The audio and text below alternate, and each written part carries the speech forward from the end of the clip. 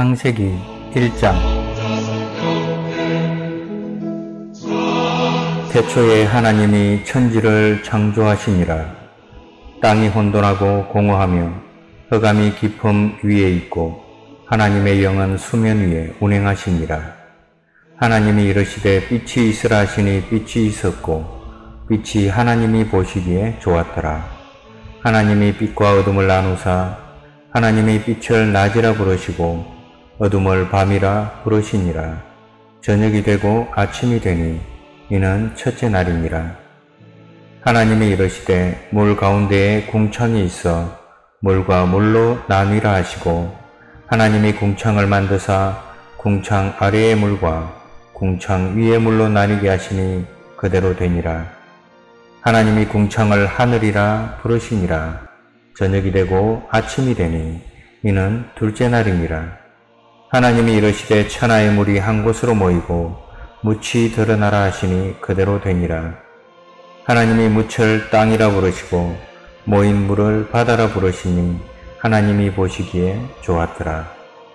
하나님이 이르시되 땅은 풀과 씨 맺는 채소와 각기 종류대로 씨 가 진 열매 맺는 나무를 내라 하시니 그대로 되어 땅이 풀과 각기 종류대로 씨 맺는 채소와 각기 종류대로 씨 가 진 열매 맺는 나무를 내니 하나님이 보시기에 좋았더라.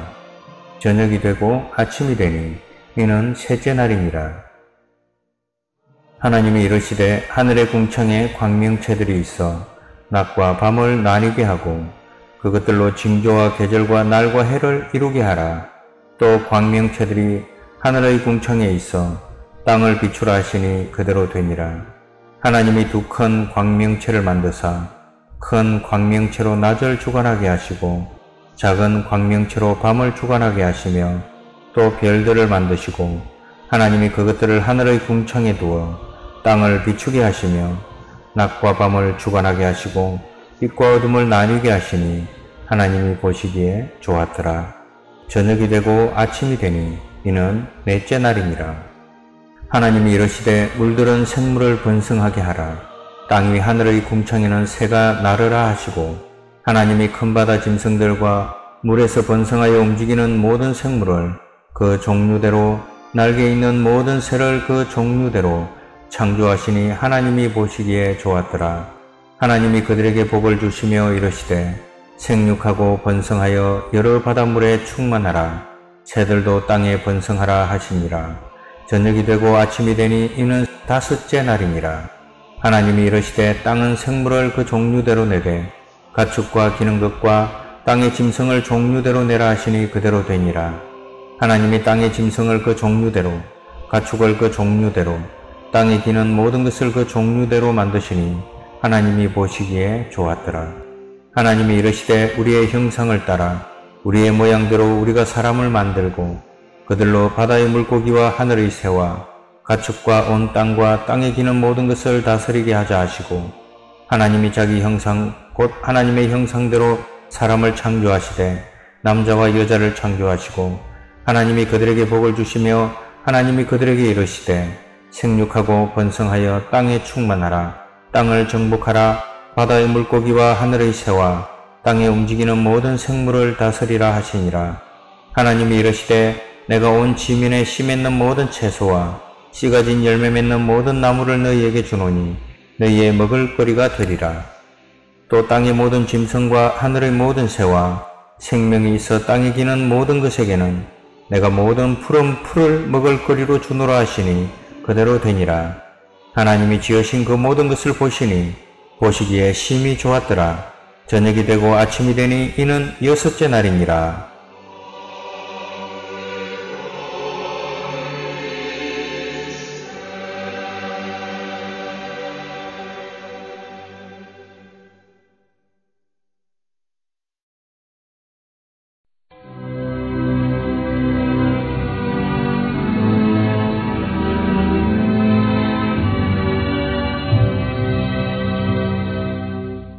창세기 2장 천지와 만물이 다 이루어지니라. 하나님이 그가 하시던 일을 일곱째 날에 마치시니 그가 하시던 모든 일을 거치고 일곱째 날에 안식하시니라. 하나님이 그 일곱째 날을 복되게 하사 거룩하게 하셨으니 이는 하나님이 그 창조하시며 만드시던 모든 일을 마치시고 그날에 안식하셨음이니라. 이것이 천지가 창조될 때에 하늘과 땅에 내리기니 여호와 하나님이 땅과 하늘을 만드시던 날에 여호와 하나님이 땅에 비를 내리지 아니하셨고 땅을 갈 사람도 없었으므로 들에는 초목이 아직 없었고 밭에는 채소가 나지 아니하였으며 안개만 땅에서 올라와 온 지면을 적셨더라. 여호와 하나님이 땅의 흙으로 사람을 지으시고 생기를 그 코에 불어넣으시니 사람이 생명이 되니라. 여호와 하나님이 동방의 에덴의 동산을 창설하시고 그 지으신 사람을 거기 두시니라. 여호와 하나님이 그 땅에서 보기에 아름답고 먹기에 좋은 나무가 나게 하시니 동산 가운데에는 생명나무와 선악을 알게 하는 나무도 있더라. 강이 에덴에서 흘러나와 동산을 적시고 거기서부터 갈라져 내 근원이 되었으니 첫째의 이름은 비손이라 금이 있는 하윌라 온 땅을 둘렀으며 그 땅의 금은 순금이요 그곳에는 베들리엄과 호마노도 있으며 둘째 강의 이름은 기혼이라 후스 온 땅을 둘렀고 셋째 강의 이름은 히데겔이라 아수르 동쪽으로 흘렀으며 넷째 강은 유브라데더라. 여호와 하나님이 그 사람을 이끌어 에덴 동산에 두어 그것을 경작하며 지키게 하시고 여호와 하나님이 그 사람에게 명하여 이르시되 동산 각종 나무의 열매는 내가 임의로 먹되 선악을 알게 하는 나무의 열매는 먹지 말라. 내가 먹는 날에는 반드시 죽으리라 하시니라. 여호와 하나님이 이르시되 사람이 혼자 사는 것이 좋지 아니하니 내가 그를 위하여 돕는 배필을 지으리라 하시니라. 여호와 하나님이 흙으로 각종 덜짐승과 공중의 각종 새를 지으시고 아담이 무엇이라고 부르나 보시려고 그것들을 그에게로 이끌어 가시니 아담이 각 생물을 부르는 것이 곧 그 이름이 되었더라. 아담이 모든 가축과 공중의 새와 들의 모든 짐승에게 이름을 주니라. 아담이 돕는 배필이 없으므로 여호와 하나님이 아담을 깊이 잠들게 하시니 잠들매 그가 그 갈빗대 하나를 취하고 살로 대신 채우시고 여호와 하나님이 아담에게서 취하신 그 갈빗대로 여자를 만드시고 그를 아담에게로 이끌어 오시니 아담이 이르되 이는 내 뼈 중에 뼈요 살 중에 살이라 이것을 남자에게서 취하여 선적 여자라 부르리라 하니라 이러므로 남자가 부모를 떠나 그의 아내와 합하여 둘이 한 몸을 이룰지로다. 아담과 그의 아내 두 사람이 벌거벗었으니 부끄러워하지 아니하니라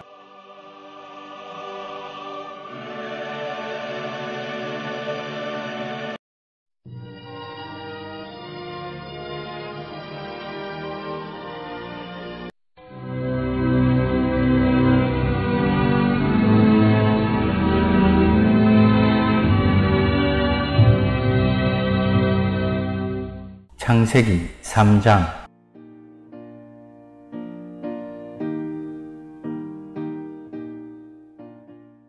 그런데 뱀은 여호와 하나님이 지으신 들짐승 중에 가장 강교하니라. 뱀이 여자에게 물어 이르되 하나님이 참으로 너희에게 동산 모든 나무의 열매를 먹지 말라 하시더냐. 여자가 뱀에게 말하되 동산 나무의 열매를 우리가 먹을 수 있으나 동산 중앙에 있는 나무의 열매는 하나님의 말씀에 너희는 먹지도 말고 만지지도 말라 너희가 죽을까 하노라 하셨느니라. 뱀이 여자에게 이르되 너희가 결코 죽지 아니하리라. 너희가 그것을 먹는 날에는 너희 눈이 밝아져 하나님과 같이 되어 선악을 알 줄 하나님이 아심이니라. 여자가 그 나무를 본즉 먹음직도 하고 보암직도 하고 지혜롭게 할 만큼 탐스럽기도 한 나무인지라. 여자가 그 열매를 따먹고 자기와 함께 있는 남편에게도 주매 그도 먹은지라. 이에 그들의 눈이 밝아져 자기들이 벗은 줄을 알고 무화과 나무 잎을 엮고 치마로 삼았더라. 그들이 그날 바람이 불 때 동산에 거니시는 여호와 하나님의 소리를 듣고 아담과 그의 아내가 여호와 하나님의 낯을 피하여 동산 나무 사이에 숨은지라. 여호와 하나님이 아담을 부르시며 그에게 이르시되 내가 어디 있느냐 이르되 내가 동산에서 하나님의 소리를 듣고 내가 벗었으므로 두려워하여 숨었나이다. 이르시되 누가 너의 벗었음을 내게 알렸느냐? 내가 내게 먹지 말라 명한 그 나무 열매를 내가 먹었느냐? 아담이 이르되 하나님이 주셔서 나와 함께 있게 하신 여자 그가 그 나무 열매를 내게 주므로 내가 먹었나이다. 여호와 하나님이 여자에게 이르시되 내가 어찌하여 이렇게 하였느냐 여자가 이르되 뱀이 나를 꿰므로 내가 먹었나이다. 여호와 하나님이 뱀에게 이르시되 내가 이렇게 하였으니 내가 모든 가축과 들의 모든 짐승보다 더욱 저주를 받아 배로 다니고 살아있는 동안 흙을 먹을지니라. 내가 너로 여자와 원수가 되게 하고 내 후손도 여자의 후손과 원수가 되게 하리니 여자의 후손은 내 머리를 상하게 할 것이요 너는 그의 발꿈치를 상하게 할 것이니라 하시고 또 여자에게 이르시되 내가 내게 임신하는 고통을 크게 더하리니 내가 수고하고 자식을 낳을 것이며 너는 남편을 원하고 남편은 너를 다스릴 것이니라 하시고 아담에게 이르시되 내가 내 아내의 말을 듣고 내가 내게 먹지 말라 한 나무의 열매를 먹었은즉 땅은 너로 말미암아 저주를 받고 너는 내 평생에 수고하여야 그 소산을 먹으리라. 땅이 내게 가시덤불과 엉겅퀴를 낼 것이라 내가 먹을 것은 밭의 채소인즉 내가 흙으로 돌아갈 때까지 얼굴에 땀을 흘려야 먹을 것을 먹으리니 내가 그것에서 취함을 입었음이라. 너는 헐기니 흙으로 돌아갈 것이니라 하시니라. 아담이 그의 아내의 이름을 하와라 불렀으니 그는 모든 산자의 어머니가 됨이더라. 여호와 하나님이 아담과 그의 아내를 위하여 가죽옷을 지어 입히시니라. 여호와 하나님이 이르시되 보라 이 사람이 선악을 아는 일에 우리 중 하나같이 되었으니 그가 그의 손을 들어 생명나무 열매도 따먹고 영생할까 하노라 하시고 여호와 하나님이 에덴 동산에서 그를 내보내어 그의 근원이 된 땅을 갈게 하시니라.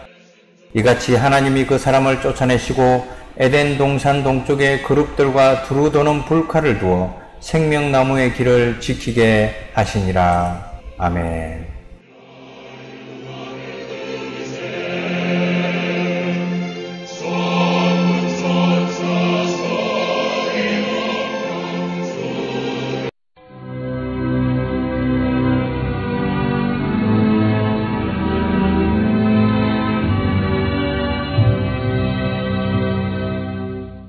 창세기 4장.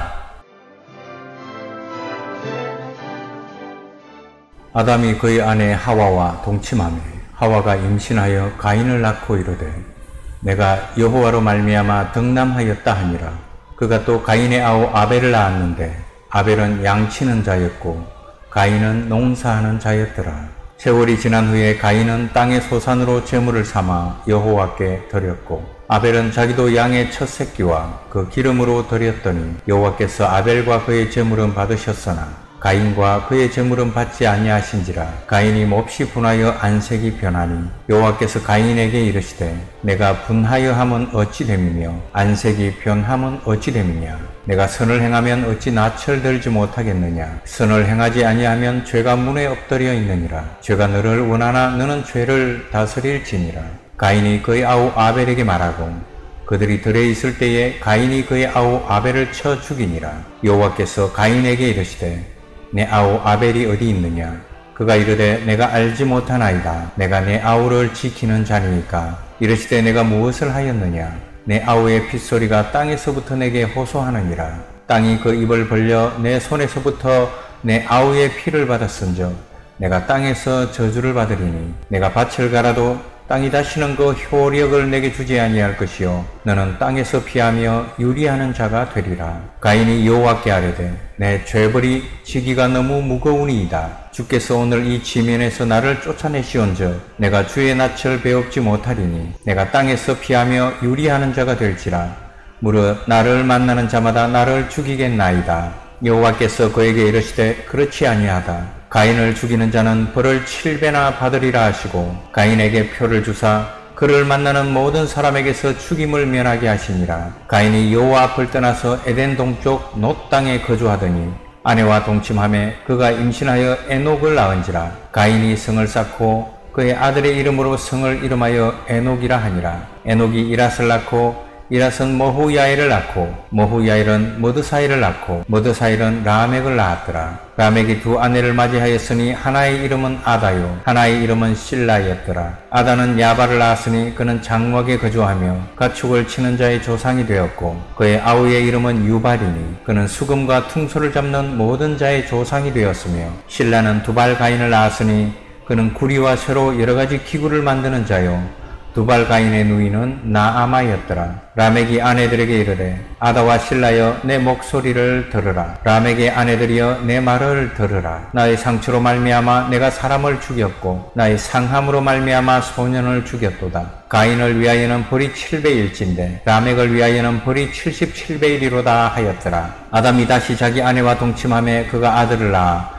그의 이름을 셋이라 하였으니 이는 하나님이 내게 가인이 죽인 아벨 대신에 다른 씨를 주셨다 함이며 셋도 아들을 낳고 그의 이름을 에노스라 하였으며 그때 사람들이 비로소 여호와의 이름을 불렀더라.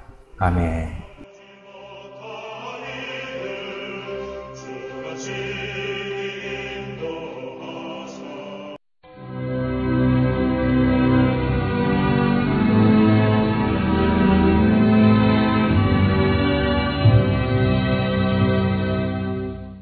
창세기 5장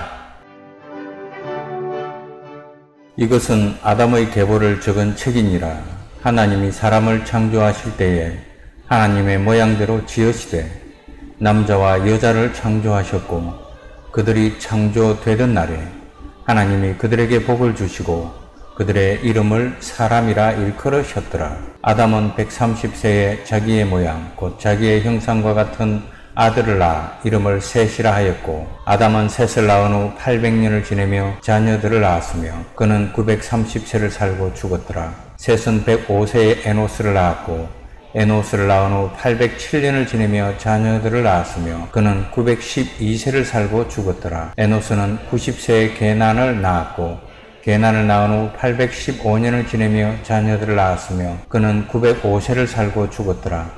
게나는 70세에 마할랄레를 낳았고 마할랄레를 낳은 후 840년을 지내며 자녀들을 낳았으며 그는 910세를 살고 죽었더라. 마할랄렐은 65세에 야렛을 낳았고 야렛을 낳은 후 830년을 지내며 자녀를 낳았으며 그는 895세를 살고 죽었더라. 야렛은 162세에 에녹을 낳았고 에녹을 낳은 후 800년을 지내며 자녀들을 낳았으며 그는 962세를 살고 죽었더라. 에녹은 65세에 모두셀라를 낳았고 모두셀라를 낳은 후 300년을 하나님과 동행하며 자녀들을 낳았으며 그는 365세를 살았더라. 에녹이 하나님과 동행하더니 하나님이 그를 데려가심으로 세상에 있지 아니하였더라. 모두셀라는 187세에 라멕을 낳았고 라멕을 낳은 후 782년을 지내며 자녀를 낳았으며 그는 969세를 살고 죽었더라. 라멕은 182세의 아들을 낳고 이름을 노아라 하여 이르되 여호와께서 땅을 저주하심으로 수고롭게 일하는 우리를 이 아들이 아미하리라 하였더라. 라멕은 노아를 낳은 후 595년을 지내며 자녀들을 낳았으며 그는 777세를 살고 죽었더라. 노아는 500세 된 후에 셈과 함과 야벳을 낳았더라.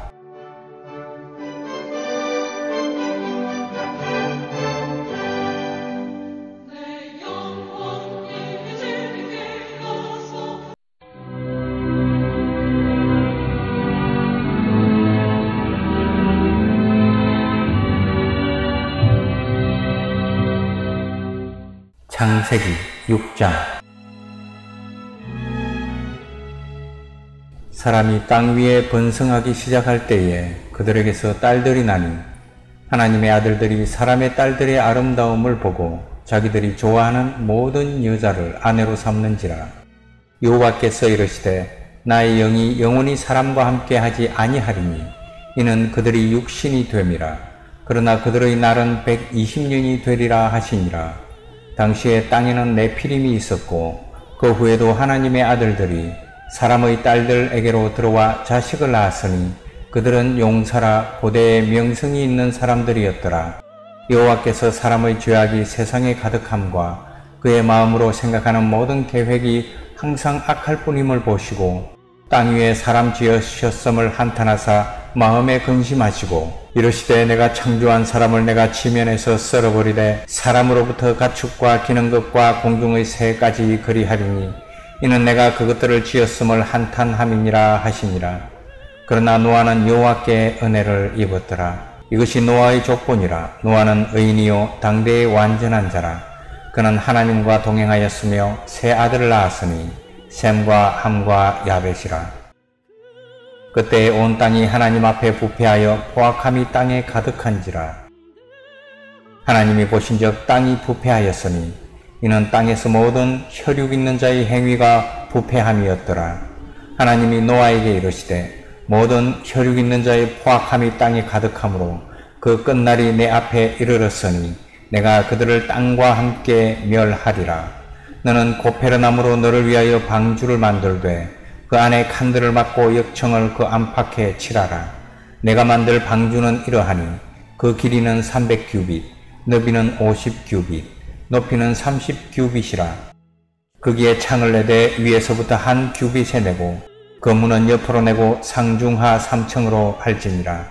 내가 홍수를 땅에 일으켜 물어 생명의 기운이 있는 모든 육체를 천하에서 멸절하리니 땅에 있는 것들이 다 죽으리라. 그러나 너와는 내가 내 언약을 세우리니 너는 내 아들들과 내 아내와 내 며느리들과 함께 그 방주로 들어가고 혈육 있는 모든 생물을 너는 각기 암수 한 쌍씩 방주로 이끌어들여 너와 함께 생명을 보존하게 하되 새가 그 종류대로 가축이 그 종류대로 땅에 기는 모든 것이 그 종류대로 각기 둘씩 내게로 나오리니 그 생명을 보존하게 하라 너는 먹을 모든 양식을 내게로 가져다가 저축하라 이것이 너와 그들의 먹을 것이 되리라. 노아가 그와 같이 하여 하나님이 자기에게 명하신 대로 다 준행하였더라.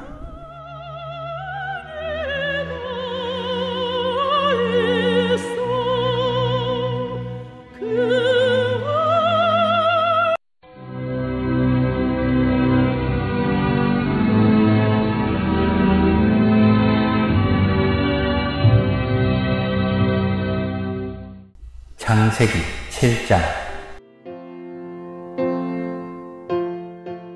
여호와께서 노아에게 이르시되 너와 내 온 집은 방주로 들어가라. 이 세대에서 내가 내 앞에 의로움을 내가 보았음이니라. 너는 모든 정결한 짐승은 암수 일곱씩 부정한 것은 암수 둘씩을 내게로 데려오며 공중의 새도 암수 일곱씩을 데려와 그 씨를 온 지면에 유전하게 하라. 지금부터 7일이면 내가 40주야를 땅에 비를 내려 내가 지은 모든 생물을 지면에서 쓸어버리리라. 노아가 여호와께서 자기에게 명하신 대로 다 준행하였더라. 홍수가 땅에 있을 때에 노아가 600세라. 노아는 아들들과 아내와 며느리들과 함께 홍수를 피하여 방주에 들어갔고 정결한 짐승과 부정한 짐승과 새와 땅에 기는 모든 것은 하나님이 노아에게 명하신 대로 암수 둘씩 노아에게 나와 방주로 들어갔으며 7일 후에 홍수가 땅에 덮이니 노아가 600세 되던 해 둘째 달 곧 그 달 열일의 날이라. 그날에 큰 기품의 샘들이 터지며 하늘의 창문들이 열려 40주야를 비가 땅에 쏟아졌더라.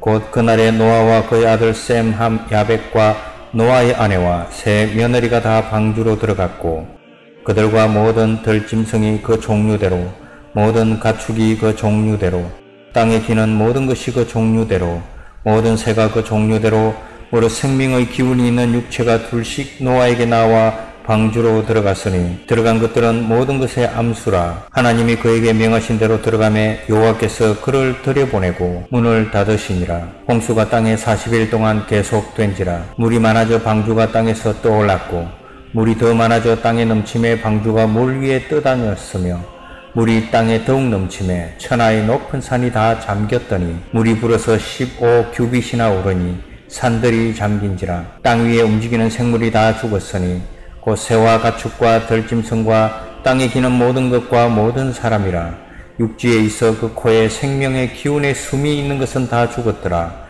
지면의 모든 생물을 썰어버리시니 곧 사람과 가축과 기는 것과 공중의 새까지라 이들은 땅에서 썰어버림을 당하였을 때 오직 노아와 그와 함께 방주에 있던 자들만 남았더라.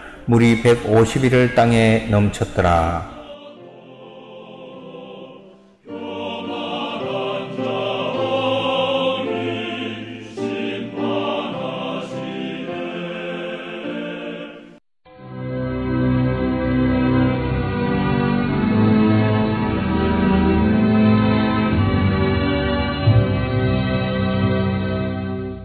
창세기 8장 하나님이 노아와 그와 함께 방주에 있는 모든 들짐승과 가축을 기억하사 하나님이 바람을 땅 위에 불게 하심에 물이 줄어들었고 기품의 샘과 하늘의 창문이 닫히고 하늘에서 비가 그침에 물이 땅에서 물러가고 점점 물러가서 150일 후에 줄어들고 일곱째 달 곧 그 달 열일의 날에 방주가 아라라산에 머물렀으며 물이 점점 줄어들어 열째 달 곧 그 달 초하룻 날에 산들의 봉우리가 보였더라. 40일을 지나서 노아가 그 방주에 낸 창문을 열고 까마귀를 내놓음에 까마귀가 물이 땅에서 마르기까지 날아 왕래하였더라. 그가 또 비둘기를 내놓아 지면에서 물이 줄어들었는지를 알고자 하매 온 지면에 물이 있으므로 비둘기가 발붙일 곳을 찾지 못하고 방주로 돌아와 그에게로 오는지라 그가 손을 내밀어 방주 안 자기에게로 받아들이고 또 7일을 기다려 다시 비둘기를 방주에서 내놓음에 저녁 때에 비둘기가 그에게로 돌아왔는데 그 입에 감람나무 새 잎사귀가 있는지라 이에 노아가 땅에 물이 줄어든 줄을 알았으며 또 7일을 기다려 비둘기를 내놓음에 다시는 그에게로 돌아오지 아니하였더라. 601년 첫째 달 곧 그 달 초 하룻날에 땅 위에서 물이 그친지라 노아가 방주 뚜껑을 제치고 본적 지면에서 물이 그쳤더니 둘째 달 스무일의 날에 땅이 말랐더라. 하나님이 노아에게 말씀하여 이르시되 너는 내 아내와 내 아들들과 내 며느리들과 함께 방주에서 나오고 너와 함께한 모든 혈육 있는 생물 곧 새와 가축과 땅에 기는 모든 것을 다 이끌어내라. 이것들이 땅에서 생육하고 땅에서 번성하리라 하심에 노아가 그 아들들과 그의 아내와 그 며느리들과 함께 나왔고 땅 위의 동물 곧 모든 짐승과 모든 기는 것과 모든 새도 그 종류대로 방주에서 나왔더라. 노아가 여호와께 제단을 쌓고 모든 정결한 짐승과 모든 정결한 새 중에서 제물을 취하여 번제로 제단에 드렸더니 여호와께서 그 향기를 받으시고 그 중심에 이르시되 내가 다시는 사람으로 말미암아 땅을 저주하지 아니하리니 이는 사람의 마음이 계획하는 바가 어려서부터 악함이라. 내가 전에 행한 것 같이 모든 생물을 다시 멸하지 아니하리니 땅에 있을 동안에는 심음과 거둠과 추위와 더위와 여름과 겨울과 낮과 밤이 쉬지 아니하리라.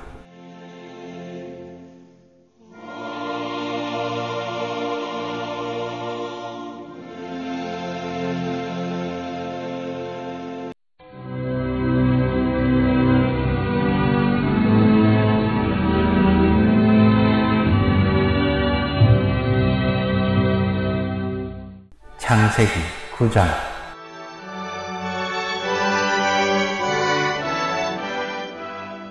하나님이 노아와 그 아들들에게 복을 주시며 그들에게 이르시되 생육하고 번성하여 땅에 충만하라 땅의 모든 짐승과 공중의 모든 새와 땅에 기는 모든 것과 바다의 모든 물고기가 너희를 두려워하며 너희를 무서워하리니 이것들은 너희의 손에 붙였음이니라 모든 산 동물은 너희의 먹을 것이 될지라. 채소같이 내가 이것을 다 너희에게 주노라. 그러나 고기를 그 생명되는 피째 먹지 말 것이니라. 내가 반드시 너희의 피, 곧 너희의 생명의 피를 찾으리니, 짐승이면 그 짐승에게서, 사람이나 사람의 형제면 그에게서 그의 생명을 찾으리라.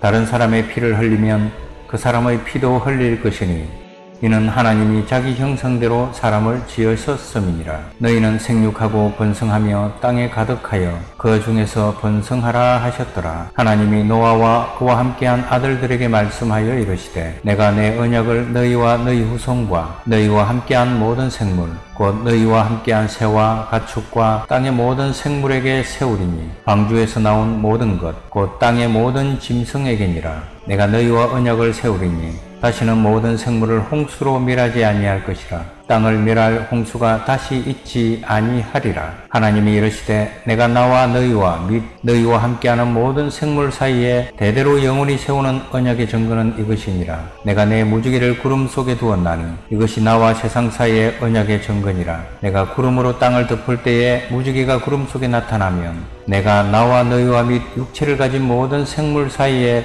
내 언약을 기억하리니 다시는 물이 모든 육체를 멸하는 홍수가 되지 아니할지라. 무지개가 구름 사이에 있으리니 내가 보거나 하나님과 모든 육체를 가진 땅의 모든 생물 사이에 영원한 언약을 기억하리라.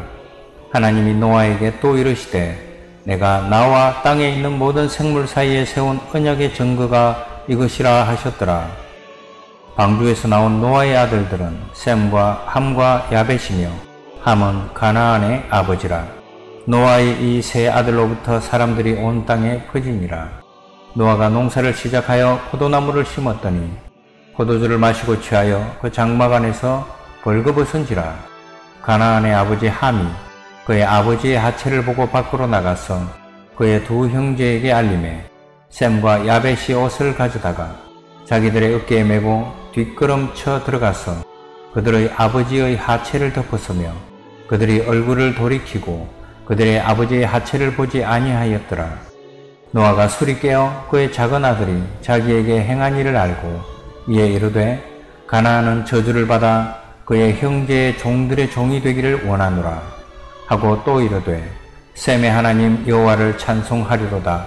가나안은 셈의 종이 되고 하나님이 야벳을 창대하게 하사 셈의 장막에 거하게 하시고 가나안은 그의 종이 되게 하시기를 원하노라 하였더라 홍수 후에 노아가 350년을 살았고 그의 나이가 950세가 되어 죽었더라.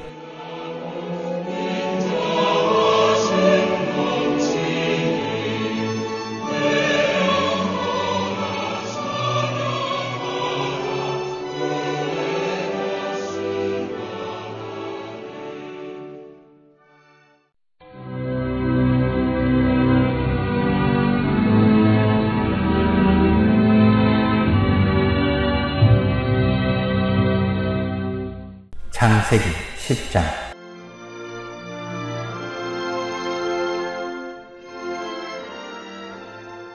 노아의 아들 셈과 함과 야벳의 족보는 이러하니라. 홍수 후에 그들이 아들들을 낳았으니 야벳의 아들은 고멜과 마곡과 마대와 야왕과 두발과 메색과 디라스요. 고멜의 아들은 아스그나스와 리박과 도갈마요. 야완의 아들은 엘리사와 달시스와 기띔과 도다님이라. 이들로부터 여러 나라 백성으로 나뉘어서 각기 언어와 종족과 나라대로 바닷가의 땅에 머물렀더라. 함의 아들은 구스와 미스라임과 북과 가나안이요. 구스의 아들은 스바와 하윌라와 삽다와 라아마와 삽드가요.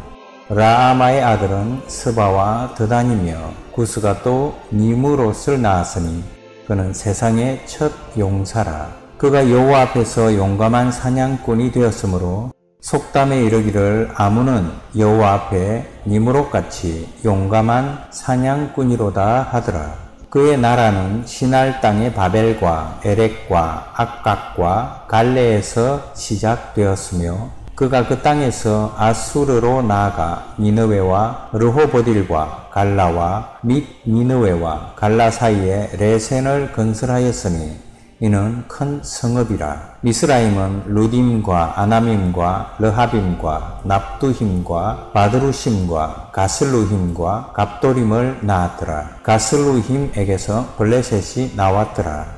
가나안은 장자 시돈과 헷을 낳고 또 여부스 족속과 아모리 족속과 기르가스 족속과 히위 족속과 알가 족속과 신 족속과 아로아 족속과 스말 족속과 하맛 족속을 낳았더니 이후로 가나안 자손의 족속이 흩어져 나아갔더라. 가나안의 경계는 시돈에서부터 그라를 지나 가사까지와 소돔과 고모라와 아드마와 스보임을 지나 라사까지였더라. 이들은 함의 자손이라 각기 족속과 언어와 지방과 나라대로였더라. 셈은 에벨 온 자손의 조상이요 야벳의 형이라 그에게도 자녀가 출생하였으니 셈의 아들은 엘람과 아수르와 아르박삭과 룩과 아람이요 아람의 아들은 우스와 훌과 게델과 마스며 아르박삭은 셀라를 낳고 셀라는 에벨을 낳았으며 에벨은 두 아들을 낳고 하나의 이름을 벨렉이라 하였으니 그때의 세상이 나뉘었으며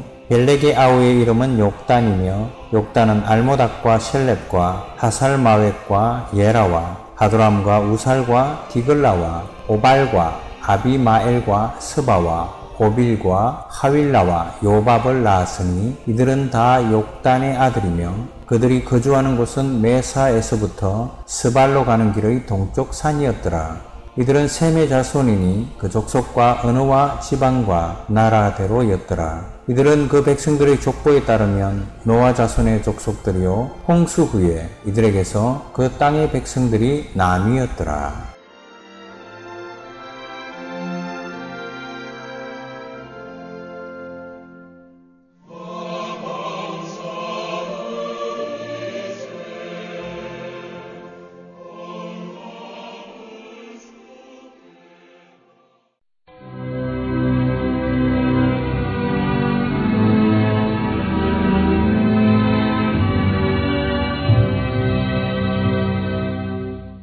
창세기 11장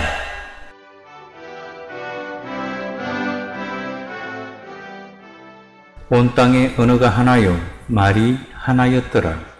이에 그들이 동방으로 옮기다가 신할 평지를 만나 거기 거류하며 서로 말하되 자 벽돌을 만들어 견고히 굽자 하고 이에 벽돌로 돌을 대신하며 역청으로 진흙을 대신하고 또 말하되 자 성읍과 탑을 건설하여 그 탑 꼭대기를 하늘에 닿게 하여 우리 이름을 내고 온 지면에 흩어짐을 면하자 하였더니 여호와께서 사람들이 건설하는 그 성읍과 탑을 보려고 내려오셨더라. 여호와께서 이르시되 이 무리가 한 족속이요 언어도 하나이므로 이같이 시작하였으니 이후로는 그 하고자 하는 일을 막을 수 없으리로다. 자 우리가 내려가서 거기서 그들의 언어를 혼잡하게 하여 그들이 서로 알아듣지 못하게 하자 하시고 여호와께서 거기서 그들을 온 지면에 흩으셨으므로 그들이 그 도시를 건설하기를 그쳤더라. 그러므로 그 이름을 바벨이라 하니 이는 여호와께서 거기서 온 땅의 언어를 혼잡하게 하셨음이니라. 여호와께서 거기서 그들을 온 지면에 흩으셨더라. 셈의 족보는 이러하니라. 셈은 백세 곧 홍수 후 2년에 아르박사스를 낳았고 아르박사스를 낳은 후에 500년을 지내며 자녀를 낳았으며 아르박사스는 35세에 셀라를 낳았고 셀라를 낳은 후에 403년을 지내며 자녀를 낳았으며 셀라는 30세에 에벨을 낳았고 에벨을 낳은 후에 403년을 지내며 자녀를 낳았으며 에벨은 34세에 벨렉을 낳았고 벨렉을 낳은 후에 430년을 지내며 자녀를 낳았으며 벨렉은 30세에 르우를 낳았고 르우를 낳은 후에 209년을 지내며 자녀를 낳았으며 르우는 32세에 스룩을 낳았고 스룩을 낳은 후에 207년을 지내며 자녀를 낳았으며 스룩은 30세에 나호를 낳았고 나호를 낳은 후에 200년을 지내며 자녀를 낳았으며 나홀은 29세에 데라를 낳았고 데라를 낳은 후에 119년을 지내며 자녀를 낳았으며 데라는 70세에 아브라함과 나홀과 하란을 낳았더라. 데라의 조건은 이러하니라. 데라는 아브라함과 나홀과 하란을 낳고 하란은 롯을 낳았으며 하란은 그 아비 데라보다 먼저 고향 갈대아인의 우르에서 죽었더라. 아브라함과 나홀이 장가들었으니 아브라함의 아내의 이름은 사레며 나홀의 아내의 이름은 밀가니 하란의 딸이요 하란은 밀가의 아버지이며 또 이스가의 아버지더라. 사레는 임신하지 못하므로 자식이 없었더라. 데레가 그 아들 아브라함과 하란의 아들인 그의 손자 롯과 그의 며느리 아브라함의 아내 사레를 데리고 갈대아인의 우르를 떠나 가나안 땅으로 가고자 하더니 하란에 이르러 거기 거류하였으며 데라는 나이가 205세가 되어 하란에서 죽었더라.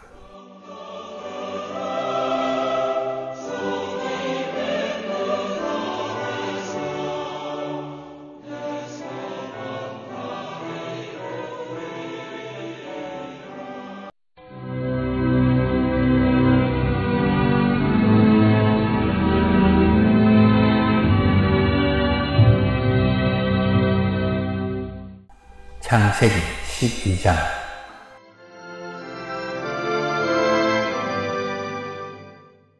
여호와께서 아브라함에게 이르시되 너는 너의 고향과 친척과 아버지의 집을 떠나 내가 내게 보여줄 땅으로 가라.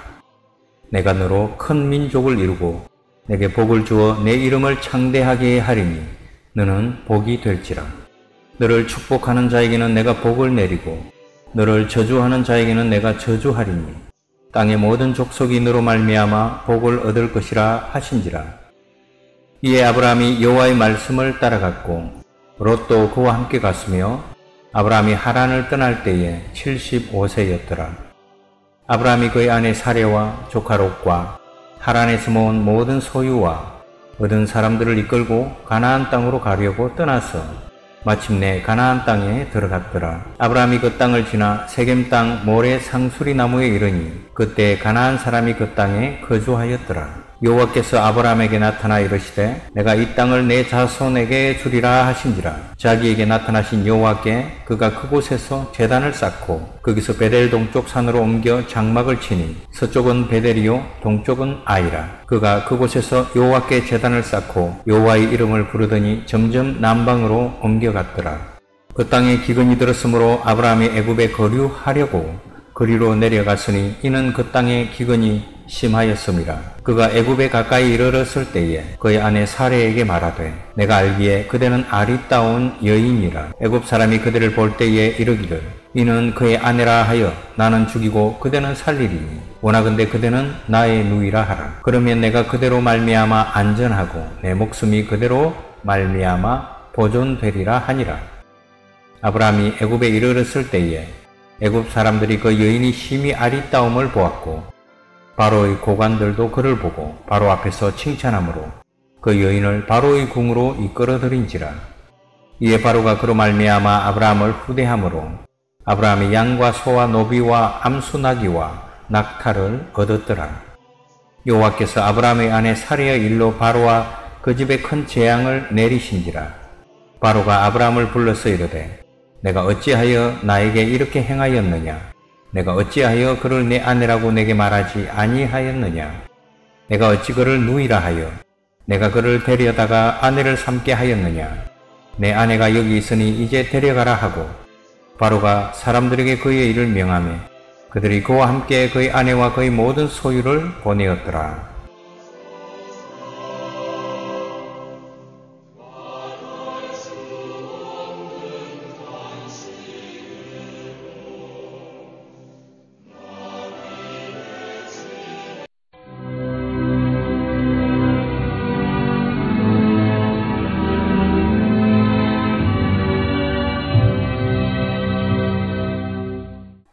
창세기 13장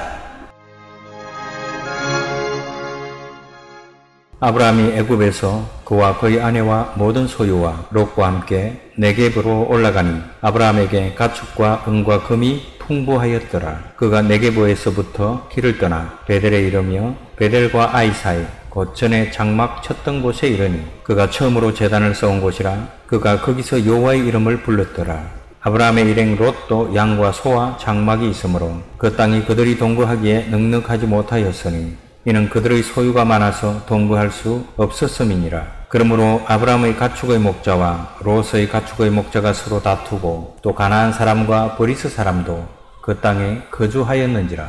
아브람이 롯에게 이르되 우리는 한 친족이라 나나 너나 내 목자나 네 목자나 서로 다투게 하지 말자. 네 앞에 온 땅이 있지 아니하냐. 나를 떠나가라. 네가 좌하면 나는 우하고 내가 우하면 나는 좌하리라. 이에 롯이 눈을 들어 요단 지역을 바라본즉 소알까지 온 땅에 물이 넉넉하니 여호와께서 소돔과 고모라를 멸하시기 전이었으므로 여호와의 동산 같고 애굽 땅과 같았더라. 그러므로 롯이 요단 온 지역을 택하고 동으로 옮기니 그들이 서로 떠난지라.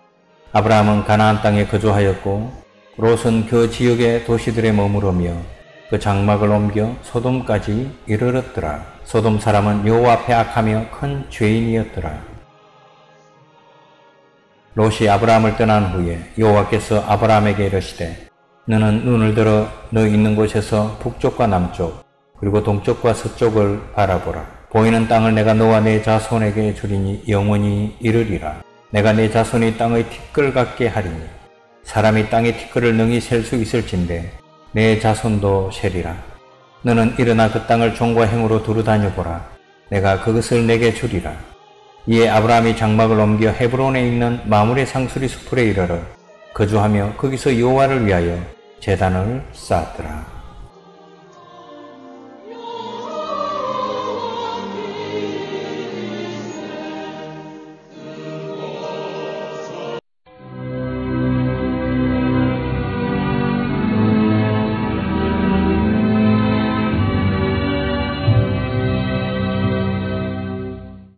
창세기 14장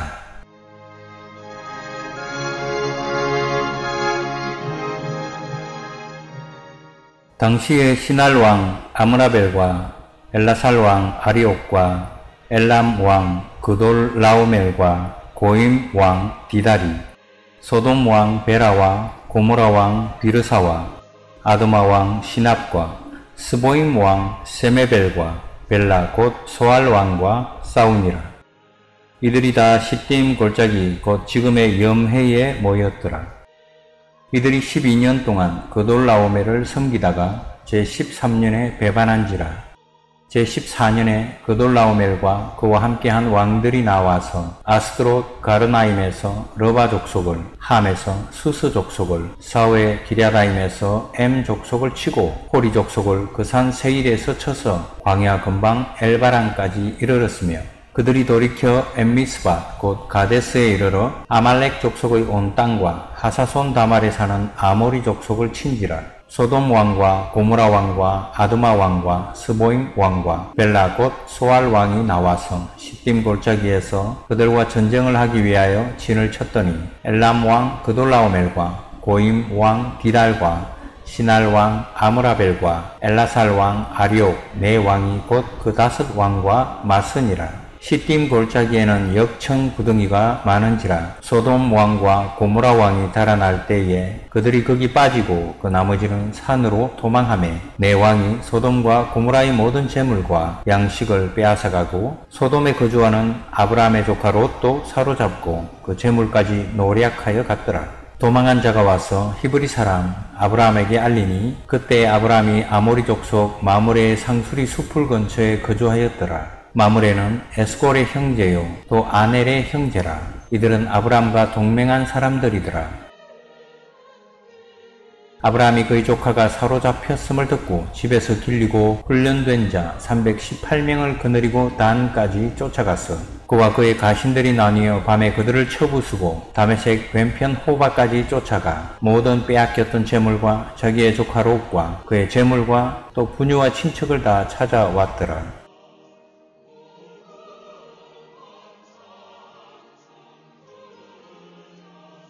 아브라함이 그돌라오멜과 그와 함께한 왕들을 추부수고 돌아올 때에 소돔 왕이 사회 골짜기 곧 왕의 골짜기로 나와 그를 영접하였고 살렘 왕 멜기세덱이 떡과 포도주를 가지고 나왔으니 그는 지극히 높으신 하나님의 제사장이었더라.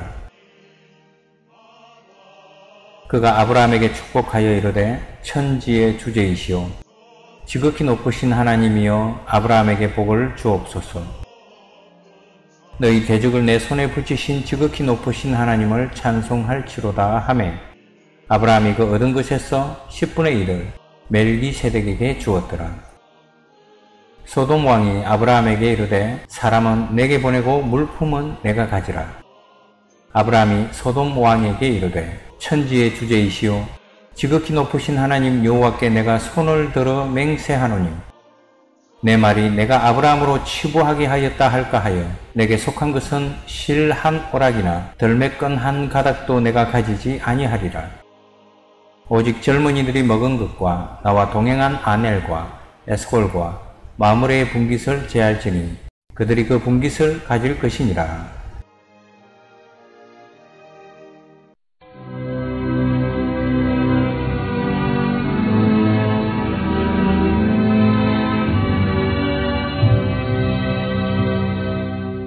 창세기 15장.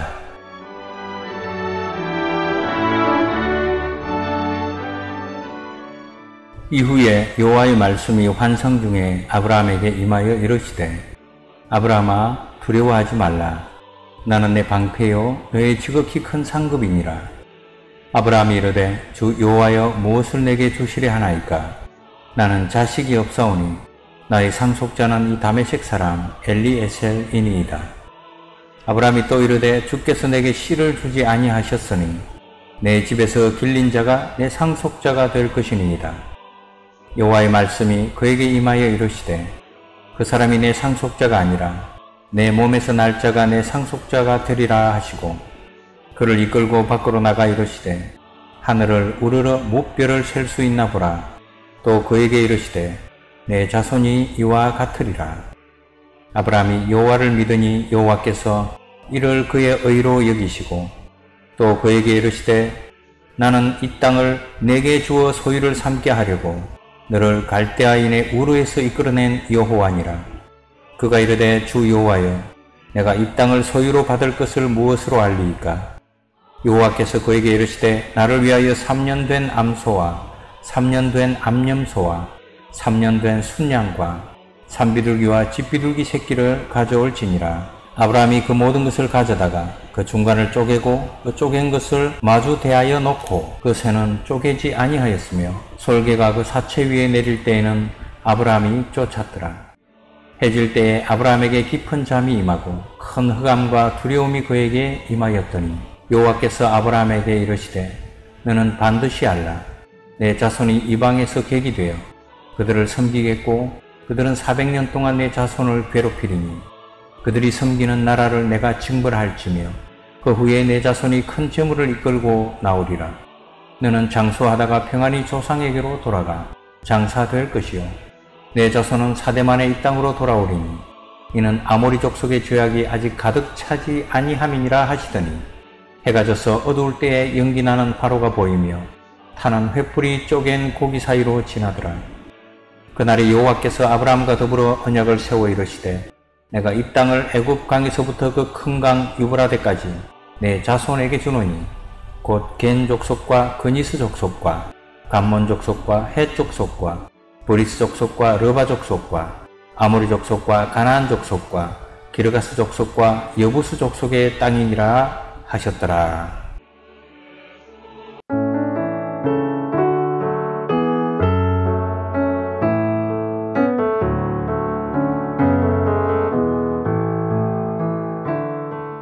창세기 16장. 아브라함의 아내 사례는 출산하지 못하였고 그에게 한 여종이 있으니 애굽 사람이요 이름은 하갈이라. 사례가 아브라함에게 이르되 여호와께서 내 출산을 허락하지 아니하셨으니 원하건대 내 여종에게 들어가라. 내가 혹 그로 말미암아 자녀를 얻을까 하노라 하매 아브라함이 사례의 말을 들으니라. 아브라함의 아내 사례가 그 여종 애굽 사람 하갈을 데려다가 그 남편 아브라함에게 첩으로 준 때는 아브라함이 가나안 땅에 거주한 지 10년 후였더라. 아브라함이 하갈과 동침하였더니 하갈이 임신함에 그가 자기의 임신함을 알고 그의 여주인을 멸시한지라. 사리가 아브라함에게 이르되 내가 받는 모욕 은 당신이 받아야 옳도다. 내가 나의 여종을 당신의 품에 두었거늘 그가 자기의 임신함을 알고 나를 멸시하니 당신과 나 사이에 여호와께서 판단하시기를 원하노라. 아브라함이 사례에게 이르되 당신의 여종은 당신의 수중에 있으니 당신의 눈에 좋을 대로 그에게 행하라. 함에 사례가 하갈을 학대하였더니 하갈이 사례 앞에서 도망하였더라. 여호와의 사자가 광야의 샘물 곁 곧 술, 길, 샘 곁에서 그를 만나 이르되 사례의 여종 하가라 내가 어디서 왔으며 어디로 가느냐? 그가 이르되 나는 내 여주인 사리를 피하여 도망하나이다. 여호와의 사자가 그에게 이르되 내 여주인에게로 돌아가서 그 수하에 복종하라. 여호와의 사자가 또 그에게 이르되 내가 내 씨를 크게 번성하여 그 수가 많아 셀 수 없게 하리라. 여호와의 사자가 또 그에게 이르되 내가 임신하였은즉 아들을 낳으리니 그 이름을 이스마엘이라 하라. 이는 여호와께서 내 고통을 들으셨음이니라. 그가 사람 중에 덜나귀 같이 되리니 그의 손이 모든 사람을 치겠고 모든 사람의 손이 그를 칠지며 그가 모든 형제와 대항해서 살리라 하니라. 하갈이 자기에게 이르신 여호와의 이름을 나를 살피시는 하나님이라 하였으니 이는 내가 어떻게 여기서 나를 살피시는 하나님을 배웠는고 함이라. 이름으로 그 샘을 보엘라 헤로이라 불렀으며 그것은 가데스와 베레 사이에 있더라. 하갈이 아브라함의 아들을 낳음에 아브라함이 하갈이 낳은 그 아들을 이름하여 이스마엘이라 하였더라. 하갈이 아브라함에게 이스마엘을 낳았을 때에 아브라함이 86세였더라.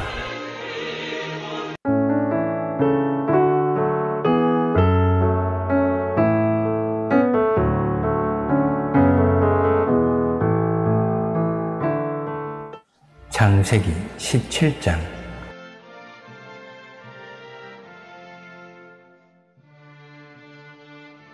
아브라함이 99세 때에 여호와께서 아브라함에게 나타나서 그에게 이르시되 나는 전능한 하나님이라. 너는 내 앞에서 행하여 완전하라. 내가 내 언약을 나와 너 사이에 두어 너를 크게 번성하게 하리라 하시니. 아브라함이 엎드렸더니 하나님이 또 그에게 말씀하여 이르시되 보라 내 언약이 너와 함께 있으니 너는 여러 민족의 아버지가 될지라 이제 후로는 내 이름을 아브라함이라 하지 아니하고 아브라함이라 하리니 이는 내가 너를 여러 민족의 아버지가 되게 함이니라 내가 너로 심히 번성하게 하리니 내가 내게서 민족들이 나게 하며 왕들이 내게로부터 나오리라 내가 내 언약을 나와 너 및 내 대대 후손 사이에 세워서 영원한 언약을 삼고 너와 내 후손의 하나님이 되리라.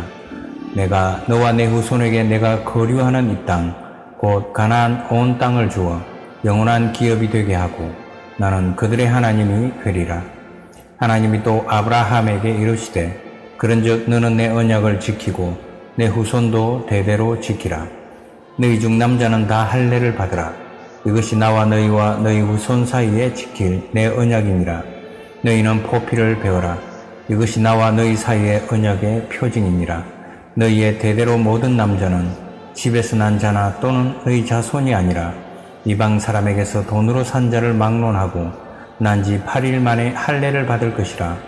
너희 집에서 난 자든지 너희 돈으로 산 자든지 할례를 받아야 하리니 이에 내 언약이 너희 살에 있어 영원한 언약이 되려니와 할례를 받지 아니한 남자 곧 그 포피를 베지 아니한 자는 백성 중에서 끊어지리니 그가 내 언약을 배반하였음이니라 하나님이 또 아브라함에게 이르시되 내 아내 사례는 이름을 사례라 하지 말고 사라라 하라. 내가 그에게 복을 주어 그가 내게 아들을 낳아주게 하며 내가 그에게 복을 주어 그를 여러 민족의 어머니가 되게 하리니 민족의 여러 왕이 그에게서 나리라. 아브라함이 엎드려 웃으며 마음속으로 이르되 백세 된 사람이 어찌 자식을 낳을까?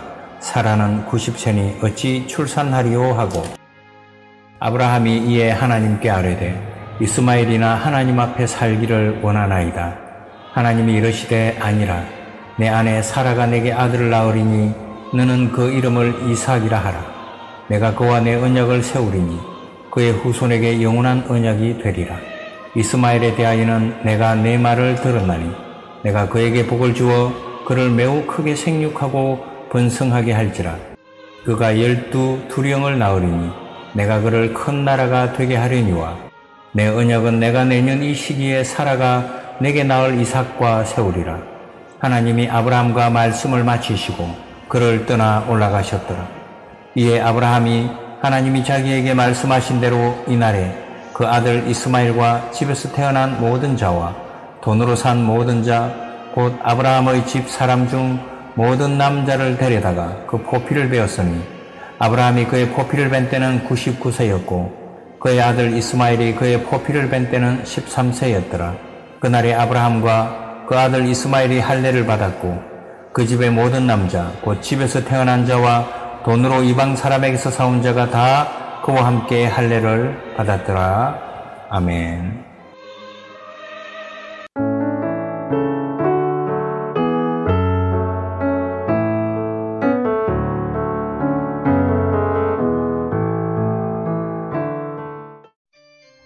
창세기 18장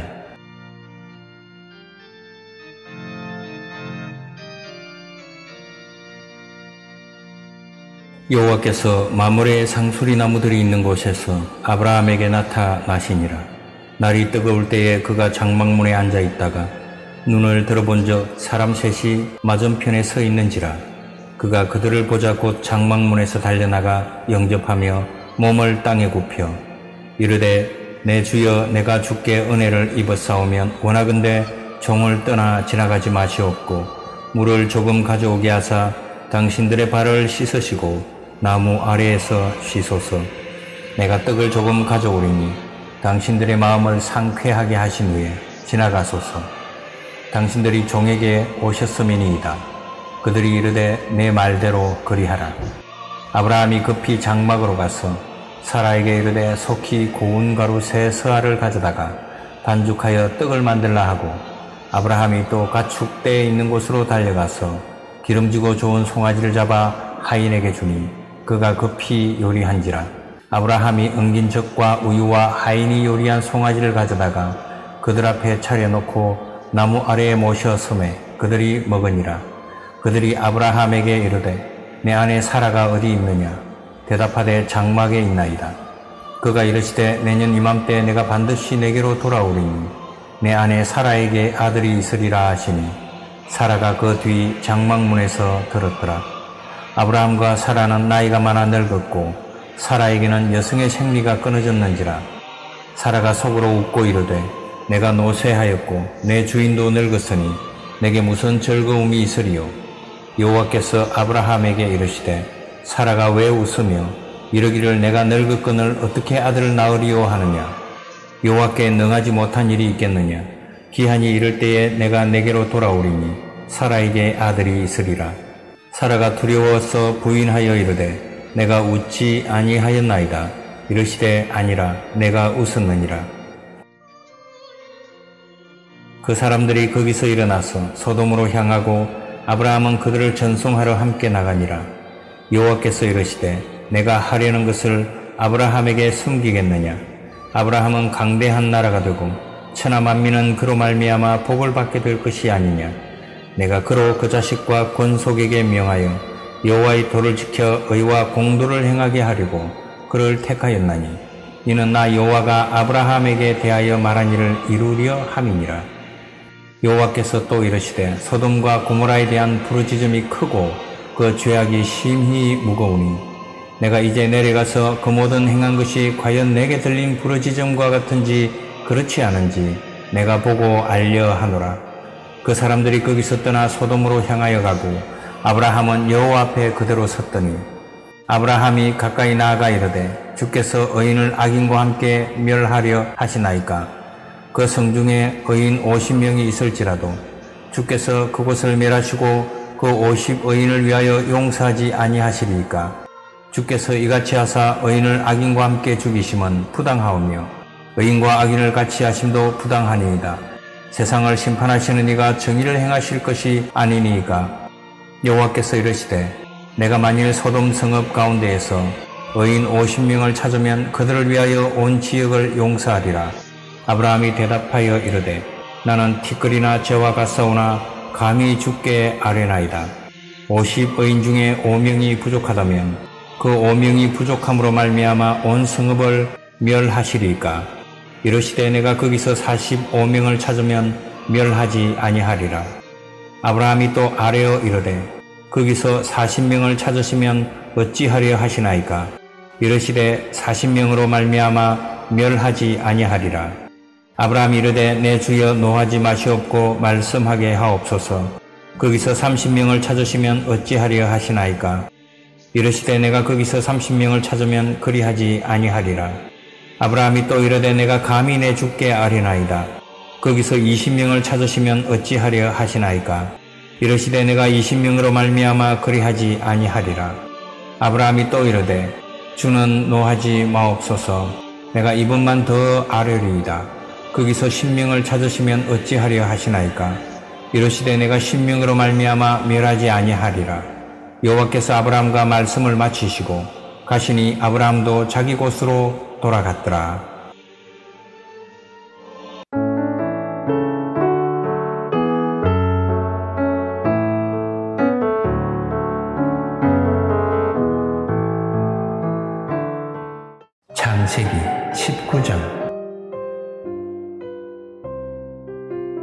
저녁 때에 그 두 천사가 소돔에 이르니 마침 롯이 소돔 성문에 앉아 있다가 그들을 보고 일어나 영접하고 땅에 엎드려 절하며 이르되 내 주여 돌이켜 종의 집으로 들어와 발을 씻고 주무시고 일찍이 일어나 갈 길을 가소서. 그들이 이르되 아니라 우리가 거리에서 밤을 세우리라.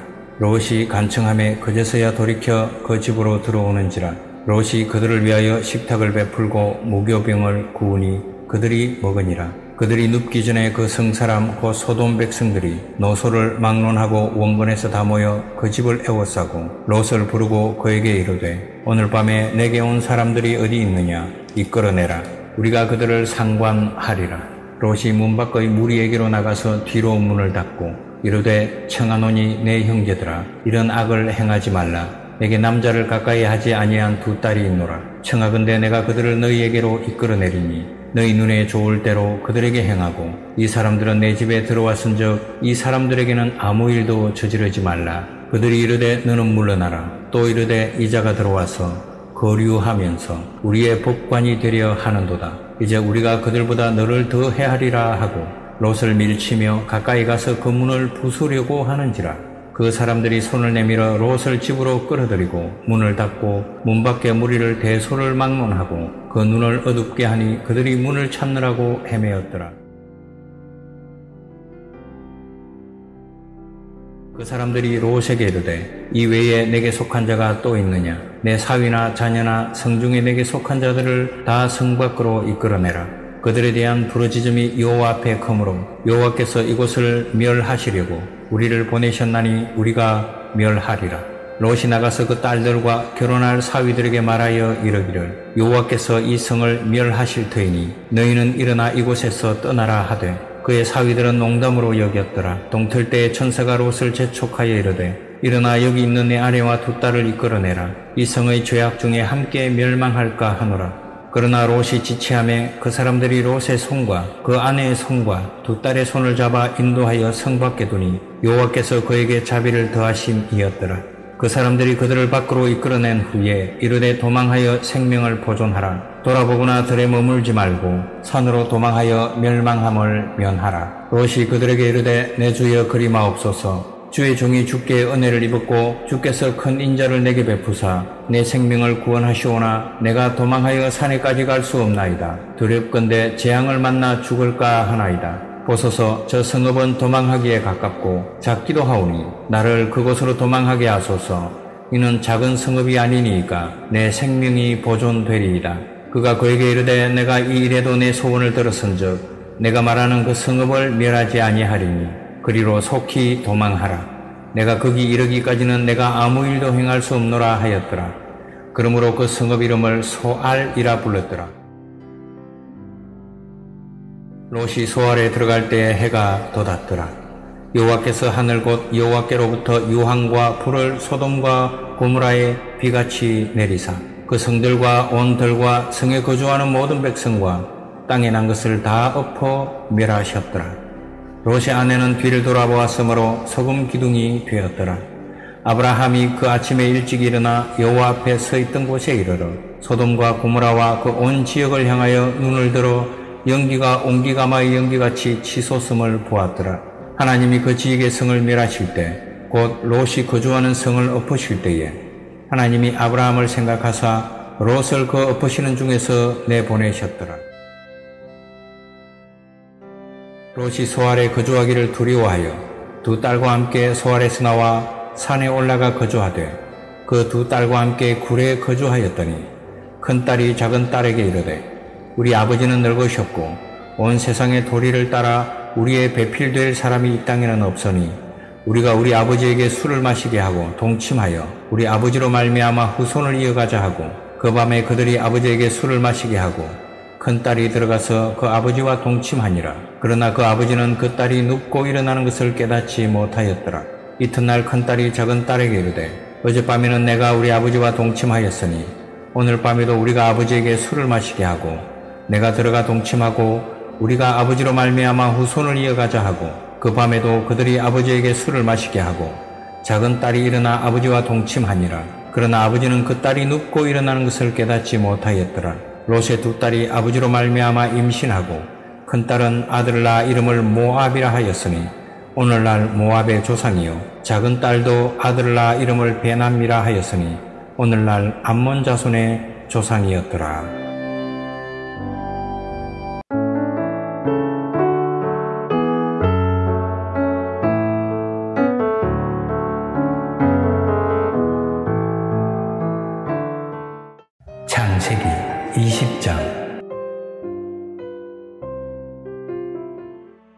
아브라함이 거기서 네게브 땅으로 옮겨가 가데스와 술 사이 그랄에 거류하며 그의 아내 사라를 자기 누이라 하였으므로 그랄 왕 아비멜렉이 사람을 보내어 사라를 데려갔더니 그 밤에 하나님이 아비멜렉에게 현몽하시고 그에게 이르시되 내가 데려간 이 여인으로 말미암아 내가 죽으리니 그는 남편이 있는 여자이니라.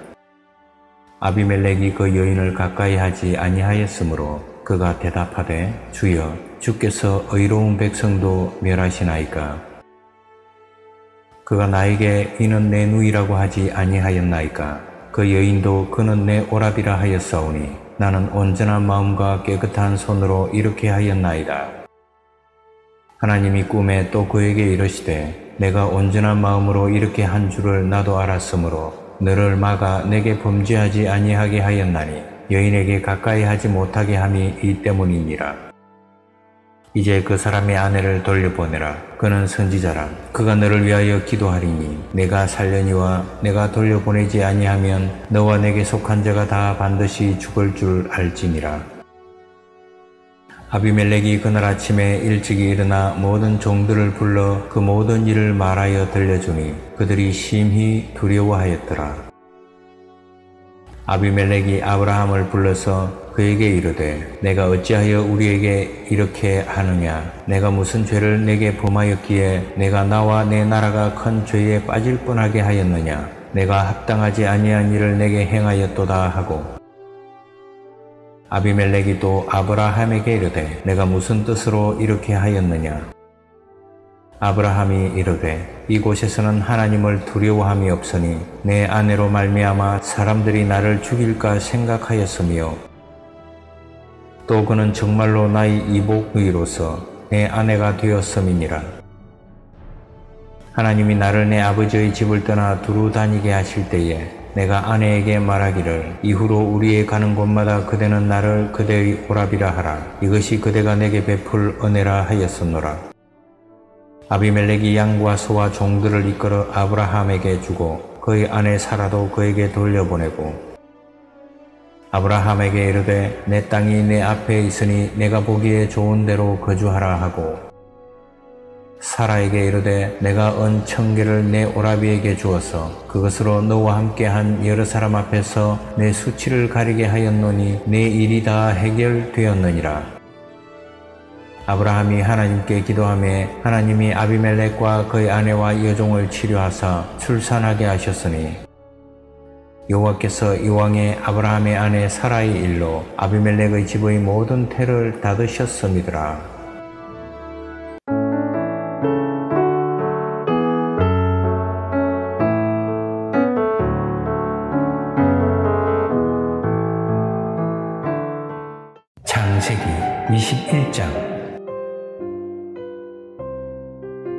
여호와께서 말씀하신 대로 사라를 돌보셨고 여호와께서 말씀하신 대로 사라에게 행하셨으므로 사라가 임신하고 하나님이 말씀하신 시기가 되어 노년에 아브라함에게 아들을 낳으니 아브라함이 그에게 태어난 아들 곧 사라가 자기에게 낳은 아들을 이름하여 이삭이라 하였고 그 아들 이삭이 난 지 8일 만에 그가 하나님이 명령하신 대로 할례를 행하였더라. 아브라함이 그의 아들 이삭이 그에게 태어날 때에 백세라. 사라가 이르되 하나님이 나를 웃게 하시니 듣는 자가 다 나와 함께 웃으리로다. 또 이르되 사라가 자식들을 젖 먹이겠다고 누가 아브라함에게 말하였으리오마는 아브라함의 노경에 내가 아들을 낳았도다 하니라. 아이가 자람에 젖을 때고 이삭이 젖을 때는 날에 아브라함이 큰 잔치를 베풀었더라. 사라가 본적 아브라함의 아들 애굽 여인 하갈의 아들이 이삭을 놀리는지라. 그가 아브라함에게 이르되 이 여종과 그 아들을 내쫓아라. 이 종의 아들은 내 아들 이삭과 함께 기업을 얻지 못하리라 하므로. 아브라함이 그의 아들로 말미암아 그 일이 매우 근심이 되었더니 하나님이 아브라함에게 이르시되 내 아이나 내 여종으로 말미암아 근심하지 말고 사라가 내게 이런 말을 다 들으라. 이삭에게서 나는 자라야 내 씨라 부를 것임이니라.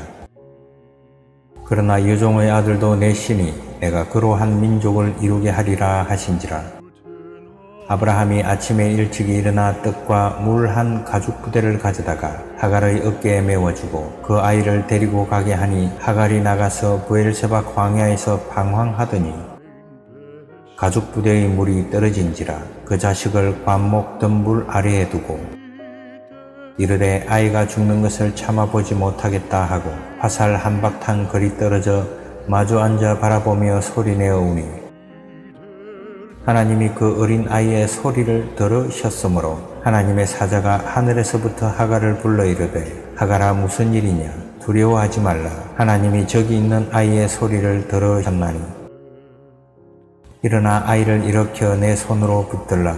그가 큰 민족을 이루게 하리라 하시니라 하나님이 하갈의 눈을 밝히셨으므로 샘물을 보고 가서 가죽 부대에 물을 채워다가 그 아이에게 마시게 하였더라 하나님이 그 아이와 함께 계심에 그가 장성하여 광야에서 거주하며 활 쏘는 자가 되었더니 그가 바란 광야에 거주할 때에 그의 어머니가 그를 위하여 애굽 땅에서 아내를 얻어 주었더라.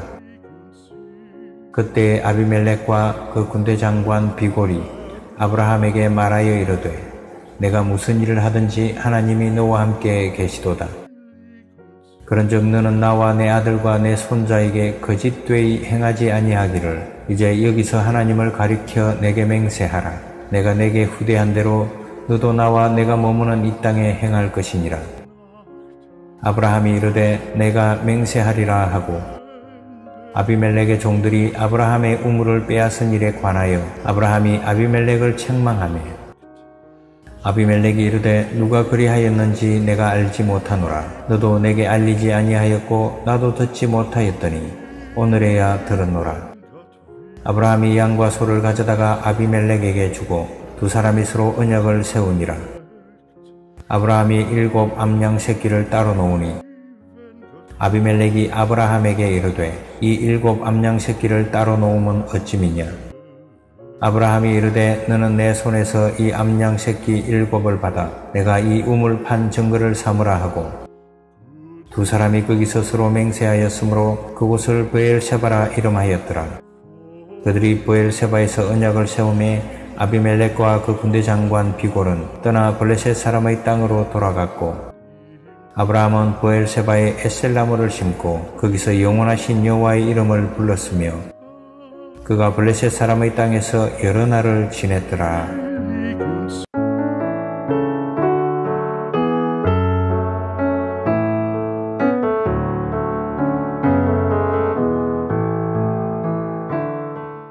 창세기 22장 그 일 후에 하나님이 아브라함을 시험하시려고 그를 부르시되 아브라함아 하시니 그가 이르되 내가 여기 있나이다. 여호와께서 이르시되 내 아들 내 사랑하는 독자 이삭을 데리고 모리아 땅으로 가서 내가 내게 일러준 한 산 거기서 그를 번제로 드리라. 아브라함이 아침에 일찍이 일어나 나귀에 안장을 지우고 두 종과 그의 아들 이삭을 데리고 번제에 쓸 나무를 쪼개어 가지고 떠나 하나님이 자기에게 일러주신 곳으로 가더니 제3일에 아브라함이 눈을 들어 그곳을 멀리 바라본지라. 이에 아브라함이 종들에게 이르되 너희는 나 귀와 함께 여기서 기다리라. 내가 아이와 함께 저기 가서 예배하고 우리가 너희에게로 돌아오리라 하고. 아브라함이 이에 번제나무를 가져다가 그의 아들 이삭에게 지우고 자기는 불과 칼을 손에 들고 두 사람이 동행하더니 이삭이 그 아버지 아브라함에게 말하여 이르되 내 아버지여 하니 그가 이르되 내 아들아 내가 여기 있노라. 이삭이 이르되 불과 나무는 있거니와 번제할 어린 양은 어디 있나이까? 아브라함이 이르되 내 아들아 번제할 어린 양은 하나님이 자기를 위하여 친히 준비하시리라 하고 두 사람이 함께 나아가서 하나님이 그에게 일러주신 곳에 이른지라. 이에 아브라함이 그곳에 재단을 쌓고 나무를 버려놓고 그의 아들 이삭을 결박하여 재단나무 위에 놓고 손을 내밀어 칼을 잡고 그 아들을 잡으려 하니 여호와의 사자가 하늘에서부터 그를 불러 이르시되 아브라함아 아브라함아 하시는지라. 아브라함이 이르되 내가 여기 있나이다 하매 사자가 이르시되 그 아이에게 내 손을 대지 말라. 그에게 아무 일도 하지 말라. 내가 내 아들 내 독자까지도 내게 아끼지 아니하였으니 내가 이제야 내가 하나님을 경외하는 줄을 아노라. 아브라함이 눈을 들어 살펴본즉 한 순양이 뒤에 있는데 우리 수풀에 걸려 있는지라. 아브라함이 가서 그 순양을 가져다가 아들을 대신하여 번제로 드렸더라. 아브라함이 그 땅 이름을 여호와 이레라 하였으므로 오늘날까지 사람들이 이르기를 여호와의 산에서 준비되리라 하더라. 여호와의 사자가 하늘에서부터 두 번째 아브라함을 불러 이르시되 여호와께서 이르시기를 내가 나를 가리켜 맹세하노니 내가 이같이 행하여 내 아들 내 독자도 아끼지 아니하였은즉 내가 내게 큰 복을 주고 내 씨가 크게 번성하여 하늘의 별과 같고 바닷가의 모래와 같게 하리니 내 씨가 그 대적의 성문을 차지하리라. 또내 씨로 말미암아 천하 만민이 복을 받으리니 이는 내가 나의 말을 준행하였음이니라 하셨다 하니라. 이에 아브라함이 그의 종들에게로 돌아가서 함께 떠나 부엘세바에 이르러 거기 거주하였더라. 이 일 후에 어떤 사람이 아브라함에게 알리어 이르기를 밀가가 당신의 형제 나홀에게 자녀를 낳았다 하였더라. 그의 맏아들은 우스요. 우스의 형제는 부스와 아람의 아버지 거모엘과 게색과 하소와 빌다스와 이들랍과 버두엘이라. 이 여덟 사람은 아브라함의 형제 나홀의 아내 밀가의 소생이며 버두엘은 리브가를 낳았고 나홀의 첩 러우마라 하는 자도 데바와 가함과 다하스와 마아가를 낳았더라.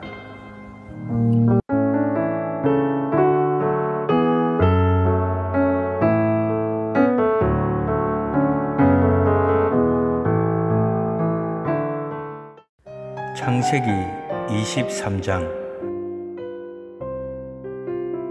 사라가 127세를 살았으니 이것이 곧 사라가 누린 햇수라. 사라가 가나안 땅 헤브론 곧 기리앗 아르바에서 죽음에 아브라함이 들어가서 사라를 위하여 슬퍼하며 애통하다가 그 시신 앞에서 일어나 나가서 해 족속에게 말하여 이르되 나는 당신들 중에 나그네요 거류하는 자이니 당신들 중에서 내게 매장할 소유지를 주어 내가 나의 죽은 자를 내 앞에서 내어다가 장사하게 하시오. 해족속이 아브라함에게 대답하여 이르되 내 주여 들으소서 당신은 우리 가운데 있는 하나님이 세우신 지도자이시니 우리 묘실 중에서 좋은 것을 택하여 당신의 죽은 자를 장사하소서. 우리 중에서 자기 묘실에 당신의 죽은 자 장사함을 금할 자가 없으리이다. 아브라함이 일어나 그 땅 주민 해 족 속을 향하여 몸을 굽히고 그들에게 말하여 이르되 나로 나의 죽은 자를 내 앞에서 내어다가 장사하게 하는 일이 당신들의 뜻일진데 내 말을 듣고 나를 위하여 소할의 아들 에브론에게 구하여 그가 그의 반머리에 있는 그의 막벨라 굴을 내게 주도록 하되 충분한 대가를 받고 그 굴을 내게 주어 당신들 중에서 매장할 소유지가 되게 하기를 원하노라 하매 에브론이 해쪽 속 중에 앉아 있더니 그가 해쪽 속 곧 성문에 들어온 모든 자가 듣는 데서 아브라함에게 대답하여 이르되 내 주여 그리 마시고 내 말을 들으소서. 내가 그 밭을 당신에게 드리고 그 속의 굴도 내가 당신에게 드리되 내가 내 동족 앞에서 당신에게 드리오니 당신의 죽은 자를 장사하소서. 아브라함이 이에 그 땅의 백성 앞에서 몸을 굽히고 그 땅의 백성이 듣는 데서 에브론에게 말하여 이르되 당신이 합당히 여기면 청하건대 내 말을 들으시오 내가 그 밭값을 당신에게 주리니 당신은 내게서 받으시오. 내가 나의 죽은 자를 거기 장사하겠노라. 에브론이 아브라함에게 대답하여 이르되 내 주여 내 말을 들으소서. 땅값은 은 400세겔이나 그것이 나와 당신 사이에 무슨 문제가 되리이까 당신의 죽은 자를 장사하소서. 아브라함이 에브론의 말을 따라 에브론이 해쪽 속이 듣는 데서 말한 대로 상인이 통용하는 은 400세겔을 달아 에브론에게 주었더니 마무레 앞 막벨라에 있는 에브론의 밭 곧 그 밭과 거기에 속한 굴과 그 밭과 그 주위에 둘린 모든 나무가 성문에 들어온 모든 해쪽 속이 보는 데서 아브라함의 소유로 확정된지라. 그 후에 아브라함이 그 안에 사라를 가나안 땅 마무레 앞 막벨라 밭 굴에 장사하였더라. 마무레는 곧 헤브론이라. 이와 같이 그 밭과 거기에 속한 굴이 해쪽 속으로부터 아브라함이 매장할 소유지로 확정되었더라.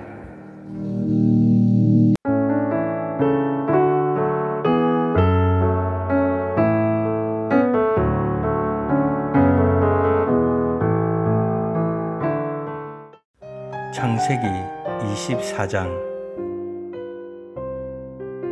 아브라함이 나이가 많아 늙었고 여호와께서 그에게 범사에 복을 주셨더라. 아브라함이 자기 집 모든 소유를 맡은 늙은 종에게 이르되 청하건대 내 허벅지 밑에 내 손을 넣어라. 내가 너에게 하늘의 하나님, 땅의 하나님이신 여호와를 가리켜 맹세하게 하노니 너는 내가 거주하는 이 지방 가나안 족속의 딸 중에서 내 아들을 위하여 아내를 택하지 말고 내 고향 내 족속에게로 가서 내 아들 이삭을 위하여 아내를 택하라. 종이 이르되 여자가 나를 따라 이 땅으로 오려고 하지 아니하거든 내가 주인의 아들을 주인이 나오신 땅으로 인도하여 돌아가리이까? 아브라함이 그에게 이르되 내 아들을 거리로 데리고 돌아가지 아니하도록 하라. 하늘의 하나님 여호와께서 나를 내 아버지의 집과 내 고향 땅에서 떠나게 하시고 내게 말씀하시며 내게 맹세하여 이르시기를 이 땅을 내 시에게 주리라 하셨으니 그가 그 사자를 너보다 앞서 보내실지라 내가 거기서 내 아들을 위하여 아내를 택할지니라. 만일 여자가 너를 따라오려고 하지 아니하면 나의 이 맹세가 너와 상관이 없나니 오직 내 아들을 데리고 거리로 가지 말지니라. 그 종이 이에 그의 주인 아브라함의 허벅지 아래에 손을 넣고 이 일에 대하여 그에게 맹세하였더라. 이에 종이 그 주인의 낙타 중 열 피를 끌고 떠났는데 곧 그의 주인의 모든 좋은 것을 가지고 떠나 메소보다미아로 가서 나홀의 성에 이르러 그 낙타를 성박 우물 곁에 꿀렸으니 저녁 때라 여인들이 물을 기르러 나올 때였더라. 그가 이르되 우리 주인 아브라함의 하나님 여호와여 원하건대 오늘 나에게 순조롭게 만나게 하사 내 주인 아브라함에게 은혜를 베푸시옵소서. 성중 사람의 딸들이 물 기르러 나오게 싸우니 내가 우물 곁에 서 있다가 한 소녀에게 이르기를 청하건대 너는 물동이를 기울여 나로 마시게 하라 하리니 그의 대답이 마시라 내가 당신의 낙타에게도 마시게 하리라 하며 그는 주께서 주의 종 이삭을 위하여 정하신 자라 이로 말미암아 주께서 내 주인에게 은혜 베푸심을 내가 알겠나이다. 말을 마치기도 전에 리브가가 물동이를 어깨에 메고 나오니 그는 아브라함의 동생 나홀의 아내 밀가의 아들 보두엘의 소생이라. 그 소녀는 보기에 심히 아리답고 지금까지 남자가 가까이 하지 아니한 처녀더라. 그가 우물로 내려가서 물을 그 물동이에 채워가지고 올라오는지라. 종이 마주 달려가서 이르되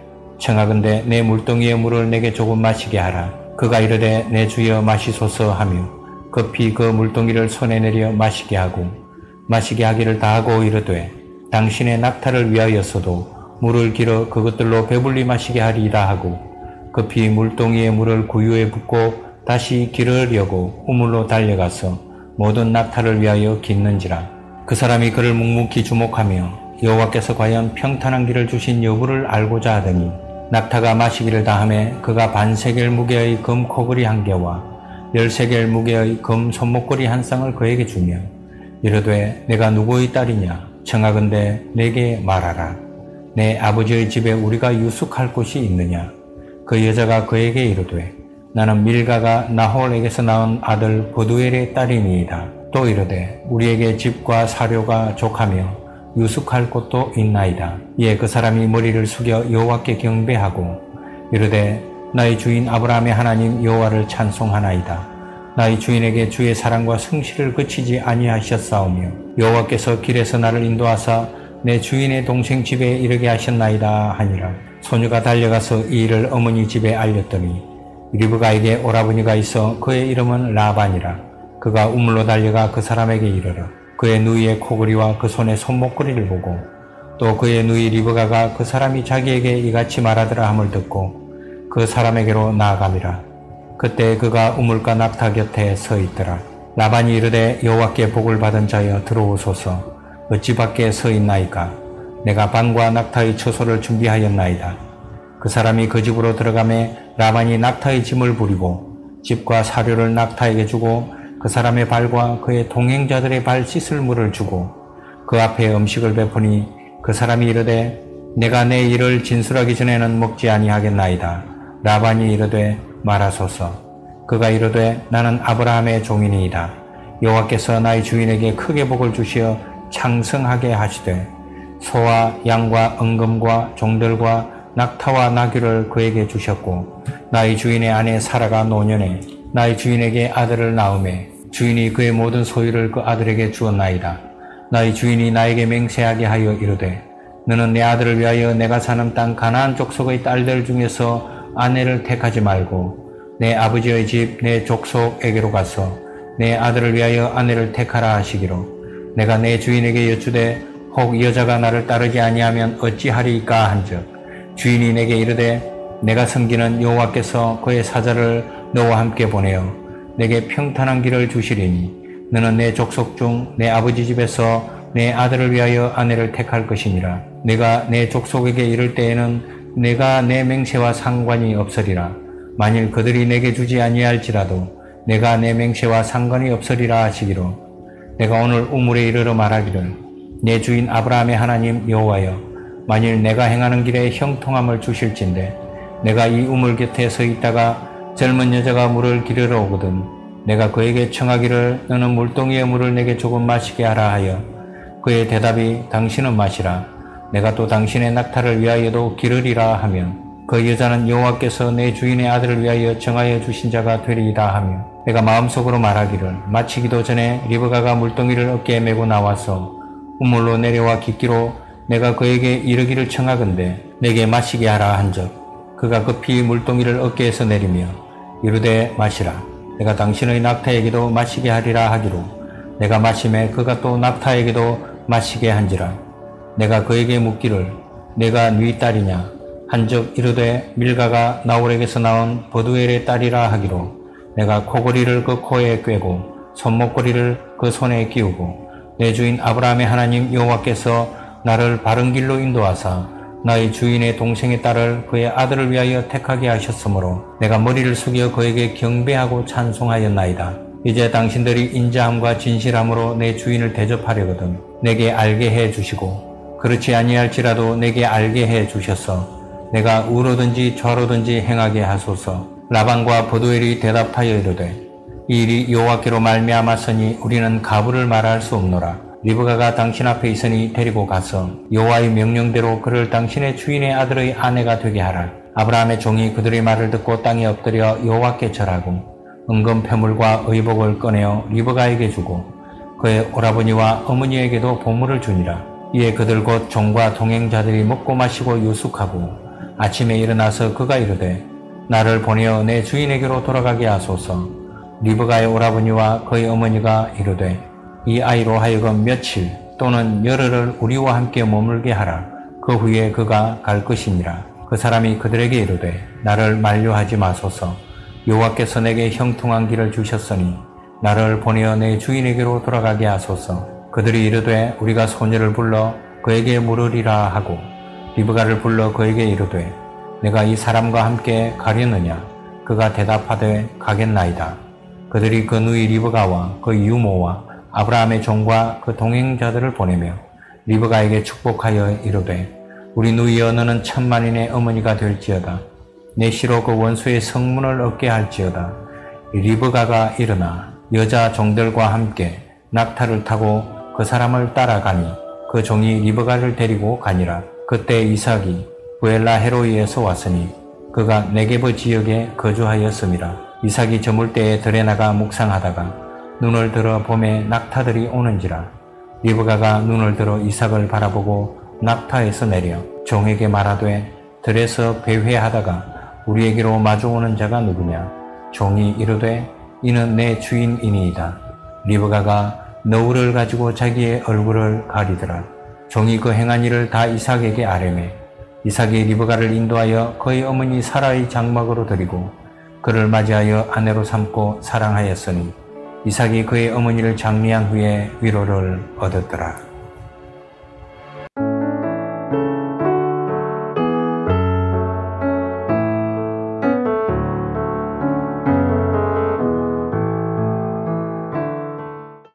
창세기 25장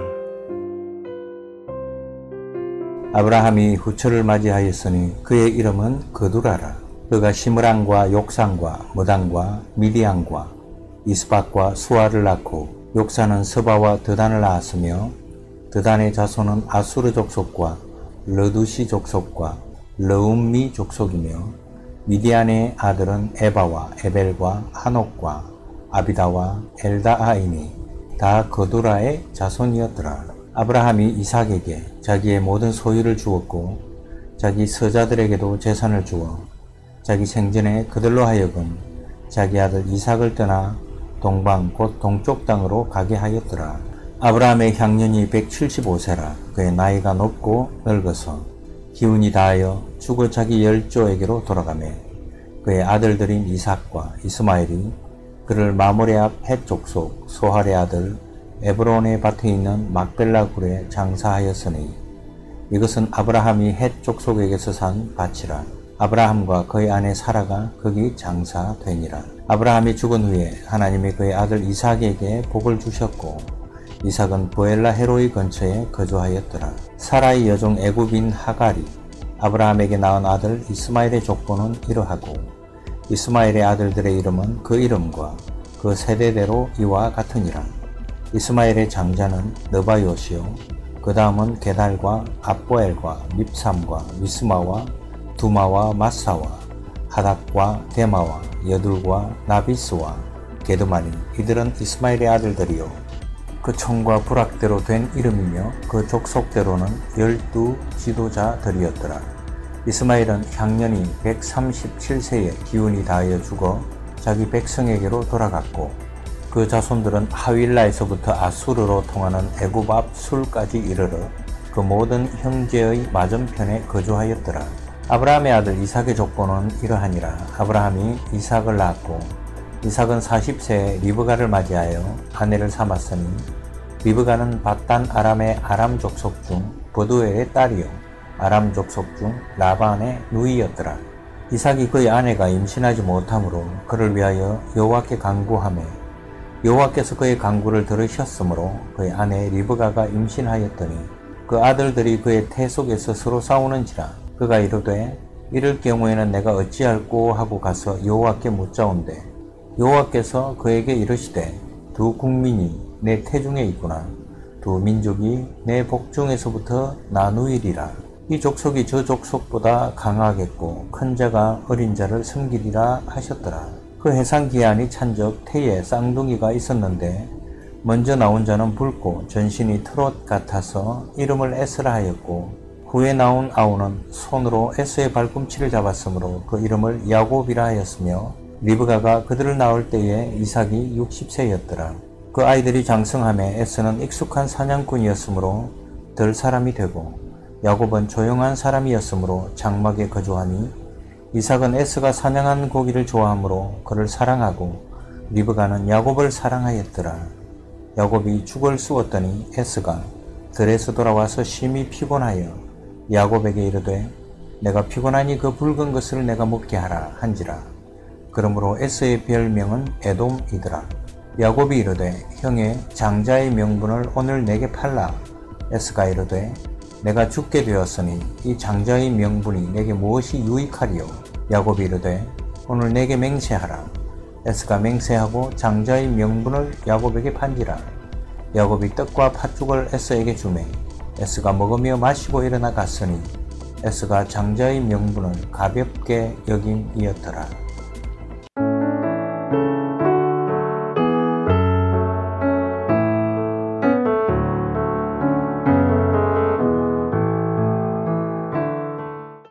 창세기 26장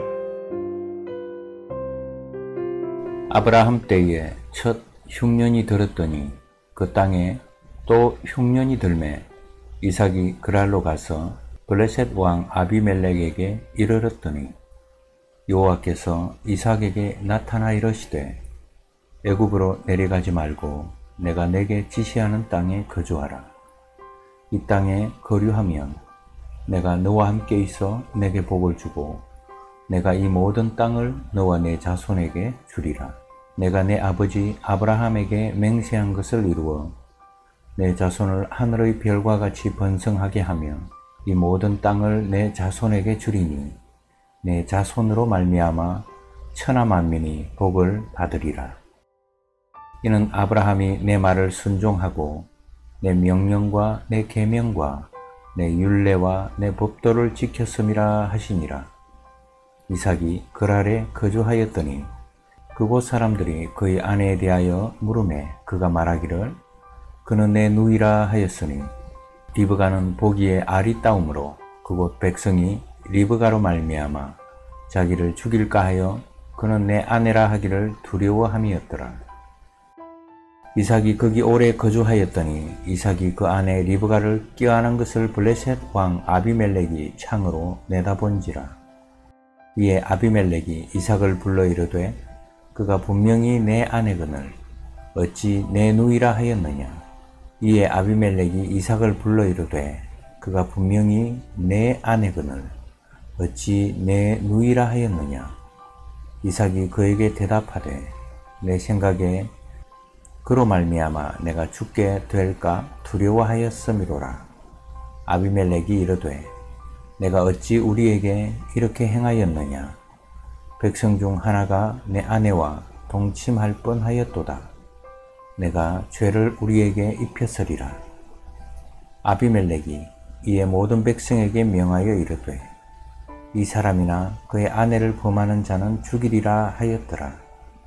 이삭이 그 땅에서 농사하여 그 해에 백배나 얻었고 여호와께서 복을 주심으로 그 사람이 창대하고 왕성하여 마침내 거부가 되어 양과 소가 때를 이루고 종이 심이 많으므로 블레셋 사람이 그를 시기하여 그 아버지 아브라함 때에 그 아버지의 종들이 판 모든 우물을 막고 흙으로 메웠더라. 아비멜렉이 이삭에게 이르되 내가 우리보다 크게 강성한즉 우리를 떠나라. 이삭이 그곳을 떠나 그랄 골짜기에 장막을 치고 거기 거류하며 그 아버지 아브라함 때에 팠던 우물들을 다시 팠으니 이는 아브라함이 죽은 후에 블레셋 사람이 그 우물들을 메웠습니다. 이삭이 그 우물들의 이름을 그의 아버지가 부르던 이름으로 불렀더라. 이삭의 종들이 골짜기를 파서 샘 근원을 얻었더니 그랄 목자들이 이삭의 목자와 다투어 이르되 이 물은 우리의 것이라 하매 이삭이 그 다툼으로 말미암아 그 우물 이름을 에색이라 하였으며 또 다른 우물을 팠더니 그들이 또 다툼으로 그 이름을 신나라 하였으며 이삭이 거기서 옮겨 다른 우물을 팠더니 그들이 다투지 아니하였으므로 그 이름을 르호봇이라 하여 이르되 이제는 여호와께서 우리를 위하여 넓게 하셨으니 이 땅에서 우리가 번성하리로다 하였더라. 이삭이 거기서부터 부엘세바로 올라갔더니 그 밤에 여호와께서 그에게 나타나 이러시되 나는 내 아버지 아브라함의 하나님이니 두려워하지 말라. 내 종 아브라함을 위하여 내가 너와 함께 있어 내게 복을 주어 내 자손이 번성하게 하리라 하신지라. 이삭이 그곳에 재단을 쌓고 여호와의 이름을 부르며 거기 장막을 쳤더니 이삭의 종들이 거기서도 우물을 팠더라. 아비멜렉이 그 친구 아훗삭과 군대 장관 비골과 더불어 그랄 에서부터 이삭에게로 온지라. 이삭이 그들에게 이르되 너희가 나를 미워하여 나에게 너희를 떠나게 하였거늘 어찌하여 내게 왔느냐? 그들이 이르되 여호와께서 너와 함께 계심을 우리가 분명히 보았으므로 우리의 사이 곧 우리와 너 사이에 맹세하여 너와 계약을 맺으리라 말하였노라. 너는 우리를 해하지 말라. 이는 우리가 너를 범하지 아니하고 선한 일만 내게 행하여 내가 평안히 가게 하였음이니라. 이제 너는 여호와께 복을 받은 자니라. 이삭이 그들을 위하여 잔치를 베풀매 그들이 먹고 마시고 아침에 일찍 일어나 서로 맹세한 후에 이삭이 그들을 보내매 그들이 평안히 갔더라. 그날에 이삭의 종들이 자기들이 판 우물에 대하여 이삭에게 와서 알리어 이르되 우리가 물을 얻었나이다 하매 그가 그 이름을 세바라 한지라 그러므로 그 성읍 이름이 오늘까지 보엘 세바드라 에스가 40세 해쪽 속 보엘리의 딸 유딕과 해쪽 속 엘론의 딸 바스맛을 아내로 맞이하였더니 그들이 이삭과 리브가의 마음에 근심이 되었더라.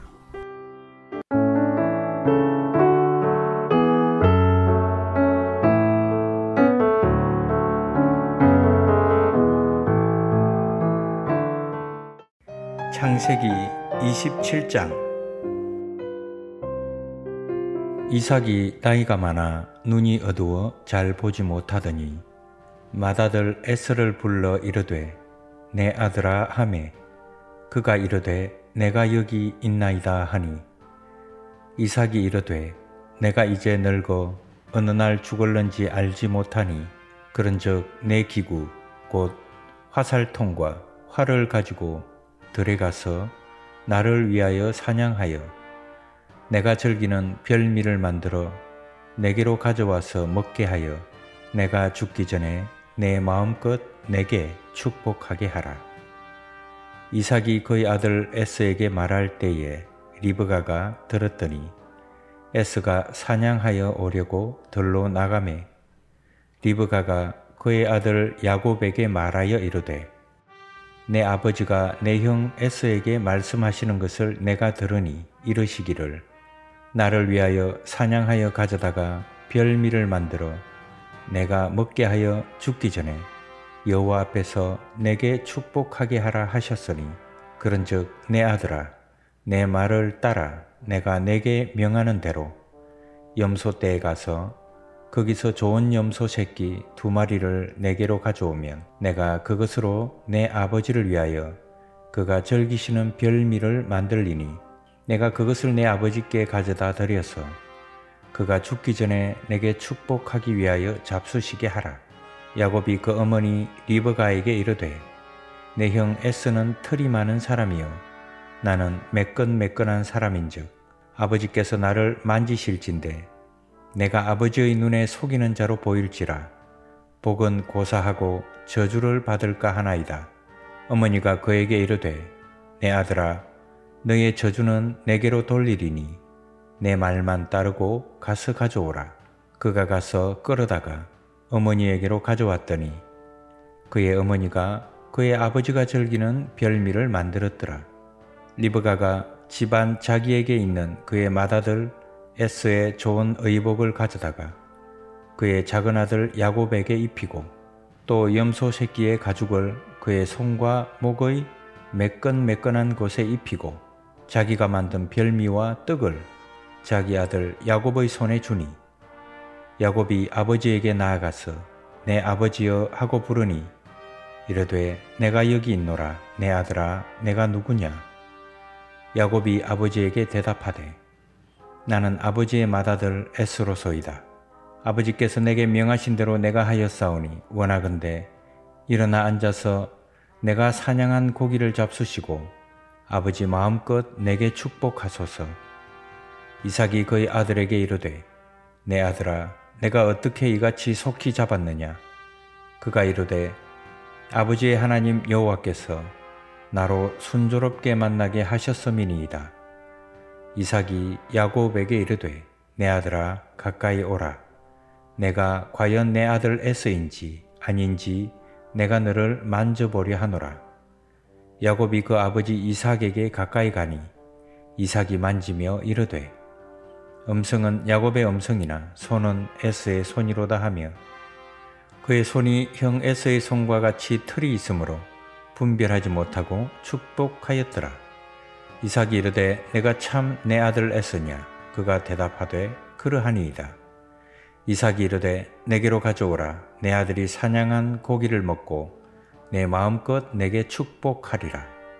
야곱이 그에게로 가져가매 그가 먹고 또 포도주를 가져가매 그가 마시고 그의 아버지 이삭이 그에게 이르되 내 아들아 가까이 와서 내게 입맞추라.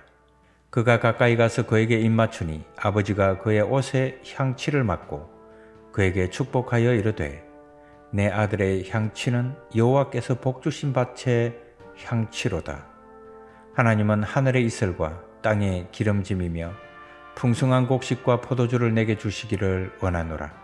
만민이 너를 섬기고 열국이 내게 굴복하리니 내가 형제들의 주가 되고 내 어머니의 아들들이 내게 굴복하며 너를 저주하는 자는 저주를 받고 너를 축복하는 자는 복을 받기를 원하노라. 이삭이 야곱에게 축복하기를 마침에 야곱이 그의 아버지 이삭 앞에서 나가자 곧 그의 형 에스가 사냥하여 돌아온지라 그가 별미를 만들어 아버지에게로 가지고 가서 이르되 아버지여 일어나서 아들이 사냥한 고기를 잡수시고 마음껏 내게 축복하소서. 그의 아버지 이삭이 그에게 이르되 너는 누구냐? 그가 대답하되 나는 아버지의 아들 곧 아버지의 맏아들 에스로소이다. 이삭이 심히 크게 떨며 이르되 그러면 사냥한 고기를 내게 가져온 자가 누구냐? 내가 오기 전에 내가 다 먹고 그를 위하여 축복하였은즉 그가 반드시 복을 받을 것이니라. 에스가 그의 아버지의 말을 듣고 소리내어 울며 아버지에게 이르되 내 아버지여 내게 축복하소서 내게도 그리하소서. 이삭이 이르되 내 아우가 와서 속여 내 복을 빼앗았도다. 에스가 이르되 그의 이름을 야곱이라 함이 합당하지 아니하니이까. 그가 나를 속임이 이것이 두 번째니이다. 전에는 나의 장자의 명분을 빼앗고 이제는 내 복을 빼앗았나이다. 또 이르되 아버지께서 나를 위하여 빌 복을 남기지 아니하셨나이까? 이삭이 에스에게 대답하여 이르되 내가 그를 너의 주로 세우고 그의 모든 형제를 내가 그에게 종으로 주었으며 곡식과 포도주를 그에게 주었으니 내 아들아 내가 내게 무엇을 할 수 있으랴? 에스가 아버지에게 이르되 내 아버지여 아버지가 빌 복이 이 하나뿐이리이까. 내 아버지여 내게 축복하소서 내게도 그리하소서 하고 소리를 높여 우니 그 아버지 이삭이 그에게 대답하여 이르되 내 주소는 땅의 기름짐에서 멀고 내리는 하늘 이슬에서 멀 것이며 너는 칼을 믿고 생활하겠고 내 아우를 섬길 것이며 내가 매임을 벗을 때에는 그 멍에를 내 목에서 떨쳐버리리라 하였더라. 그의 아버지가 야곱에게 축복한 그 축복으로 말미암아 에스가 야곱을 미워하여 심중에 이르기를 아버지를 곡할 때가 가까웠은즉 내가 내 아우 야곱을 죽이리라 하였더니 맏아들 에스의 이 말이 리브가에게 들림에 이에 사람을 보내어 작은 아들 야곱을 불러 그에게 이르되 내 형 에스가 너를 죽여 그 한을 풀려 하니 내 아들아 내 말을 따라 일어나 하란으로 가서 내 오라버니 라반에게로 피신하여 내 형의 노가 풀리기까지 몇 날 동안 그와 함께 거주하라. 내 형의 분노가 풀려 내가 자기에게 행한 것을 잊어버리거든 내가 곧 사람을 보내어 너를 거기서 불러오리라. 어찌 하루에 너희 둘을 이러랴.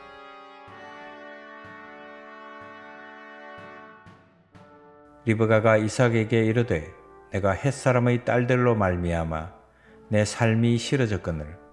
야곱이 만일 이 땅의 딸들 곧 그들과 같은 햇사람의 딸들 중에서 아내를 맞이하면 내 삶이 내게 무슨 재미가 있으리까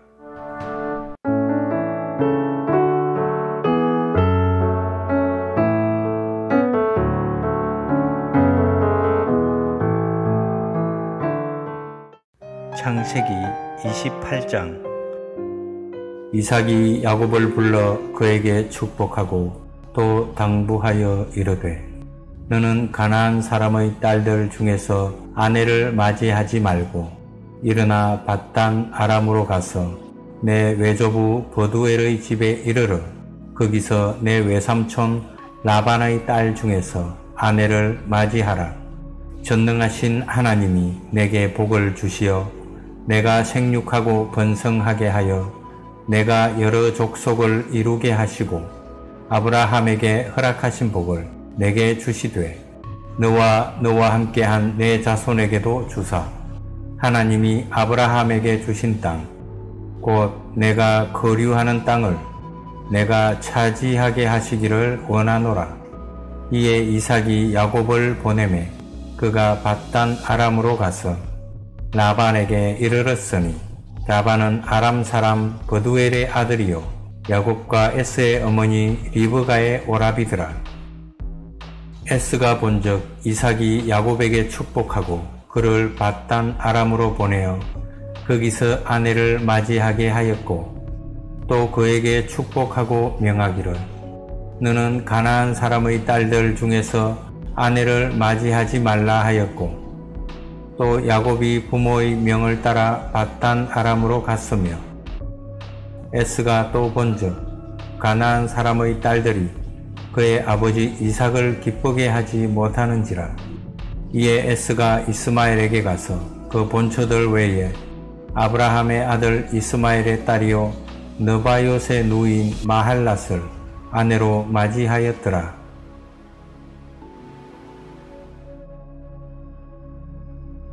야곱이 부엘세바에서 떠나 하란으로 향하여 가더니 한 곳에 이르르는 해가 진지라.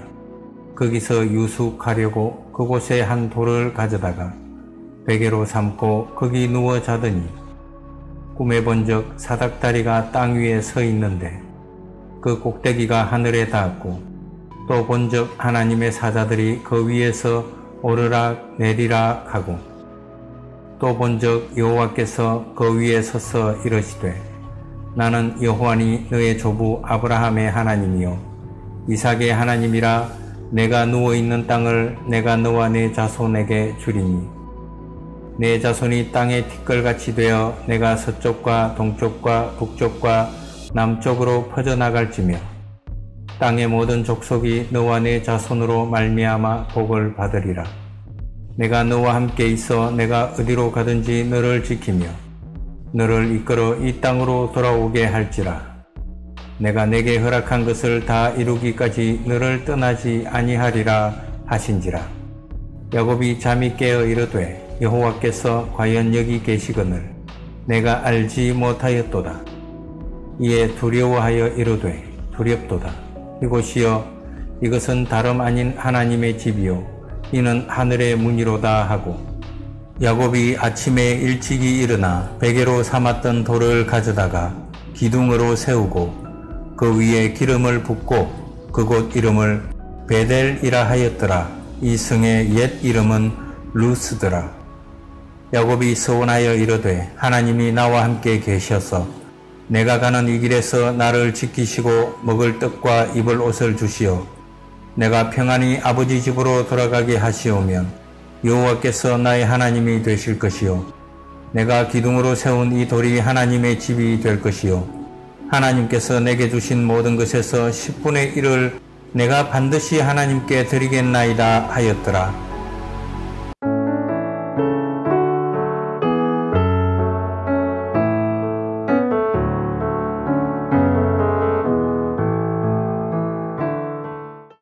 창세기 29장. 야곱이 길을 떠나 동방 사람의 땅에 이르러 본적 들에 우물이 있고 그 곁에 양 세 떼가 누워 있으니 이는 목자들이 그 우물에서 양 떼에게 물을 먹임이라. 큰 돌로 우물 아귀를 덮었다가 모든 떼가 모이면 그들이 우물 아귀에서 돌을 옮기고 그 양떼에게 물을 먹이고는 우물 아귀 그 자리에 다시 돌을 덮더라. 야곱이 그들에게 이르되 내 형제여 어디서 왔느냐? 그들이 이르되 하란에서 왔노라. 야곱이 그들에게 이르되 너희가 나홀의 손자 라반을 아느냐? 그들이 이르되 아노라. 야곱이 그들에게 이르되 그가 평안하냐?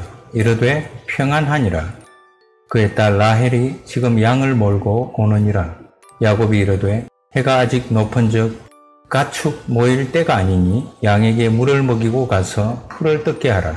그들이 이르되 우리가 그리하지 못하겠노라. 때가 다 모이고 목자들이 우물 아귀에서 돌을 옮겨야 우리가 양에게 물을 먹이느니라. 야곱이 그들과 말하는 동안에 라헬이 그의 아버지의 양과 함께 오니 그가 그의 양들을 치고 있었기 때문이더라.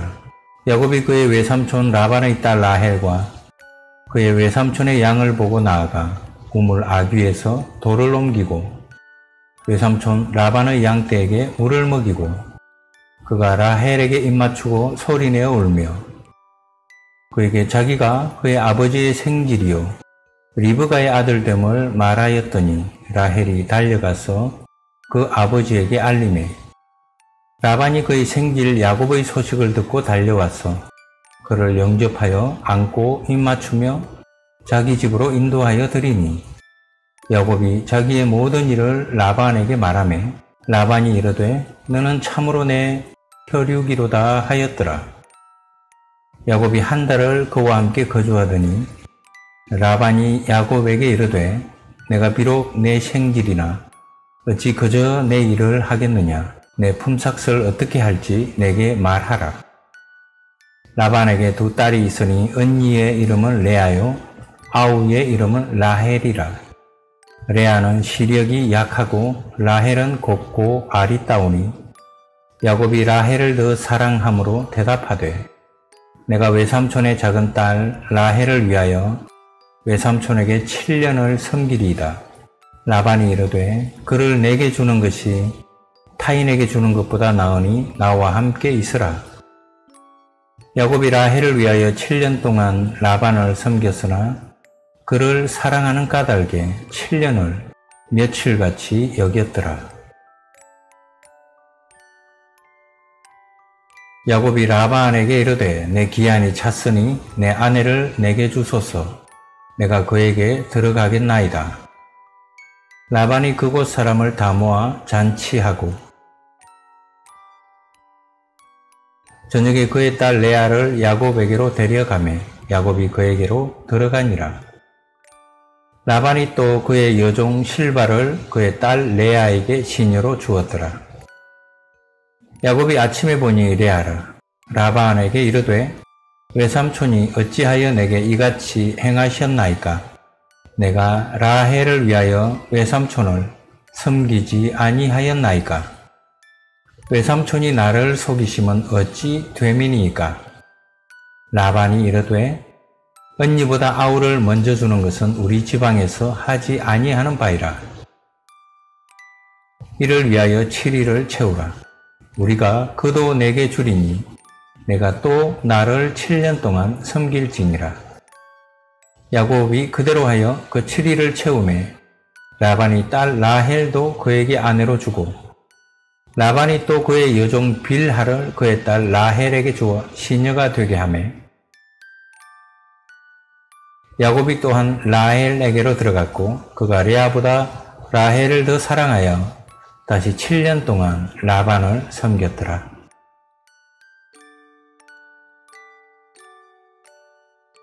여호와께서 레아가 사랑받지 못함을 보시고 그의 태를 여셨으나 라헬은 자녀가 없었더라. 레아가 임신하여 아들을 낳고 그 이름을 러우벤이라 하여 이르되 여호와께서 나의 괴로움을 돌보셨으니 이제는 내 남편이 나를 사랑하리로다 하였더라. 그가 다시 임신하여 아들을 낳고 이르되 여호와께서 내가 사랑받지 못함을 들으셨으므로 내게 이 아들도 주셨도다 하고 그의 이름을 시몬이라 하였으며 그가 또 임신하여 아들을 낳고 이르되 내가 그에게 새 아들을 낳았으니 내 남편이 지금부터 나와 연합하리로다 하고 그의 이름을 레위라 하였으며 그가 또 임신하여 아들을 낳고 이르되 내가 이제는 여호와를 찬송하리로다 하고 이로 말미암아 그가 그의 이름을 유다라 하였고 그의 출산이 멈추었더라.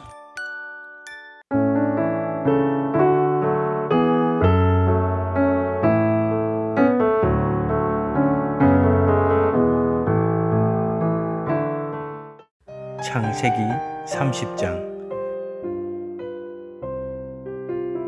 라헬이 자기가 야곱에게서 아들을 낳지 못함을 보고 그의 언니를 시기하여 야곱에게 이르되 내게 자식을 낳게 하라. 그렇지 아니하면 내가 죽겠노라.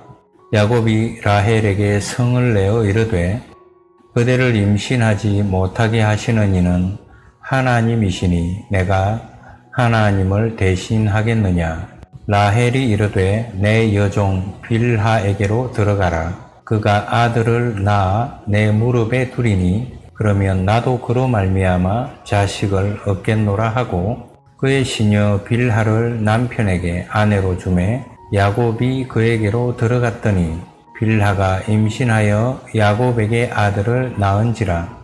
라헬이 이르되 하나님이 내 억울함을 푸시려고 내 호소를 들으사 내게 아들을 주셨다 하고 이로 말미암아 그의 이름을 단이라 하였으며 라헬의 시녀 빌하가 다시 임신하여 둘째 아들을 야곱에게 낳음에 라헬이 이르되 내가 언니와 크게 경쟁하여 이겼다 하고 그의 이름을 납달리라 하였더라.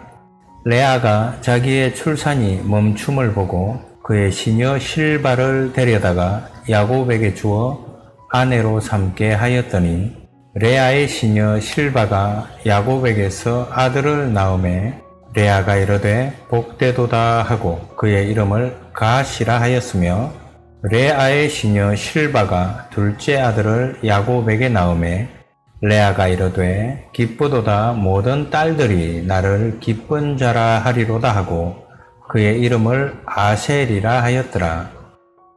밀 거둘 때 러우벤이 나가서 들에서 합 한 채를 얻어 그의 어머니 레아에게 드렸더니 라헬이 레아에게 이르되 언니의 아들의 합 한 채를 청구하노라.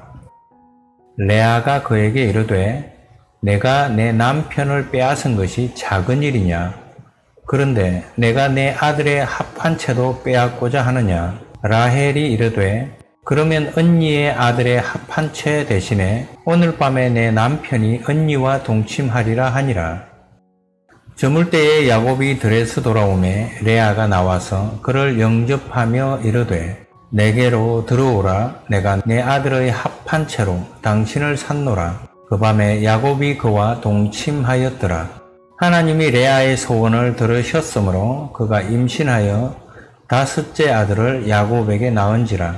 레아가 이르되 내가 내 시녀를 내 남편에게 주었으므로 하나님이 내게 그 값을 주셨다 하고 그의 이름을 이사갈이라 하였으며 레아가 다시 임신하여 여섯째 아들을 야곱에게 낳은지라 레아가 이르되 하나님이 내게 후한 선물을 주시도다 내가 남편에게 여섯 아들을 낳았으니 이제는 그가 나와 함께 살리라 하고 그의 이름을 서불론이라 하였으며 그 후에 그가 딸을 낳고 그의 이름을 디나라 하였더라. 하나님이 라헬을 생각하신지라 하나님이 그의 소원을 들으시고 그의 태를 여셨으므로 그가 임신하여 아들을 낳고 이르되 하나님이 내 부끄러움을 씻으셨다 하고 그 이름을 요셉이라 하니 여호와는 다시 다른 아들을 내게 더하시기를 원하노라 하였더라.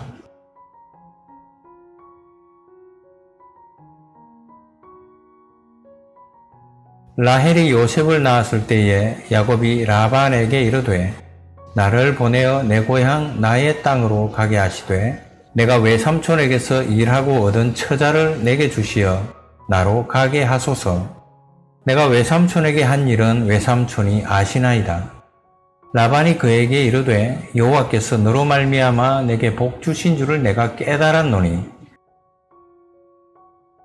내가 나를 사랑스럽게 여기거든 그대로 있으라. 또 이르되 내 품삯을 정하라 내가 그것을 주리라. 야곱이 그에게 이르되 내가 어떻게 외삼촌을 섬겼는지 어떻게 외삼촌의 가축을 쳤는지 외삼촌이 아시나이다. 내가 오기 전에는 외삼촌의 소유가 적더니 번성하여 때를 이루었으니 내 발이 이르는 곳마다 여호와께서 외삼촌에게 복을 주셨나이다. 그러나 나는 언제나 내 집을 세우리이까. 라반이 이르되 내가 무엇으로 내게 주랴? 야곱이 이르되 외삼촌께서 내게 아무것도 주시지 않아도 나를 위하여 이 일을 행하시면 내가 다시 외삼촌의 양떼를 먹이고 지키리이다.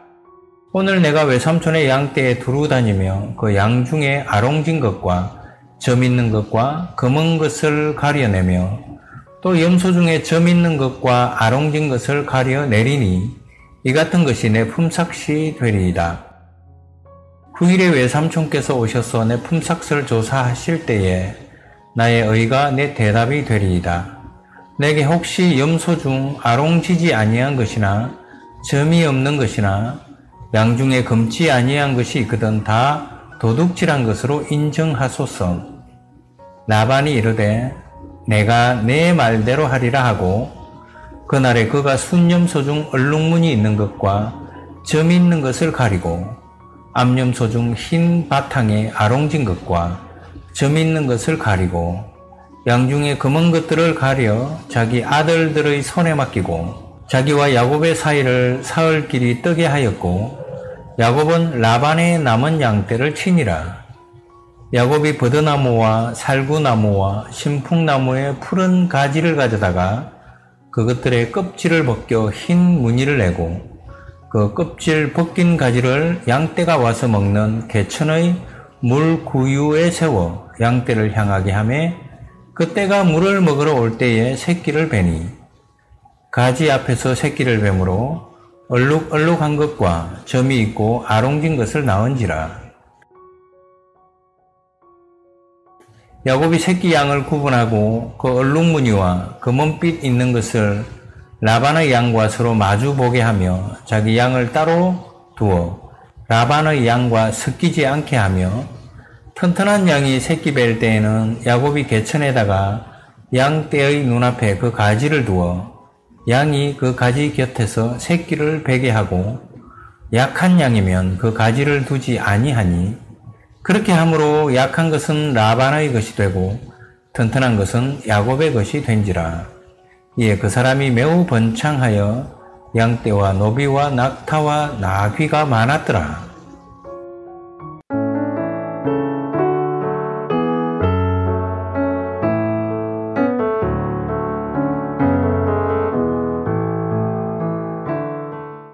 창세기 31장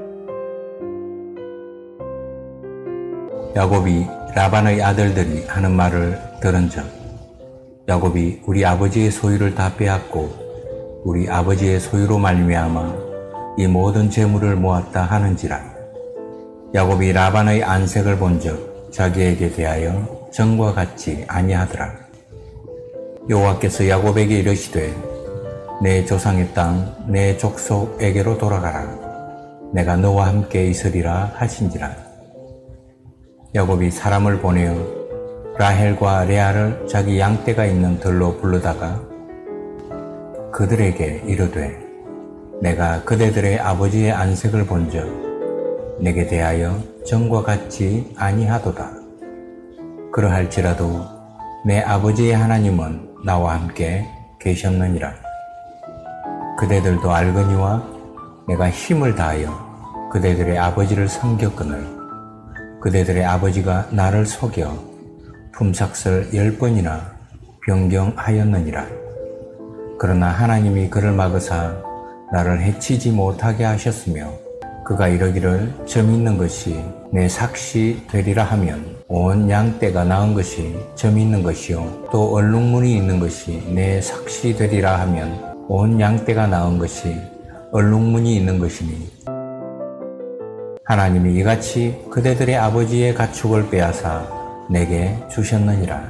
그 양떼가 새끼 뵐 때에 내가 꿈에 눈을 들어보니 양떼를 탄 순양은 다 얼룩무늬 있는 것과 점 있는 것과 아롱진 것이었더라. 꿈에 하나님의 사자가 내게 말씀하시기를 야고바 하기로 내가 대답하기를 여기 있나이다 하매 이러시되 내 눈을 들어보라 양떼를 탄 순양은 다 얼룩무늬 있는 것, 점 있는 것과 아롱진 것이니라.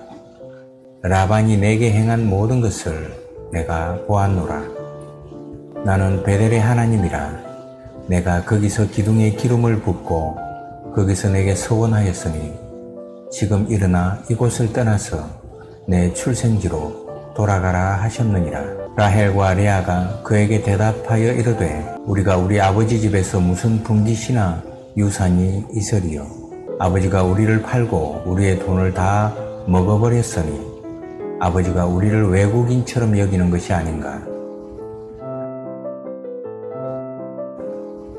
하나님이 우리 아버지에게서 취하여 가신 재물은 우리와 우리 자식의 것이니 이제 하나님이 당신에게 이르신 일을 다 준행하라. 야곱이 일어나 자식들과 아내들을 낙타들에게 태우고 그 모은 바 모든 가축과 모든 소유물 곧 그가 바단 아람에서 모은 가축을 이끌고 가나안 땅에 있는 그의 아버지 이삭에게로 가려 할새 그때 라반이 양털을 깎으러 갔으므로 라헬은 그의 아버지의 드라빔을 도둑질하고 야곱은 그 거취를 아람 사람 라반에게 말하지 아니하고 가만히 떠났더라. 그가 그의 모든 소유를 이끌고 강을 건너 길르아산을 향하여 도망한 지 3일 만에 야곱이 도망한 것이 라반에게 들린지라 라반이 그의 형제를 거느리고 7일 길을 쫓아가 길라산에서 그에게 이르렀더니 밤에 하나님이 아람 사람 라반에게 현몽하여 이르시되 너는 삼가 야곱에게 선악간에 말하지 말라 하셨더라. 라반이 야곱을 뒤쫓아 이르렀으니 야곱이 그 산에 장막을 친지라.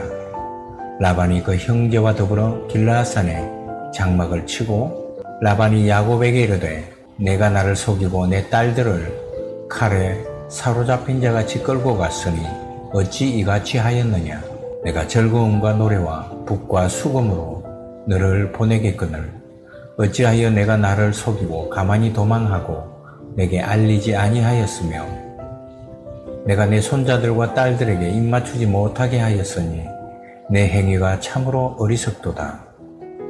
너를 해야 할 만한 능력이 내 손에 있으나 너희 아버지의 하나님이 어젯밤에 내게 말씀하시기를 너는 삼가 야곱에게 선악간에 말하지 말라 하셨느니라. 이제 내가 내 아버지 집을 사모하여 돌아가려는 것은 옳거니와 어찌 내 신을 도둑질하였느냐. 야곱이 라반에게 대답하여 이르되 내가 생각하기를 외삼촌이 외삼촌의 딸들을 내게서 억지로 빼앗으리라 하여 두려워하였음이니이다. 외삼촌의 신을 누구에게서 찾든지 그는 살지 못할 것이요. 우리 형제들 앞에서 무엇이든지 외삼촌의 것이 발견되거든 외삼촌에게로 가져가소서 하니 야곱은 라헬이 그것을 도둑질한 줄을 알지 못함이었더라. 라반이 야곱의 장막에 들어가고 레아의 장막에 들어가고 두 여종의 장막에 들어갔으나 찾지 못하고 레아의 장막에서 나와 라헬의 장막에 들어가매 라헬이 그 드라빔을 가져 낙타 안장 아래에 넣고 그 위에 앉은지라 라반이 그 장막에서 찾다가 찾아내지 못하매 라헬이 그의 아버지에게 이르되 마침 생리가 있어 일어나서 영접할 수 없사오니 내 주는 노하지 마소서 하니라. 라반이 그 드라빔을 두루 찾다가 찾아내지 못한지라 야곱이 노하여 라반을 책망할세 야곱이 라반에게 대답하여 이르되 내 허물이 무엇이니까? 무슨 죄가 있기에 외삼촌께서 내 뒤를 급히 추격하나이까 외삼촌께서 내 물건을 다 뒤져보셨으니 외삼촌의 집안 물건 중에서 무엇을 찾아내었나이까? 여기 내 형제와 외삼촌의 형제 앞에 그것을 두고 우리 둘 사이에 판단하게 하소서. 내가 이 20년을 외삼촌과 함께 하였거니와 외삼촌의 암양들이나 암염소들이 낙태하지 아니하였고 또 외삼촌의 양떼의 순양을 내가 먹지 아니하였으며 물려 찢긴 것은 내가 외삼촌에게로 가져가지 아니하고 낮에 도둑을 맞았든지 밤에 도둑을 맞았든지 외삼촌이 그것을 내 손에서 찾았으므로 내가 스스로 그것을 보충하였으며 내가 이와 같이 낮에는 더위와 밤에는 추위를 무릅쓰고 눈 붙일 겨를도 없이 지냈나이다. 내가 외삼촌의 집에 있는 이 20년 동안 외삼촌의 두 딸을 위하여 14년, 외삼촌의 양떼를 위하여 6년을 외삼촌에게 봉사하였거니와 외삼촌께서 내 품삯을 열 번이나 바꾸셨으며 우리 아버지의 하나님, 아브라함의 하나님, 곧 이삭이 경외하는 이가 나와 함께 계시지 아니하셨더라면 외삼촌께서 이제 나를 빈손으로 돌려보내셨으리이다마는 하나님이 내 고난과 내 손의 수고를 보시고 어젯밤에 외삼촌을 책망하셨나이다.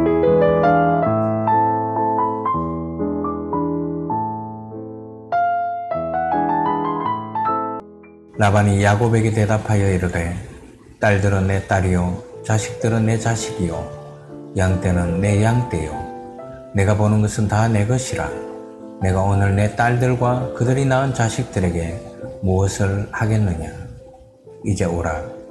나와 내가 언약을 맺고 그것으로 너와 나 사이에 증거를 삼을 것이니라. 이에 야곱이 돌을 가져다가 기둥으로 세우고 또 그 형제들에게 돌을 모으라 하니 그들이 돌을 가져다가 무더기를 이루매 무리가 거기 무더기 곁에서 먹고 라반은 그것을 여갈 사하두다라 불렀고 야곱은 그것을 갈로에시라 불렀으니 라반의 말에 오늘 이 무더기가 너와 나 사이에 증거가 된다 하였으므로 그 이름을 갈로에시라 불렀으며 또 미스바라 하였으니 이는 그의 말에 우리가 서로 떠나 있을 때 여호와께서 나와 너 사이를 살피시옵소서 함이라. 만일 내가 내 딸을 박대하거나 내 딸들 외에 다른 아내들 맞이하면 우리와 함께할 사람은 없어도 보라 하나님이 나와 너 사이에 증인이 되시느니라 함이었더라. 라반이 또 야곱에게 이르되 내가 나와 너 사이에 둔 이 무더기를 보라 또 이 기둥을 보라 이 무더기가 증거가 되고 이 기둥이 증거가 되나니 내가 이 무더기를 넘어 내게로 가서 해하지 않을 것이요. 내가 이 무더기 이 기둥을 넘어 내게로 와서 해하지 아니할 것이라. 아브라함의 하나님 나홀의 하나님 그들의 조상의 하나님은 우리 사이에 판단하옵소서.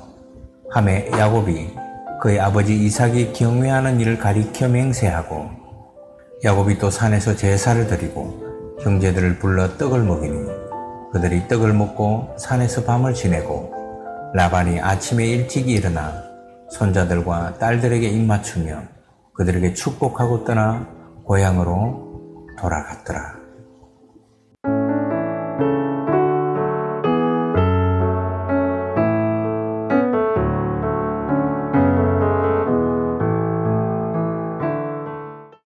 창세기 32장.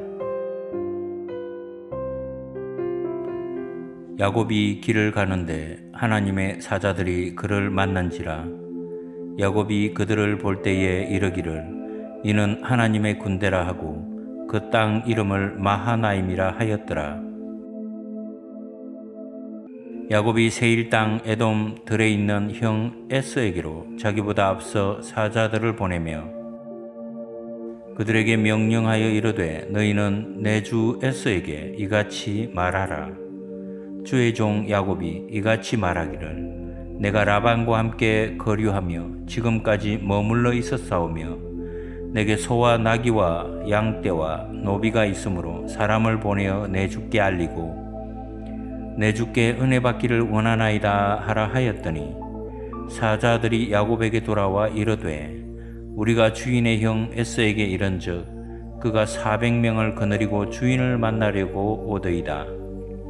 야곱이 심히 두렵고 답답하여 자기와 함께한 동행자와 양과 소와 낙타를 두 때로 나누고 이르되 에스가 와서 한 때를 치면 남은 한 때는 피하리라 하고 야곱이 또 이르되 내 조부 아브라함의 하나님 내 아버지 이삭의 하나님 여호와여 주께서 전에 내게 명하시기를 내 고향 내 족속에게로 돌아가라 내가 내게 은혜를 베풀리라 하셨나이다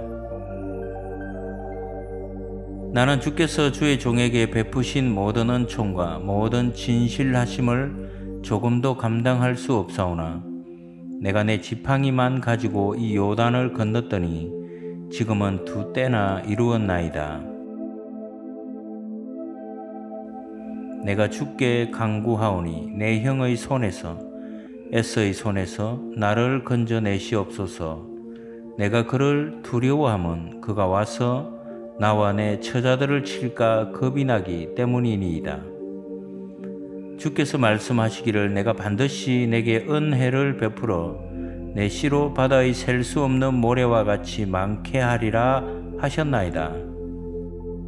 야곱이 거기서 밤을 지내고 그 소유 중에서 형 에스를 위하여 예물을 택하니 암염소가 200이요 순염소가 20이요 암양이 200이요 순양이 20이요 전나는 낙타 30과 그 새끼요 암소가 40이요 황소가 열이요 암나귀가 20이요 그 새끼 나귀가 열이라 그것을 각각 때로 나누어 종들의 손에 맡기고 그의 종에게 이르되 나보다 앞서 건너가서 각대로 거리를 두게 하라 하고. 그가 또 앞선 자에게 명령하여 이르되 내 형 에스가 너를 만나 묻기를 내가 누구의 사람이며 어디로 가느냐 내 앞에 것은 누구의 것이냐 하거든. 대답하기를 주의 종 야곱의 것이요 자기 주 에스에게로 보내는 예물이오며 야곱도 우리 뒤에 있나이다 하라 하고 그 둘째와 셋째와 각대를 따라가는 자에게 명령하여 이르되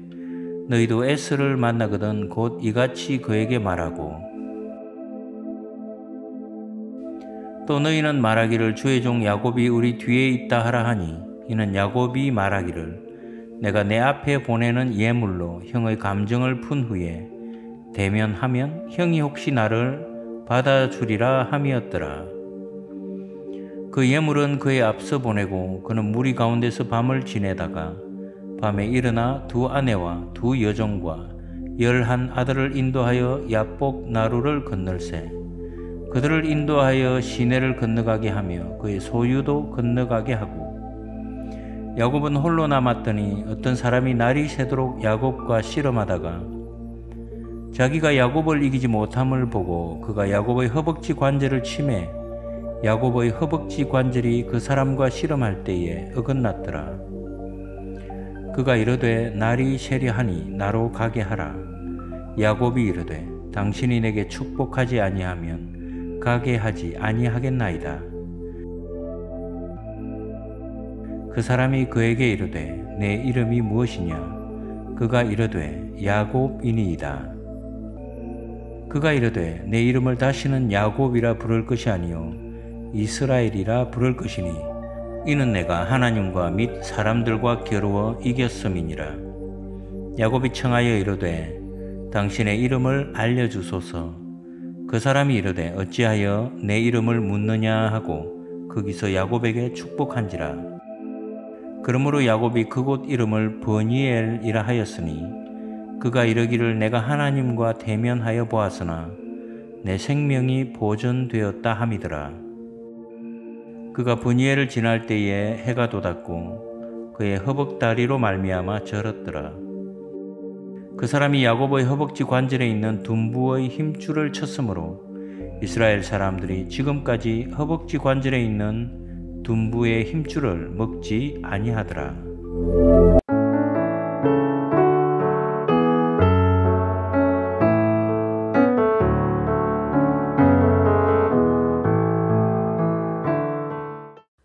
창세기 33장.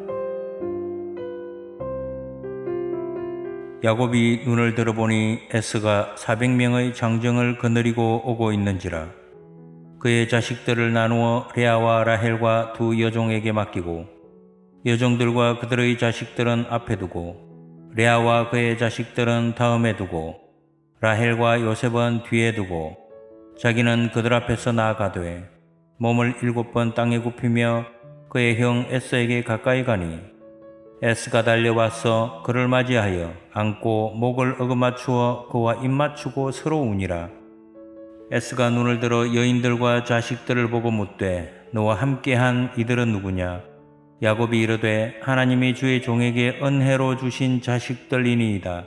그때 여종들이 그의 자식들과 더불어 나와 절하고 레아도 그의 자식들과 더불어 나와 절하고 그 후에 요셉이 라헬과 더불어 나와 절하니 에스가 또 이르되 내가 만난 바 이 모든 때는 무슨 까닭이냐? 야곱이 이르되 내 주께 은혜를 입으려 함이니이다. 에스가 이르되 내 동생아 내게 있는 것이 족하니 내 소유는 내게 두라. 야곱이 이르되 그렇지 아니하니이다. 내가 형님의 눈앞에서 은혜를 입었사오며 청하건대 내 손에서 이 예물을 받으소서. 내가 형님의 얼굴을 배운 적 하나님의 얼굴을 본 것 같사오며 형님도 나를 기뻐하심이니이다. 하나님이 내게 은혜를 베푸셨고 내 소유도 좋카오니 청하건대 내가 형님께 드리는 예물을 받으소서 하고 그에게 강권함에 받으니라. 에스가 이르되 우리가 떠나자 내가 너와 동행하리라.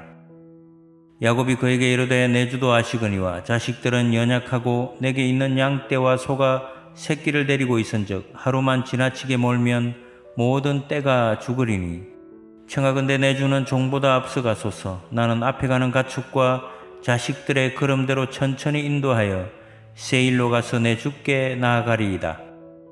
에스가 이르되 내가 내 종 몇 사람을 내게 머물게 하리라. 야곱이 이르되 어찌하여 그리하리이까 나로 내 주께 은혜를 얻게 하소서 하매 이날에 에스는 세일로 돌아가고 야곱은 숲곳에 이르러 자기를 위하여 집을 짓고 그의 가축을 위하여 우리간을 지었으므로 그 땅 이름을 숲곳이라 부르더라.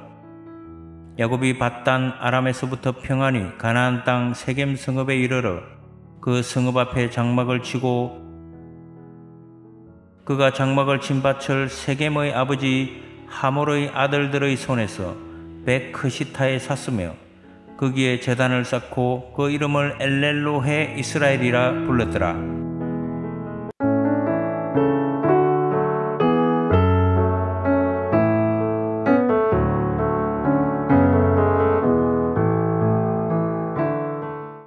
창세기 34장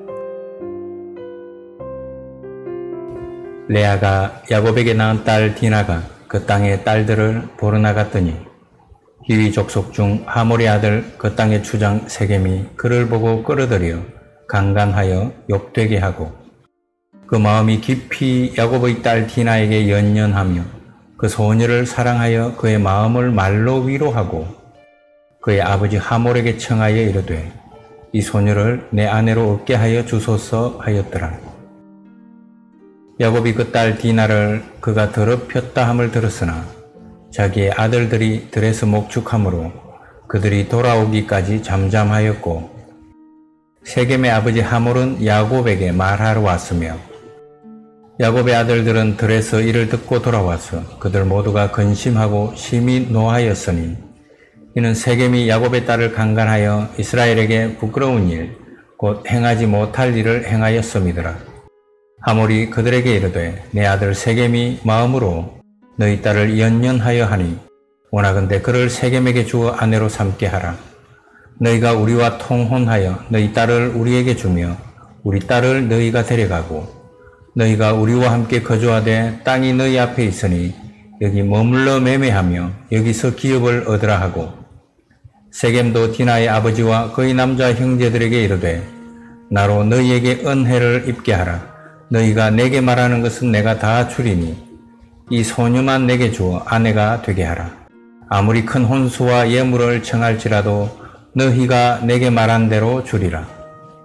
야곱의 아들들이 세겜과 그의 아버지 하몰에게 속여 대답하였으니 이는 세겜이 그 누이 디나를 더럽혔음이라. 야곱의 아들들이 그들에게 말하되 우리는 그리하지 못하겠노라. 할례 받지 아니한 사람에게 우리 누이를 줄 수 없노니 이는 우리의 수치가 됨이니라.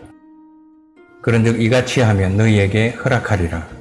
만일 너희 중 남자가 다 할례를 받고 우리같이 되면 우리 딸을 너희에게 주며 너희 딸을 우리가 데려오며 너희와 함께 거주하여 한 민족이 되려니와 너희가 만일 우리 말을 듣지 아니하고 할례를 받지 아니하면 우리는 곧 우리 딸을 데리고 가리라.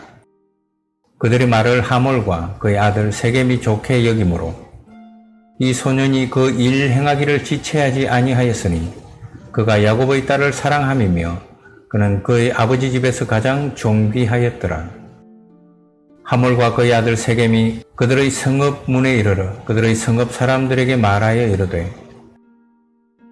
이 사람들은 우리와 친목하고 이 땅은 넓어 그들을 용납할 만하니 그들이 여기서 거주하며 매매하게 하고 우리가 그들의 딸들을 아내로 데려오고 우리 딸들도 그들에게 주자. 그러나 우리 중의 모든 남자가 그들이 할례를 받음 같이 할례를 받아야 그 사람들이 우리와 함께 거주하여 한 민족 되기를 허락할 것이라.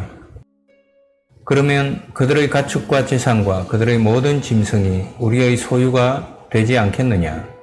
다만 그들의 말대로 하자. 그러면 그들이 우리와 함께 거주하리라. 성문으로 출입하는 모든 자가 하몰과 그의 아들 세겜의 말을 듣고 성문으로 출입하는 그 모든 남자가 할례를 받으니라.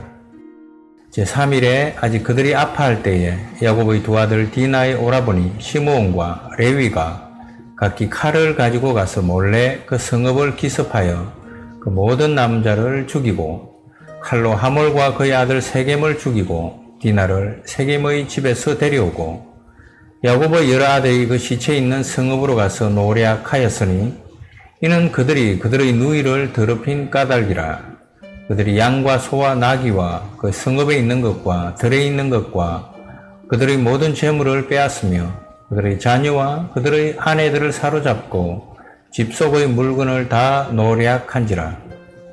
야곱이 시몬과 레위에게 이르되 너희가 내게 화를 끼쳐 나로 하여금 이 땅의 주민 곧 가나안 족속과 브리스 족속에게 악취를 내게 하였도다. 나는 수가 적은즉 그들이 모여 나를 치고 나를 죽이리니 그러면 나와 내 집이 멸망하리라. 그들이 이르되 그가 우리 누이를 창녀같이 대우함이 옳으니까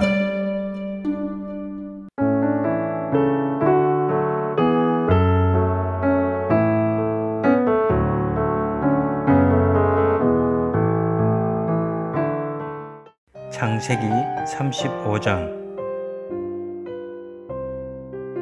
하나님이 야곱에게 이르시되 일어나 베델로 올라가서 거기 거주하며 내가 내 형 에스의 낯을 피하여 도망하던 때에 내게 나타났던 하나님께 거기서 재단을 쌓으라 하신지라. 야곱이 이에 자기 집안 사람과 자기와 함께한 모든 자에게 이르되 너희 중에 있는 이방 신상들을 버리고 자신을 정결하게 하고 너희들의 의복을 바꾸어 입어라. 우리가 일어나 베델로 올라가자. 내 환란 날에 내게 응답하시며 내가 가는 길에서 나와 함께 하신 하나님께 내가 거기서 재단을 쌓으려 하노라 하매. 그들이 자기 손에 있는 모든 이방 신상들과 자기 귀에 있는 귀고리들을 야곱에게 주는지라. 야곱이 그것들을 세겜 근처 상수리 나무 아래에 묻고 그들이 떠났으나 하나님이 그 사면 고을들로 크게 두려워하게 하셨으므로 야곱의 아들들을 추격하는 자가 없었더라.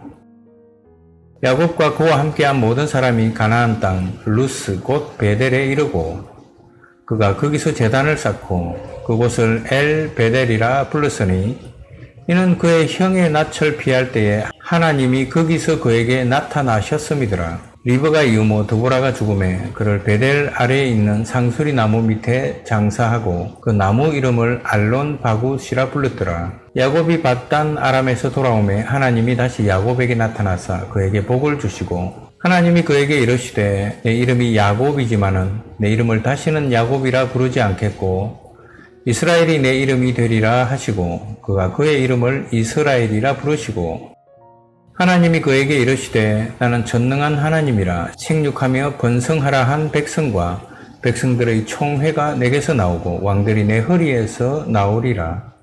내가 아브라함과 이삭에게 준 땅을 내게 주고 내가 내 후손에게도 그 땅을 주리라 하시고 하나님이 그와 말씀하시던 곳에서 그를 떠나 올라가시는지라.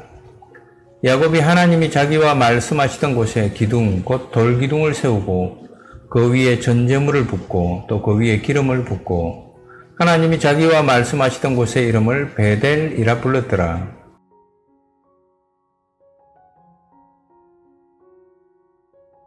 그들이 베델에서 길을 떠나 에브라스에 이르기까지 얼마간 거리를 둔 곳에서 라헬이 해산하게 되어 심히 고생하여 그가 난산할 즈음에 산파가 그에게 이르되 두려워하지 말라 지금 내가 또 등남하느니라 하매 그가 죽게 되어 그의 혼이 떠나리 할 때에 아들의 이름을 베논이라 불렀으나 그의 아버지는 그를 베냐민이라 불렀더라. 라헬이 죽음에 에브랏 곧 베들레헴 길에 장사되었고 야곱이 라헬의 묘에 비를 세웠더니 지금까지 라헬의 묘비라 일컫더라. 이스라엘이 다시 길을 떠나 에델 망대를 지나 장막을 쳤더라. 이스라엘이 그 땅에 거주할 때에 러우벤이 가서 그 아버지의 첫 빌하와 동침함에 이스라엘이 이를 들었더라. 야곱의 아들은 열둘이라. 레아의 아들들은 야곱의 장자 르우벤과 그 다음 시므온과 레위와 유다와 이사갈과 서블론이요 라헬의 아들들은 요셉과 베냐민이며 라헬의 여종 빌하의 아들들은 단과 납달리요 레아의 여종 실바의 아들들은 각과 아셀이니 이들은 야곱의 아들들이요 바단 아람에서 그에게 낳은 자들아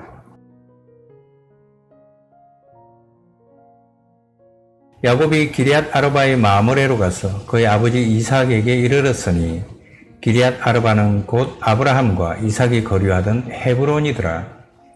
이삭의 나이가 180세라 이삭이 나이가 많고 늙어 기운이 다함에 죽어 자기 열조에게로 돌아가니 그의 아들 에스와 야곱이 그를 장사하였더라.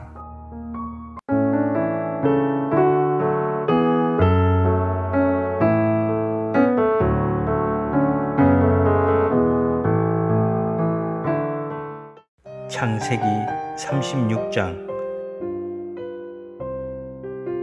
에스 곧 에돔의 족보는 이러하니라 에스가 가나안 여인 중 해족 속 엘론의 딸 아다와 히위 족 속 시보온의 딸인 아나의 딸 오홀리바마를 자기 아내로 맞이하고 또 이스마엘의 딸 느바이옷의 누이 바스맛을 맞이하였더니 아다는 엘리바스를 에스에게 낳았고 바스맛은 러우엘을 낳았고 오홀리바마는 여우스와 얄람과 고라를 낳았으니 이들은 에스의 아들들이요 가나안 땅에서 그에게 태어난 자들이더라.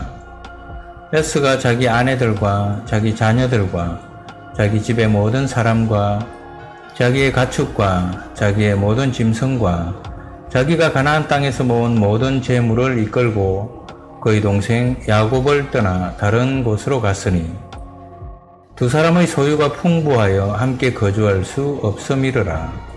그들이 거주하는 땅이 그들의 가축으로 말미암아 그들을 용납할 수 없었더라. 이에 에스 곧 에돔이 세일산에 거주하니라. 세일산에 있는 에돔 족속의 조상 에스의 족보는 이러하고 그 자손의 이름은 이러하니라. 에스의 아내 아다의 아들은 엘리바스요. 에스의 아내 바스마의 아들은 러우엘이며 엘리바스의 아들들은 대만과 오말과 스보와 가담과 그나스요. 에스의 아들 엘리바스의 첩 딥나는 아말렉을 엘리바스에게 낳았으니 이들은 에스의 아내 아다의 자손이며 러우엘의 아들들은 나합과 세라와 삼마와 미사니 이들은 에스의 아내 바스마의 자손이며 시브온의 손녀 아나의 딸 에스의 아내 오홀리바마의 아들들은 이러하니 그가 여우스와 얄람과 고라를 에스에게 낳았더라. 에스 자손 중 족장은 이러하니라.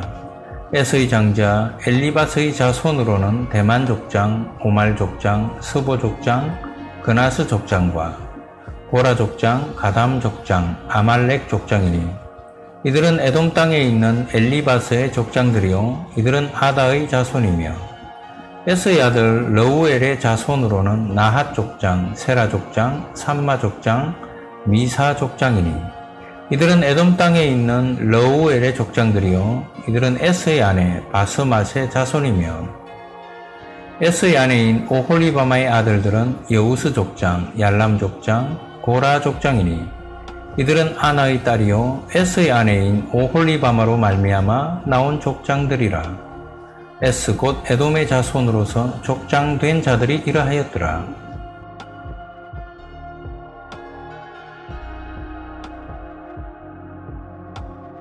그 땅의 주민 호리족 속 세일의 자손은 로단과 소발과 시부온과 아나와 디손과 에셀과 디산이니 이들은 에돔 땅에 있는 세일의 자손 중 호리족 속의 족장들이요 로단의 자녀는 호리와 헤맘과 로단의 누이 딥나요. 소발의 자녀는 알왕과 마나학과 에발과 스보와 오나미요. 시부온의 자녀는 아야와 아나며 이 아나는 그 아버지 시부온의 나귀를 칠 때에 광야에서 온천을 발견하였고 아나의 자녀는 디손과 오홀리바마니 오홀리바마는 아나의 딸이며 디손의 자녀는 햄당과 에스반과 이드랑과 그란이요 에셀의 자녀는 빌한과 사아왕과 아간이요 디산의 자녀는 우스와 아란이니 호리 족속의 족장들은 곧 로단 족장, 소발 족장, 시부온 족장, 아나 족장, 디손 족장, 에셀 족장, 디산 족장이라 이들은 그들의 족속들에 따라 세일 땅에 있는 호리 족속의 족장들이었더라. 이스라엘 자손을 다스리는 왕이 있기 전에 에돔 땅을 다스리던 왕들은 이러하니라. 오르의 아들 벨라가 에돔의 왕이 되었으니 그 도성의 이름은 딘하바며 벨라가 죽고 보스라 사람 세라의 아들 요밥이 그를 대신하여 왕이 되었고 요밥이 죽고 대만 족속의 땅의 후삼이 그를 대신하여 왕이 되었고 후삼이 죽고 부다스의 아들 곧 모압들에서 미디안 족속을 친 하닷이 그를 대신하여 왕이 되었으니 그 도성 이름은 아윗이며 하닷이 죽고 마스레가의 삼라가 그를 대신하여 왕이 되었고 삼라가 죽고 유브라데 강변 르호봇의 사울이 그를 대신하여 왕이 되었고 사울이 죽고 악볼의 아들 바알 하난이 그를 대신하여 왕이 되었고 악볼의 아들 바알 하난이 죽고 하달이 그를 대신하여 왕이 되었으니 그 도성 이름은 바우며 그의 아내의 이름은 모헤다벨이니 마드렛의 딸이요 메사합의 손녀더라. 에스에게서 나온 족장들의 이름은 그 종족과 거처와 이름을 따라 나누면 이러하니 딥나 족장, 알와 족장, 여댓 족장, 호홀리바마 족장, 엘라 족장, 비논 족장, 그나스 족장, 대만 족장, 밉살 족장, 막디엘 족장, 이람 족장이라. 이들은 그 구역과 거처를 따른 에돔 족장들이며 에돔 족속의 조상은 에스드라.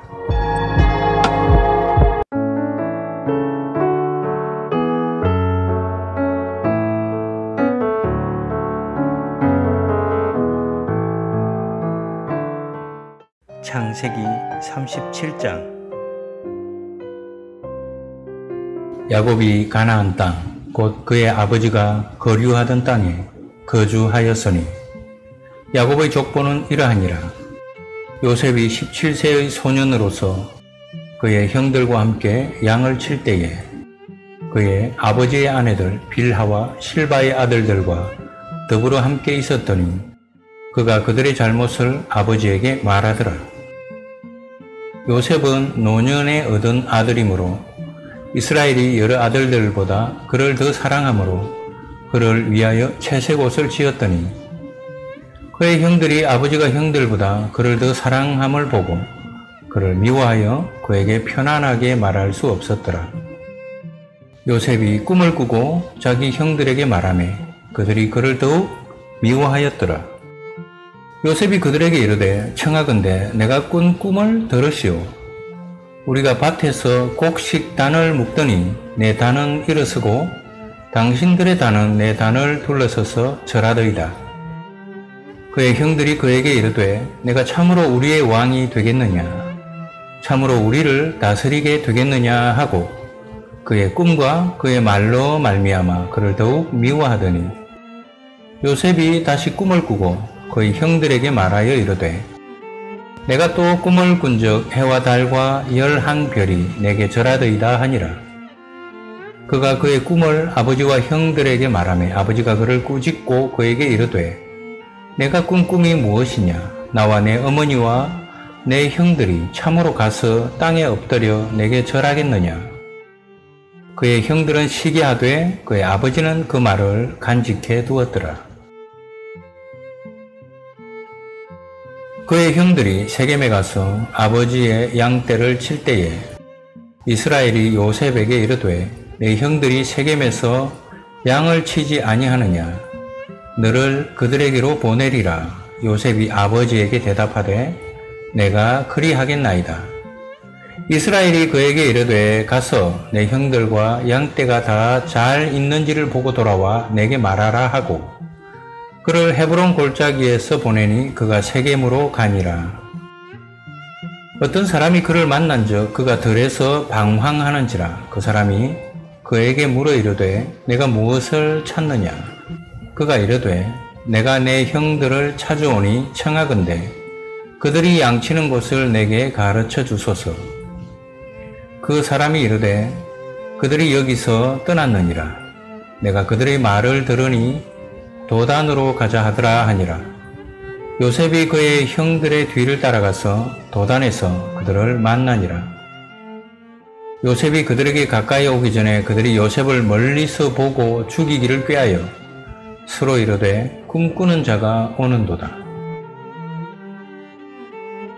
자, 그를 죽여 한 구덩이에 던지고 우리가 말하기를 악한 짐승이 그를 잡아먹었다 하자.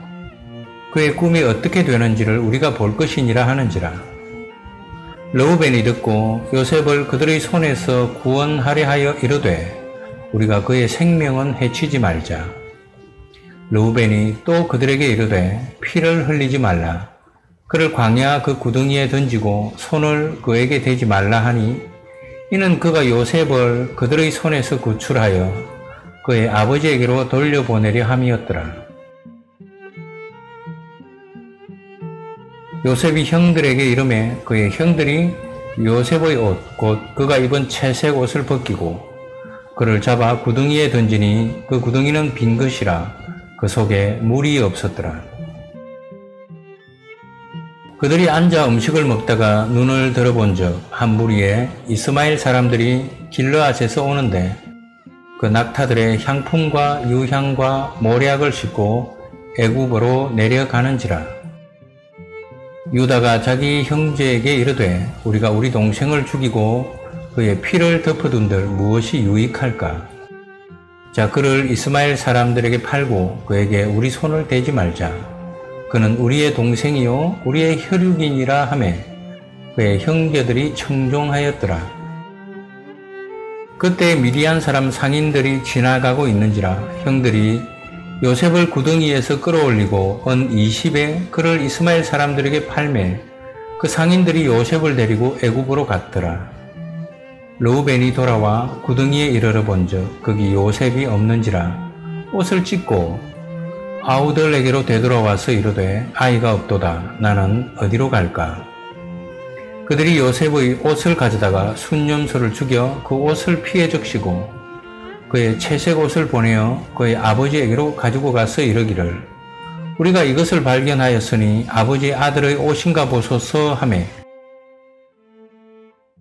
아버지가 그것을 알아보고 이르되 내 아들의 옷이라. 악한 짐승이 그를 잡아먹었도다. 요셉이 분명히 찢겼도다 하고 자기 옷을 찢고 굵은 배로 허리를 묶고 오래도록 그의 아들을 위하여 애통하니 그의 모든 자녀가 위로하되 그가 그 위로를 받지 아니하여 이르되 내가 슬퍼하며 수월로 내려가 아들에게로 가리라 하고 그의 아버지가 그를 위하여 울었더라. 그 미디안 사람들은 그를 애굽에서 바로의 신하 친위 대장 보디발에게 팔았더라.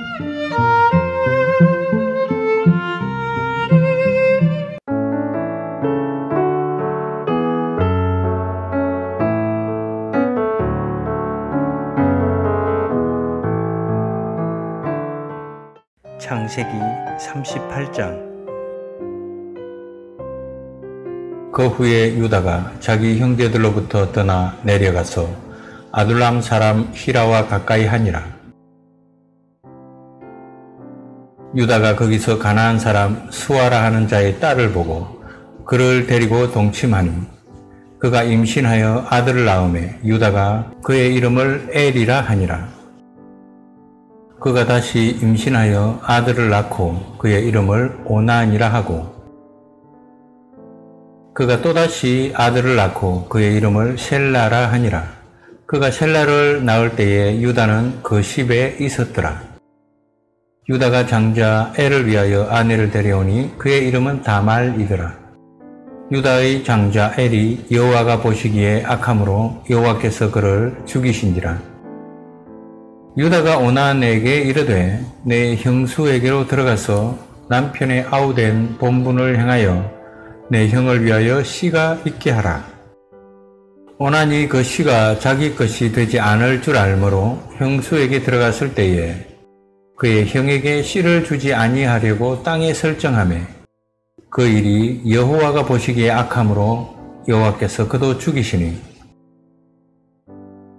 유다가 그의 며느리 다말에게 이르되 수절하고 내 아버지 집에 있어 내 아들 셀라가 장성하기를 기다리라 하니 셀라도 그 형들 같이 죽을까 염려함이라.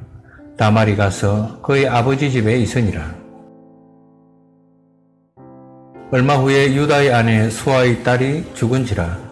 유다가 위로를 받은 후에 그의 친구 아둘람 사람 히라와 함께 딥나로 올라가서 자기의 양털 깎는 자에게 이르렀더니 어떤 사람이 다말에게 말하되 내 시아버지가 자기의 양털을 깎으려고 딥나에 올라왔다 한지라. 그가 그 과부의 의복을 벗고 너울로 얼굴을 가리고 몸을 휩싸고 딥나 길곁 에나임 문에 앉으니 이는 셀라가 장성함을 보았어도 자기를 그의 아내로 주지 않으므로 말미암음이라. 그가 얼굴을 가리었으므로 유다가 그를 보고 창녀로 여겨 길 곁으로 그에게 나아가 이르되 청하건대 나로 내게 들어가게 하라 하니 그의 며느리인 줄을 알지 못하였음이라. 그가 이르되 당신이 무엇을 주고 내게 들어오려느냐? 유다가 이르되 내가 내 떼에서 염소 새끼를 주리라.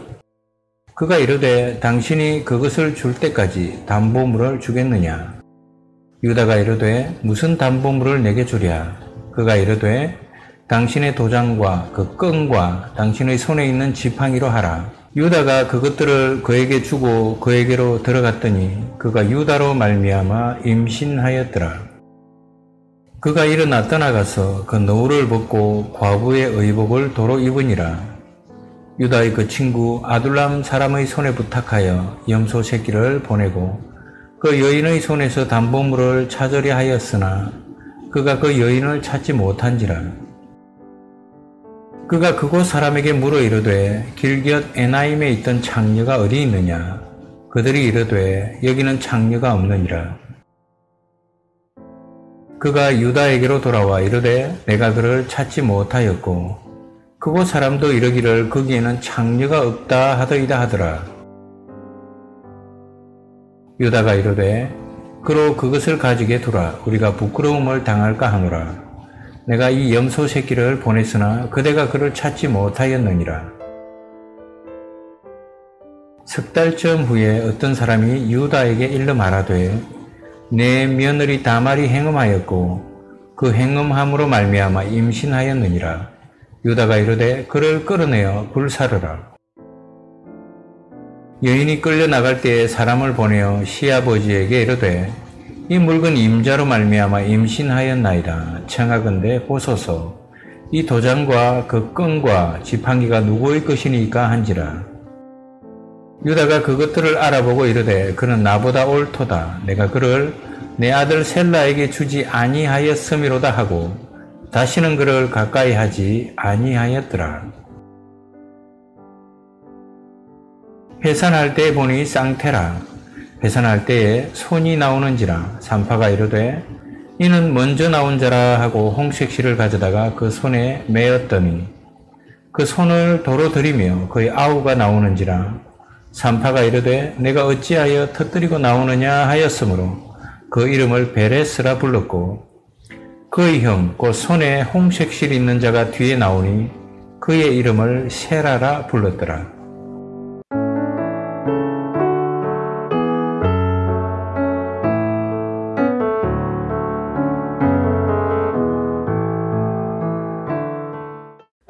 창세기 39장. 요셉이 이끌려 애굽에 내려가매 바로의 신하 신위대장 애굽 사람 보디발이 그를 거리로 데려간 이스마엘 사람의 손에서 요셉을 산이라. 여호와께서 요셉과 함께 하심으로 그가 형통한 자가 되어 그의 주인 애굽 사람의 집에 있으니 그의 주인이 여호와께서 그와 함께 하심을 보며 또 여호와께서 그의 범사에 형통하게 하심을 보았더라.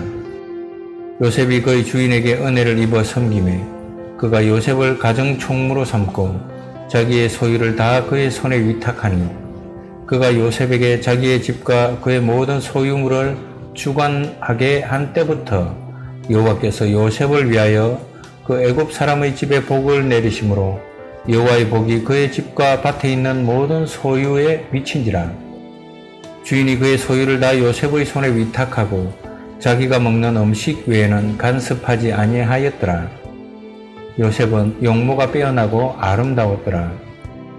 그 후에 그의 주인의 아내가 요셉에게 눈짓하다가 동침하기를 청하니 요셉이 거절하며 자기 주인의 아내에게 이르되 내 주인이 집안의 모든 소유를 간섭하지 아니하고 다 내 손에 위탁하였으니 이 집에는 나보다 큰 이가 없으며 주인이 아무것도 내게 금하지 아니하였어도 금한 것은 당신뿐이니 당신은 그의 아내임이라.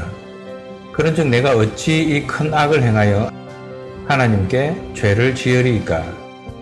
여인이 날마다 요셉에게 청하였으나 요셉이 듣지 아니하여 동침하지 아니할 뿐더러 함께 있지도 아니하니라. 그러할 때 요셉이 그의 일을 하러 그 집에 들어갔더니 그 집 사람들은 하나도 거기에 없었더라. 그 여인이 그의 옷을 잡고 이르되 나와 동침하자. 그러나 요셉이 자기의 옷을 그 여인의 손에 버려두고 밖으로 나가매 그 여인이 요셉이 그의 옷을 자기 손에 버려두고 도망하여 나감을 보고 그 여인의 집 사람들을 불러서 그들에게 이르되 보라 주인이 히브리 사람을 우리에게 데려다가 우리를 희롱하게 하는도다 그가 나와 동침하고자 내게로 들어오므로 내가 크게 소리 질렀더니 그가 나의 소리 질러 부름을 듣고 그의 옷을 내게 버려두고 도망하여 나갔느니라 하고 그의 옷을 곁에 두고 자기 주인이 집으로 돌아오기를 기다려 이 말로 그에게 말하여 이르되 당신이 우리에게 데려온 히브리 종이 나를 희롱하려고 내게로 들어왔으므로 내가 소리 질러 불렀더니 그가 그의 옷을 내게 버려두고 밖으로 도망하여 나갔나이다. 그의 주인이 자기 아내가 자기에게 이르기를 당신의 종이 내게 이같이 행하였다 하는 말을 듣고 심히 노한지라. 이에 요셉의 주인이 그를 잡아 옥에 가두니 그 옥은 왕의 죄수를 가두는 곳이었더라. 요셉이 옥에 갇혔으나 여호와께서 요셉과 함께 하시고 그에게 인자를 더하사 간수장에게 은혜를 받게 하시고 간수장이 옥중 죄수를 다 요셉의 손에 맡김으로 그 재반 사물을 요셉이 처리하고 간수장은 그의 손에 맡긴 것을 무엇이든지 살펴보지 아니하였으니 이는 여호와께서 요셉과 함께 하심이라 여호와께서 그를 범사에 형통하게 하셨더라.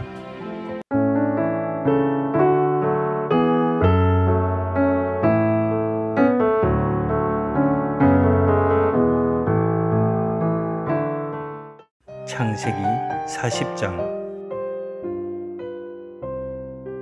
그 후에 애국 왕의 술 맡은 자와 떡 굽는 자가 그들의 주인 애국 왕에게 범죄한지라. 바로가 그 두 관원장 곧 술 맡은 관원장과 떡 굽는 관원장에게 노하여 그들을 친위 대장의 집 안에 있는 옥에 가두니 곧 요셉이 갇힌 곳이라 친위 대장이 요셉에게 그들을 수종 들게 하매 요셉이 그들을 섬겼더라. 그들이 갇힌 지 여러 날이라. 옥에 갇힌 애굽 왕의 술 맡은 자와 떡 굽는 자 두 사람이 하룻밤에 꿈을 꾸니 각기 그 내용이 다르더라. 아침에 요셉이 들어가 보니 그들에게 근심의 빛이 있는지라. 요셉이 그 주인의 집에 자기와 함께 갇힌 바로의 신하들에게 묻되 어찌하여 오늘 당신들의 얼굴에 근심의 빛이 있나이까? 그들이 그에게 이르되 우리가 꿈을 꾸었으나 이를 해석할 자가 없도다. 요셉이 그들에게 이르되 해석은 하나님께 있지 아니하니까 청하건대 내게 이르소서. 술 맡은 관원장이 그의 꿈을 요셉에게 말하여 이르되 내가 꿈에 보니 내 앞에 포도나무가 있는데 그 나무에 새 가지가 있고 싹이 나서 꽃이 피고 포도송이가 익었고 내 손에 바로의 잔이 있기로 내가 포도를 따서 그 즙을 바로의 잔에 짜서 그 잔을 바로의 손에 들였노라. 요셉이 그에게 이르되 그 해석이 이러하니 세 가지는 사흘이라. 지금부터 사흘 안에 바로가 당신의 머리를 들고 당신의 전직을 회복시키리니 당신이 그 전에 술 맡은 자가 되었을 때에 하던 것 같이 바로의 잔을 그의 손에 드리게 되리이다. 당신이 잘 되시거든 나를 생각하고 내게 은혜를 베풀어서 내 사정을 바로에게 아뢰어 이 집에서 나를 건져주소서. 나는 히브리 땅에서 끌려온 자요 여기서도 옥에 갇힐 일은 행하지 아니하였나이다. 떡 굽는 관원장이 그 해석이 좋은 것을 보고 요셉에게 이르되 나도 꿈에 보니 흰떡 새 광주리가 내 머리에 있고 맨 윗 광주리에 바로를 위하여 만든 각종 구운 음식이 있는데 새들이 내 머리의 광주리에서 그것을 먹더라. 요셉이 대답하여 이르되 그 해석은 이러하니 새 광주리는 사흘이라. 지금부터 사흘 안에 바로가 당신의 머리를 들고 당신을 나무에 달리니 새들이 당신의 고기를 뜯어 먹으리이다 하더니 제3일은 바로의 생일이라. 바로가 그의 모든 신하를 위하여 잔치를 베풀 때에 술 맡은 관원장과 떡 굽는 관원장에게 그의 신하들 중에 머리를 들게 하니라. 바로의 술 맡은 관원장은 전직을 회복함에 그가 잔을 바로의 손에 받들어 드렸고 떡 굽는 관원장은 매달리니 요셉이 그들에게 해석함과 같이 되었으나 술 맡은 관원장이 요셉을 기억하지 못하고 그를 잊었더라.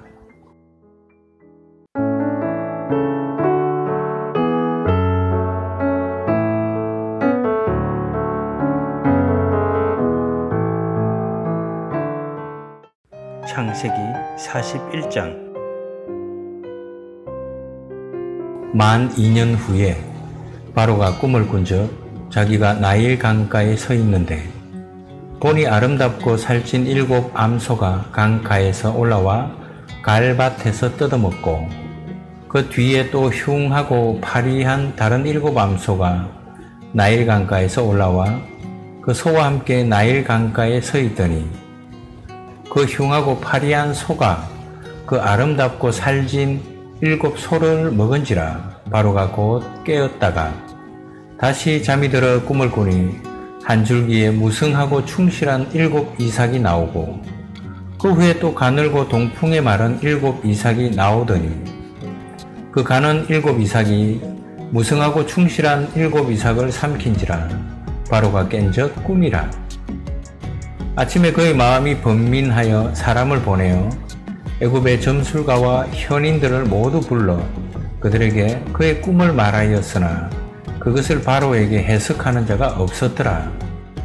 술 맡은 관원장이 바로에게 말하여 이르되 내가 오늘 내 죄를 기억하나이다. 바로께서 종들에게 놓아사 나와 떡 굽는 관원장을 친위 대장의 집에 가두셨을 때에 나와 그가 하룻밤에 꿈을 꾼 적 각기 뜻이 있는 꿈이라. 그곳에 친위 대장의 종된 히브리 청년이 우리와 함께 있기로 우리가 그에게 말하매 그가 우리의 꿈을 풀되 그 꿈대로 각 사람에게 해석하더니 그 해석한 대로 되어 나는 복직되고 그는 매달렸나이다. 이에 바로가 사람을 보내어 요셉을 부르매 그들이 급히 그를 옥에서 내놓은지라 요셉이 곧 수염을 깎고 그의 옷을 갈아입고 바로에게 들어가니 바로가 요셉에게 이르되 내가 한 꿈을 꾸었으나 그것을 해석하는 자가 없더니 들은즉 너는 꿈을 들으면 능히 푼다 하더라. 요셉이 바로에게 대답하여 이르되 내가 아니라 하나님께서 바로에게 편안한 대답을 하시리이다. 바로가 요셉에게 이르되 내가 꿈에 나일 강가에 서서 보니 살찌고 아름다운 일곱 암소가 나일 강가에 올라와 갈밭에서 뜯어먹고 그 뒤에 또 약하고 심히 흉하고 파리한 일곱 암소가 올라오니 그같이 흉한 것들은 애굽 땅에서 내가 아직 보지 못한 것이라. 그 파리하고 흉한 소가 처음에 일곱 살찐 소를 먹었으며 먹었으나 먹은 듯 하지 아니하고 여전히 흉하더라. 내가 곧 깨었다가 다시 꿈에 보니 한 줄기에 무성하고 충실한 일곱 이삭이 나오고 그 후에 또 가늘고 동풍에 마른 일곱 이삭이 나더니 그 가는 이삭이 좋은 일곱 이삭을 삼키더라. 내가 그 꿈을 점술가에게 말하였으나 그것을 내게 풀이해 주는 자가 없느니라. 요셉이 바로에게 아르되 바로의 꿈은 하나라. 하나님이 그가 하실 일을 바로에게 보이심이니이다. 일곱 좋은 암소는 일곱 해요. 일곱 좋은 이삭도 일곱 해니 그 꿈은 하나라.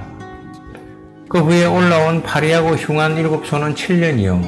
동풍이 말라 속이 빈 일곱 이삭도 일곱 해 흉년이니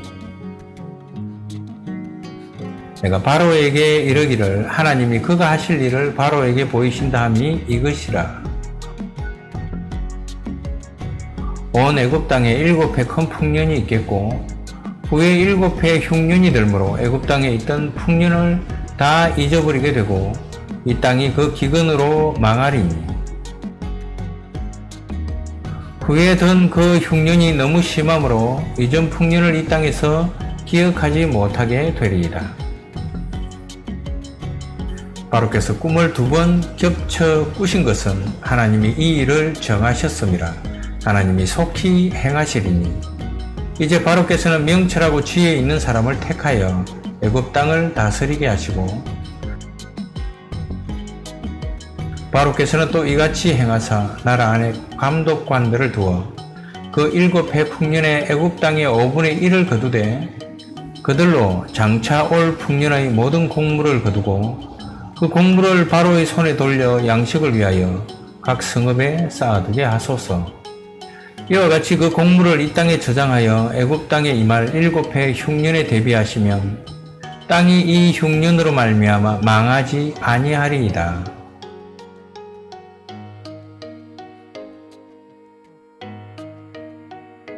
바로와 그의 모든 신하가 이 일을 좋게 여긴지라 바로가 그의 신하들에게 이르되 이와 같이 하나님의 영에 감동된 사람을 우리가 어찌 찾을 수 있으리요 하고 요셉에게 이르되 하나님이 이 모든 것을 내게 보이셨으니 너와 같이 명철하고 지혜 있는 자가 없도다. 너는 내 집을 다스리라. 내 백성이 다 내 명령에 복종하리니 내가 너보다 높은 것은 내 왕좌뿐이니라. 바로가 또 요셉에게 이르되 내가 너를 애굽 온 땅의 총리가 되게 하노라 하고 자기의 인장 반지를 빼어 요셉의 손에 끼우고 그에게 세마포 옷을 입히고 금 사슬을 목에 걸고 자기에게 있는 버금 수레에 그를 태우매 무리가 그의 앞에서 소리 지르기를 엎드리라 하더라. 바로가 그에게 애굽 전국을 총리로 다스리게 하였더라. 바로가 요셉에게 이르되 나는 바로라. 애굽 온 땅에서 내 허락이 없이는 수족을 놀릴 자가 없으리라 하고 그가 요셉의 이름을 사브낫 바네아라고 하고 또 온의 제사장 보디베라의 딸 아스낫을 그에게 주어 아내로 삼게 하니라. 요셉이 나가 애굽 온 땅을 순찰하니라.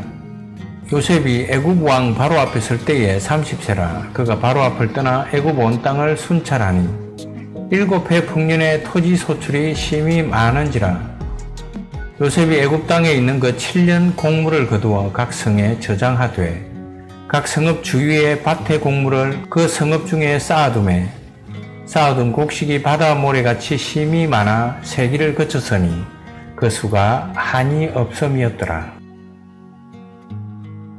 흉년이 들기 전에 요셉에게 두 아들이 나되 곧 온의 제사장 보디베라의 딸 아스낫이 그에게서 낳은지라. 요셉이 그의 장남의 이름을 머나세라 하였으니 하나님이 내게 내 모든 고난과 내 아버지의 온 집 일을 잊어버리게 하셨다 하며 차남의 이름을 에브라임이라 하였으니 하나님이 나를 내가 수고한 땅에서 번성하게 하셨다 함이었더라. 애굽 땅에 일곱 해 풍년이 거치고 요셉의 말과 같이 일곱 해 흉년이 들기 시작하며 각국에는 기근이 있으나 애굽 온 땅에는 먹을 것이 있더니 애굽 온 땅이 굶주림에 백성이 바로에게 부르짖어 양식을 구하는지라 바로가 애굽 모든 백성에게 이르되 요셉에게 가서 그가 너희에게 이르는 대로 하라 하니라. 온 지면에 기근이 있음에 요셉이 모든 창고를 열고 애굽 백성에게 팔세 애굽 땅에 기근이 심하며 각국 백성도 양식을 사려고 애굽으로 들어와 요셉에게 이르렀으니 기근이 온 세상에 심함이었더라.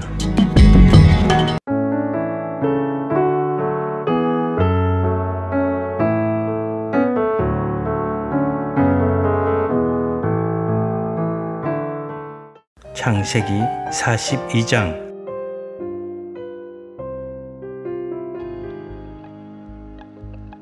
그때 야곱이 애굽에 곡식이 있음을 보고 아들들에게 이르되 너희는 어찌하여 서로 바라보고만 있느냐? 야곱이 또 이르되 내가 들은즉 저 애굽에 곡식이 있다 하니 너희는 그리로 가서 거기서 우리를 위하여 사오라. 그러면 우리가 살고 죽지 아니하리라 하매 요셉의 형 열 사람이 애굽에서 곡식을 사려고 내려갔으나 야곱이 요셉의 아우 베냐민은 그의 형들과 함께 보내지 아니하였으니 이는 그의 생각에 재난이 그에게 미칠까 두려워함이었더라. 이스라엘의 아들들이 양식 사러 간 자 중에 있으니 가나안 땅에 기근이 있음이라. 때에 요셉이 나라의 총리로서 그 땅 모든 백성에게 곡식을 팔더니 요셉의 형들이 와서 그 앞에서 땅에 엎드려 절하매 요셉이 보고 형들인 줄을 아나 모르는 체하고 음한 소리로 그들에게 말하여 이르되 너희가 어디서 왔느냐? 그들이 이르되 곡물을 사려고 가나안에서 왔나이다. 요셉은 그의 형들을 알아보았으나 그들은 요셉을 알아보지 못하더라. 요셉이 그들에게 대하여 꾼 꿈을 생각하고 그들에게 이르되 너희는 정탐꾼들이라 이 나라의 틈을 엿보려고 왔느니라. 그들이 그에게 이르되 내 주여 아니니이다. 당신의 종들은 곡물을 사러 왔나이다. 우리는 다 한 사람의 아들들로서 확실한 자들이니 당신의 종들은 정탐꾼이 아니니이다. 요셉이 그들에게 이르되 아니라 너희가 이 나라의 틈을 엿보러 왔느니라. 그들이 이르되 당신의 종 우리들은 열두 형제로서 가나안 땅 한 사람의 아들들이라.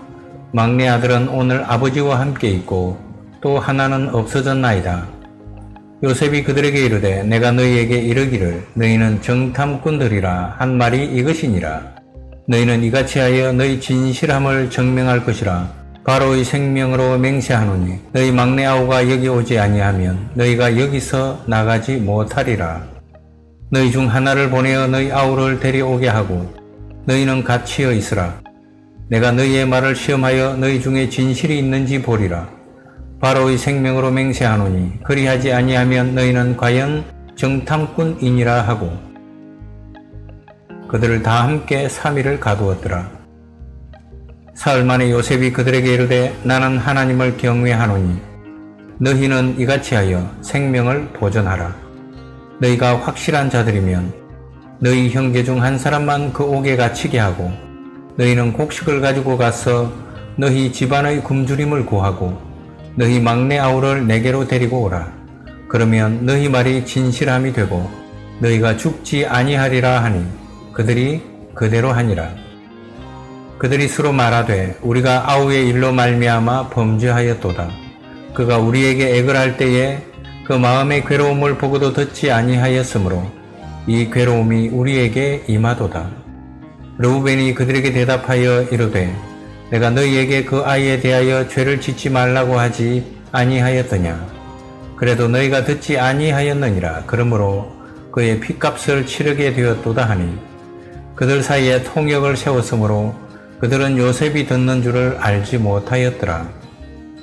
요셉이 그들을 떠나가서 울고 다시 돌아와서 그들과 말하다가 그들 중에서 시몬을 끌어내어 그들의 눈앞에서 결박하고 명하여 곡물을 그 그릇에 채우게 하고 각 사람의 돈은 그의 자루에 도로 넣게 하고 또 길 양식을 그들에게 주게 하니 그대로 행하였더라. 그들이 곡식을 나귀에 싣고 그곳을 떠났더니 한 사람이 여관에서 나귀에게 먹이를 주려고 자루를 풀고 본즉 그 돈이 자루 아귀에 있는지라 그가 그 형제에게 말하되 내 돈을 도로 넣었도다 보라. 자루 속에 있도다. 이에 그들이 혼이 나서 떨며 서로 돌아보며 말하되 하나님이 어찌하여 이런 일을 우리에게 행하셨는가 하고 이들이 가나안 땅에 돌아와 그들의 아버지 야곱에게 이르러 그들이 당한 일을 자세히 알리어 아뢰되 그 땅의 주인인 그 사람이 엄하게 우리에게 말씀하고 우리를 그 땅에 대한 정탐꾼으로 여기기로 우리가 그에게 이르되 우리는 확실한 자들이요 정탐꾼이 아니니이다. 우리는 한 아버지의 아들 열두 형제로서 하나는 없어지고 막내는 오늘 우리 아버지와 함께 가나안 땅에 있나이다 하였더니 그 땅의 주인인 그 사람이 우리에게 이르되 내가 이같이 하여 너희가 확실한 자들임을 알리니 너희 형제 중에 하나를 내게 두고 양식을 가지고 가서 너희 집안의 굶주림을 구하고 너희 막내 아우를 내게로 데려오라. 그러면 너희가 정탐꾼이 아니요 확실한 자들임을 내가 알고 너희 형제를 너희에게 돌리리니 너희가 이 나라에서 무역하리라 하더이다 하고 각기 자루를 쏟고 본적 각 사람의 돈 뭉치가 그 자루 속에 있는지라 그들과 그들의 아버지가 돈 뭉치를 보고 다 두려워하더니 그들의 아버지 야곱이 그들에게 이르되 너희가 나에게 내 자식들을 잃게 하도다. 요셉도 없어졌고 시므온도 없어졌거늘 베냐민을 또 빼앗아 가고자 하니 이는 다 나를 해롭게 함이로다. 로벤이 그의 아버지에게 말하여 이르되 내가 그를 아버지께로 데리고 오지 아니하거든 내 두 아들을 죽이소서 그를 내 손에 맡기소서 내가 그를 아버지께로 데리고 돌아오리이다. 야곱이 이르되 내 아들은 너희와 함께 내려가지 못하리니 그의 형은 죽고 그만 남았음이라. 만일 너희가 가는 길에서 재난이 그에게 미치면 너희가 내 흰머리를 슬퍼하며 수월로 내려가게 함이 되리라.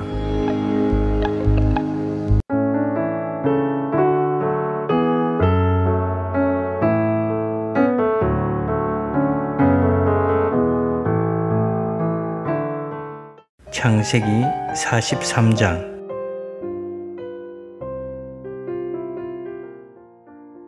그 땅에 기근이 심하고 그들이 애굽에서 가져온 곡식을 다 먹음에 그 아버지가 그들에게 이르되 다시 가서 우리를 위하여 양식을 조금 사오라. 유다가 아버지에게 말하여 이르되 그 사람이 우리에게 엄히 경고하여 이르되 너희 아우가 너희와 함께 오지 아니하면 너희가 내 얼굴을 보지 못하리라 하였으니 아버지께서 우리 아우를 우리와 함께 보내시면 우리가 내려가서 아버지를 위하여 양식을 사려니와 아버지께서 만일 그를 보내지 아니하시면 우리는 내려가지 아니하리니 그 사람이 우리에게 말하기를 너희의 아우가 너희와 함께 오지 아니하면 너희가 내 얼굴을 보지 못하리라 하였음이니이다. 이스라엘이 이르되 너희가 어찌하여 너희에게 또 다른 아우가 있다고 그 사람에게 말하여 나를 괴롭게 하였느냐? 그들이 이르되 그 사람이 우리와 우리의 친족에 대하여 자세히 질문하여 이르기를 너희 아버지가 아직 살아계시느냐?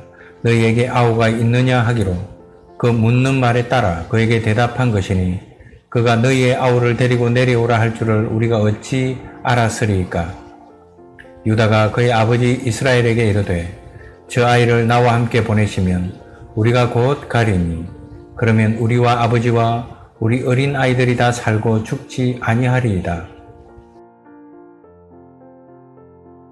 내가 그를 위하여 담보가 되오리니 아버지께서 내 손에서 그를 찾으소서. 내가 만일 그를 아버지께 데려다가 아버지 앞에 두지 아니하면 내가 영원히 죄를 지리이다. 우리가 지체하지 아니하였더라면 벌써 두 번 갔다 왔으리이다. 그들의 아버지 이스라엘이 그들에게 이르되 그래할진대 이렇게 하라. 너희는 이 땅의 아름다운 소산을 그릇에 담아 가지고 내려가서 그 사람에게 예물로 드릴지니 곧 유향 조금과 꿀 조금과 향품과 모략과 유향나무 열매와 감 복숭아이니라. 너희 손에 갑절의 돈을 가지고 너희 자루 아귀에 도로 넣어져 있던 그 돈을 다시 가지고 가라. 혹 잘못이 있었을까 두렵도다. 내 아우도 데리고 떠나 다시 그 사람에게로 가라. 전능하신 하나님께서 그 사람 앞에서 너희에게 은혜를 베푸사 그 사람으로 너희 다른 형제와 베냐민을 돌려보내게 하시기를 원하노라. 내가 자식을 잃게 되면 이르리로다. 그 형제들이 예물을 마련하고 갑절의 돈을 자기들의 손에 가지고 베냐민을 데리고 애굽에 내려가서 요셉 앞에 서니라. 요셉은 베냐민이 그들과 함께 있음을 보고 자기의 청지기에게 이르되 이 사람들을 집으로 인도해드리고 짐승을 잡고 준비하라. 이 사람들이 정오에 나와 함께 먹을 것이니라. 청지기가 요셉의 명대로 하여 그 사람들을 요셉의 집으로 인도하니 그 사람들이 요셉의 집으로 인도됨에 두려워하여 이르되 전번에 우리 자루에 들어있던 돈의 일로 우리가 끌려드는도다. 이는 우리를 억류하고 달려들어 우리를 잡아 노예로 삼고 우리의 나귀를 빼앗으려 함이로다 하고 그들이 요셉의 집 청지기에게 가까이 나아가 그 집 문 앞에서 그에게 말하여 이르되 내 주여 우리가 전번에 내려와서 양식을 사가지고 여관에 이르러 자루를 풀어본 적각 사람의 돈이 전액 그대로 자루 아귀에 있기로 우리가 도로 가져왔고 양식 살 다른 돈도 우리가 가지고 내려왔나이다. 우리의 돈을 우리 자루에 넣은 자는 누구인지 우리가 알지 못하나이다. 그가 이르되 너희는 안심하라 두려워하지 말라. 너희 하나님 너희 아버지의 하나님이 재물을 너희 자루에 넣어 너희에게 주신 것이니라. 너희 돈은 내가 이미 받았느니라 하고 시몬을 그들에게로 이끌어내고 그들을 요셉의 집으로 인도하고 물을 주어 발을 씻게 하며 그들의 나귀에게 먹이를 주더라. 그들이 거기서 음식을 먹겠다 함을 들었으므로 예물을 정돈하고 요셉이 정오에 오기를 기다리더니 요셉이 집으로 오매 그들이 집으로 들어가서 예물을 그에게 드리고 땅에 엎드려 절하니 요셉이 그들의 안부를 물으며 이르되 너희 아버지 너희가 말하던 그 노인이 안녕하시냐? 아직도 생존해 계시느냐? 그들이 대답하되 주의 종 우리 아버지가 평안하고 지금까지 생존하였나이다 하고 머리 숙여 절하더라. 요셉이 눈을 들어 자기 어머니의 아들 자기 동생 베냐민을 보고 이르되 너희가 내게 말하던 너희 작은 동생이 이 아이냐? 그가 또 이르되 소자여 하나님이 내게 은혜 베푸시기를 원하노라. 요셉이 아우를 사랑하는 마음이 복받쳐 급히 울 곳을 찾아 안방으로 들어가서 울고 얼굴을 씻고 나와서 그 정을 억제하고 음식을 차리라 하매 그들이 요셉에게 따로 차리고 그 형제들에게 따로 차리고 그와 함께 먹는 애굽 사람에게도 따로 차리니 애굽 사람은 히브리 사람과 같이 먹으면 부정을 입었음이었더라. 그들이 요셉 앞에 앉되 그들의 나이에 따라 앉히게 되니 그들이 서로 이상히 여겼더라. 요셉이 자기 음식을 그들에게 주되 베냐민에게는 다른 사람보다 다섯 배나 주매 그들이 마시며 요셉과 함께 즐거워하였더라.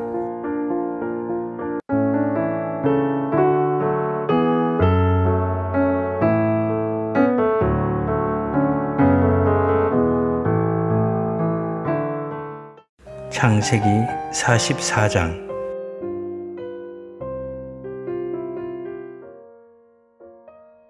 요셉이 그의 집 청지기에게 명하여 이르되 양식을 각자의 자루에 운반할 수 있을 만큼 채우고 각자의 돈을 그 자루에 넣고 또 내 잔 곧 은잔을 그 청년의 자루 아귀에 넣고 그 양식값 돈도 함께 넣으라 하매 그가 요셉의 명령대로 하고 아침이 밝을 때에 사람들과 그들의 나귀들을 보내니라.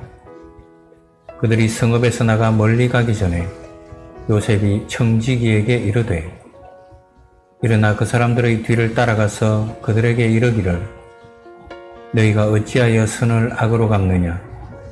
이것은 내 주인이 가지고 마시며 너를 점치는 데에 쓰는 것이 아니냐? 너희가 이같이 하니 악하도다 하라 청지기가 그들에게 따라가서 그대로 말하니 그들이 그에게 대답하되 내 주여 어찌 이렇게 말씀하시나이까 당신의 종들이 이런 일은 결단코 아니하나이다. 우리 자루에 있던 돈도 우리가 가나안 땅에서부터 당신에게로 가져왔거늘 우리가 어찌 당신의 주인의 집에서 언금을 도둑질하리이까 당신의 종들 중 누구에게서 발견되든지 그는 죽을 것이요 우리는 내 주의 종들이 되리이다. 그가 이르되 그러면 너희의 말과 같이 하리라. 그것이 누구에게서든지 발견되면 그는 내게 종이 될 것이요 너희는 죄가 없으리라. 그들이 각각 급히 자루를 땅에 내려놓고 자루를 각기 푸니 그가 나이 많은 자에게서부터 시작하여 나이 적은 자에게까지 조사하며 그 잔이 베냐민의 자루에서 발견된지라.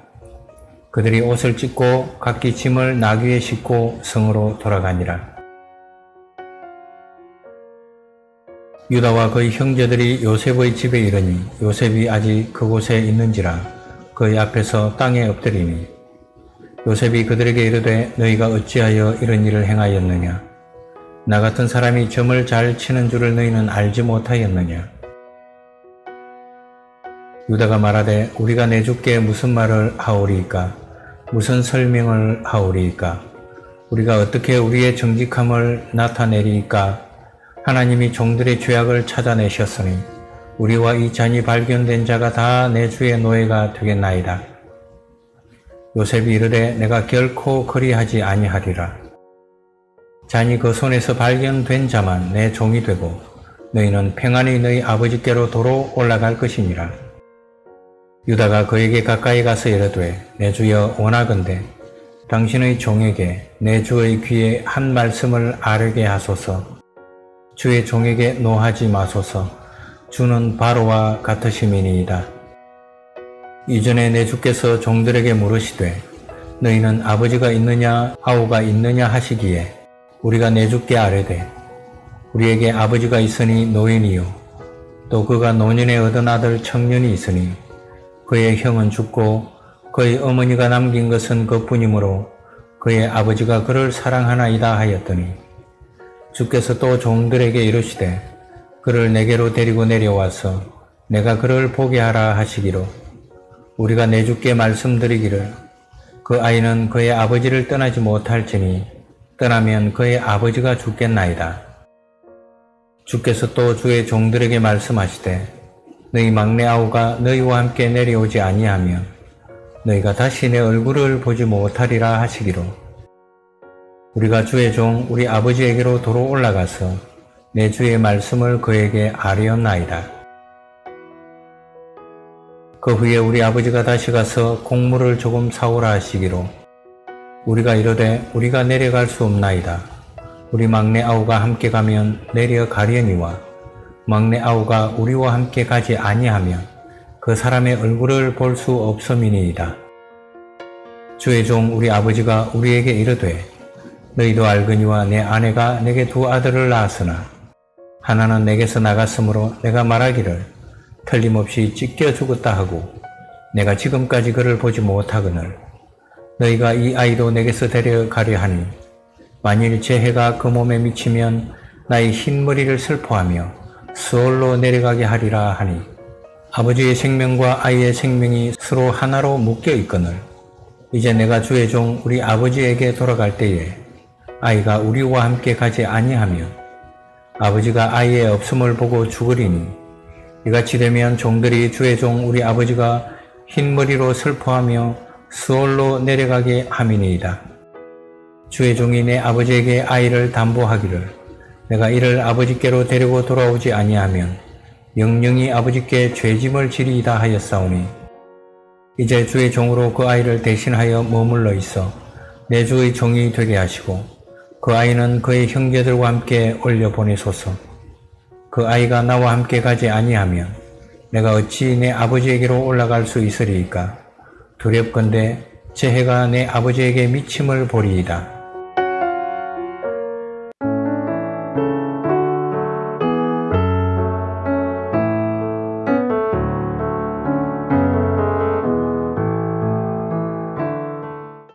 창세기 45장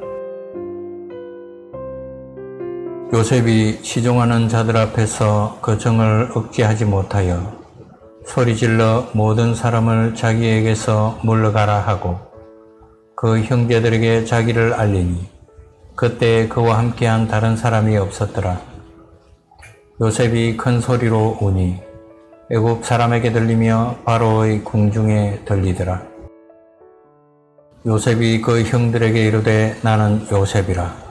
내 아버지께서 아직 살아계시니까 형들이 그 앞에서 놀라서 대답하지 못하더라. 요셉이 형들에게 이르되 내게로 가까이 오소서. 그들이 가까이 가니 이르되 나는 당신들의 아우 요셉이니 당신들이 애굽의 판자라. 당신들이 나를 이곳에 팔았다고 해서 근심하지 마소서. 한탄하지 마소서. 하나님이 생명을 구원하시려고 나를 당신들보다 먼저 보내셨나이다. 이 땅에 2년 동안 흉년이 들었으나 아직 5년은 밭가리도 못하고 추수도 못할지라. 하나님이 큰 구원으로 당신들의 생명을 보존하고 당신들의 후손을 세상에 두시려고 나를 당신들보다 먼저 보내셨나니. 그런즉 나를 이리로 보낸 이는 당신들이 아니요 하나님이시라. 하나님이 나를 바로에게 아버지로 삼으시고 그 온 집의 주로 삼으시며 애굽 온 땅의 통치자로 삼으셨나이다. 당신들은 속히 아버지께로 올라가서 아뢰기를 아버지의 아들 요셉의 말에 하나님이 나를 애굽 전국의 주로 세우셨으니 지체 말고 내게로 내려오사 아버지의 아들들과 아버지의 손자들과 아버지의 양과 소와 모든 소유가 고센 땅에 머물며 나와 가깝게 하소서. 흉년이 아직 다섯 해가 있으니 내가 거기서 아버지를 복량하리이다. 아버지와 아버지의 가족과 아버지께 속한 모든 사람에게 부족함이 없도록 하겠나이다 하더라고 전하소서. 당신들의 눈과 내 아우 베냐민의 눈이 보는 바 당신들에게 이 말을 하는 것은 내 입이라. 당신들은 내가 애굽에서 누리는 영화와 당신들이 본 모든 것을 다 내 아버지께 아뢰고 속히 모시고 내려오소서 하며 자기 아우 베냐민의 목을 안고 우니 베냐민도 요셉의 목을 안고 우니라. 요셉이 또 형들과 입맞추며 안고 우니 형들이 그제서야 요셉과 말하니라. 요셉의 형들이 왔다는 소문이 바로의 궁에 들림에 바로와 그의 신하들이 기뻐하고 바로는 요셉에게 이르되 내 형들에게 명령하기를 너희는 이렇게 하여 너희 양식을 싣고 가서 가나안 땅에 이르거든. 너희 아버지와 너희 가족을 이끌고 내게로 오라. 내가 너희에게 애굽의 좋은 땅을 주리니 너희가 나라의 기름진 것을 먹으리라. 이제 명령을 받았으니 이렇게 하라. 너희는 애굽 땅에서 수레를 가져다가 너희 자녀와 아내를 태우고 너희 아버지를 모셔오라 또 너희의 기구를 아끼지 말라. 온 애굽 땅에 좋은 것이 너희 것임이니라. 이스라엘의 아들들이 그대로 할세. 요셉이 바로의 명령대로 그들에게 수레를 주고 길 양식을 주며 또 그들에게 다 각기 옷 한 벌씩을 주되 베냐민에게는 은 300과 옷 다섯 벌을 주고 그가 또 이와 같이 그 아버지에게 보내되 수나기 열 필에 애굽의 아름다운 물품을 실리고 암나기 열필에는 아버지에게 길에서 드릴 곡식과 떡과 양식을 실리고 이에 형들을 돌려보내며 그들에게 이르되 당신들은 길에서 다투지 말라 하였더라. 그들이 애굽에서 올라와 가나안 땅으로 들어가서 아버지 야곱에게 이르러 알리어 이르되 요셉이 지금까지 살아 있어 애굽 땅 총리가 되었더이다. 야곱이 그들의 말을 믿지 못하여 어리둥절하더니 그들이 또 요셉이 자기들에게 부탁한 모든 말로 그에게 말하매. 그들의 아버지 야곱은 요셉이 자기를 태우려고 보낸 수레를 보고서야 기운이 소생한지라. 이스라엘이 이르되 조카도다. 내 아들 요셉이 지금까지 살아 있으니 내가 죽기 전에 가서 그를 보리라 하니라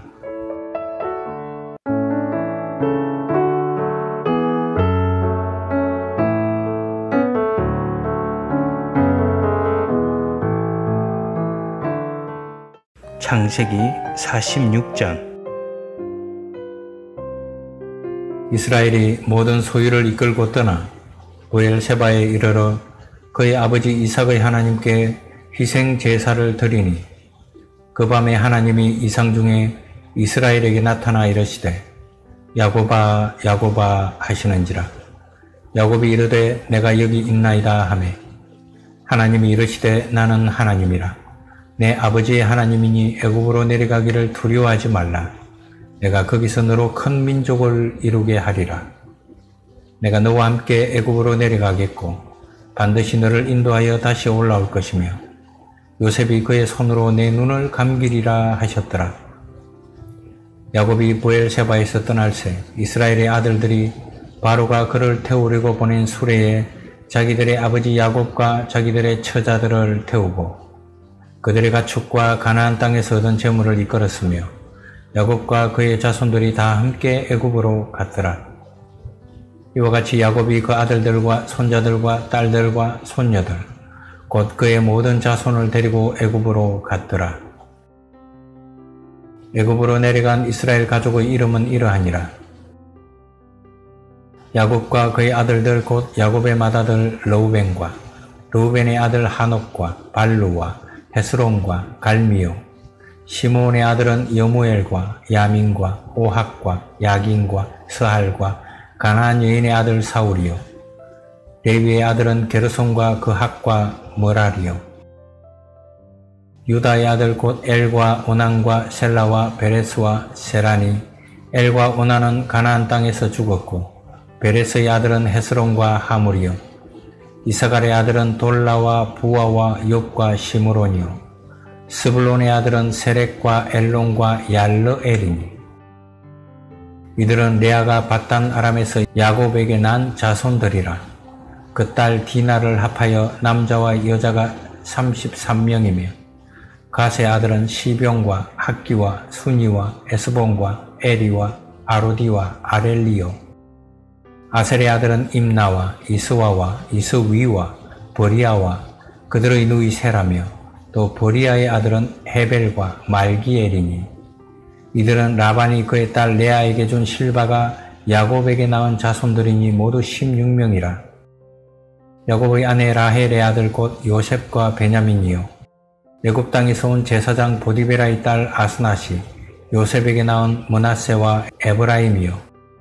베냐민의 아들 곧 벨라와 베겔과 아스벨과 게라와 나아만과 에히와 로스와 무빔과 훅빔과 아르시니 이들은 라헬이 야곱에게 낳은 자손들이니 모두 14명이요.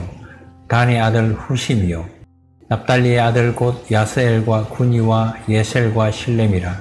이들은 라반이 그의 딸 라헬에게 준 빌하가 야곱에게 낳은 자손들이니 모두 7명이라. 야곱과 함께 애굽에 들어간 자는 야곱의 며느리들 외에 66명이니 이는 다 야곱의 몸에서 태어난 자이며 애굽에서 요셉이 낳은 아들은 두 명이니 야곱의 집 사람으로 애굽에 이른 자가 모두 70명이었더라. 야곱이 유다를 요셉에게 미리 보내어 자기를 고센으로 인도하게 하고 다 고센 땅에 이르니 요셉이 그의 수레를 갖추고 고센으로 올라가서 그의 아버지 이스라엘을 맞으며 그에게 보이고 그의 목을 어금 맞춰 안고 얼마 동안 울매 이스라엘이 요셉에게 이르되 내가 지금까지 살아있고 내가 내 얼굴을 보았으니 지금 죽어도 족하도다. 요셉이 그의 형들과 아버지의 가족에게 이르되 내가 올라가서 바로에게 아뢰어 이르기를 가나안 땅에 있던 내 형들과 내 아버지의 가족이 내게로 왔는데 그들은 목자들이라 목축하는 사람들이므로 그들의 양과 소와 모든 소유를 이끌고 왔나이다 하리니. 바로가 당신들을 불러서 너희의 직업이 무엇이냐 묻거든. 당신들은 이르기를 주의 종들은 어렸을 때부터 지금까지 목축하는 자들이온데 우리와 우리 선조가 다 그러하니이다 하소서. 애굽 사람은 다 목축을 가정히 여기나니 당신들이 고센 땅에 살게 되리이다.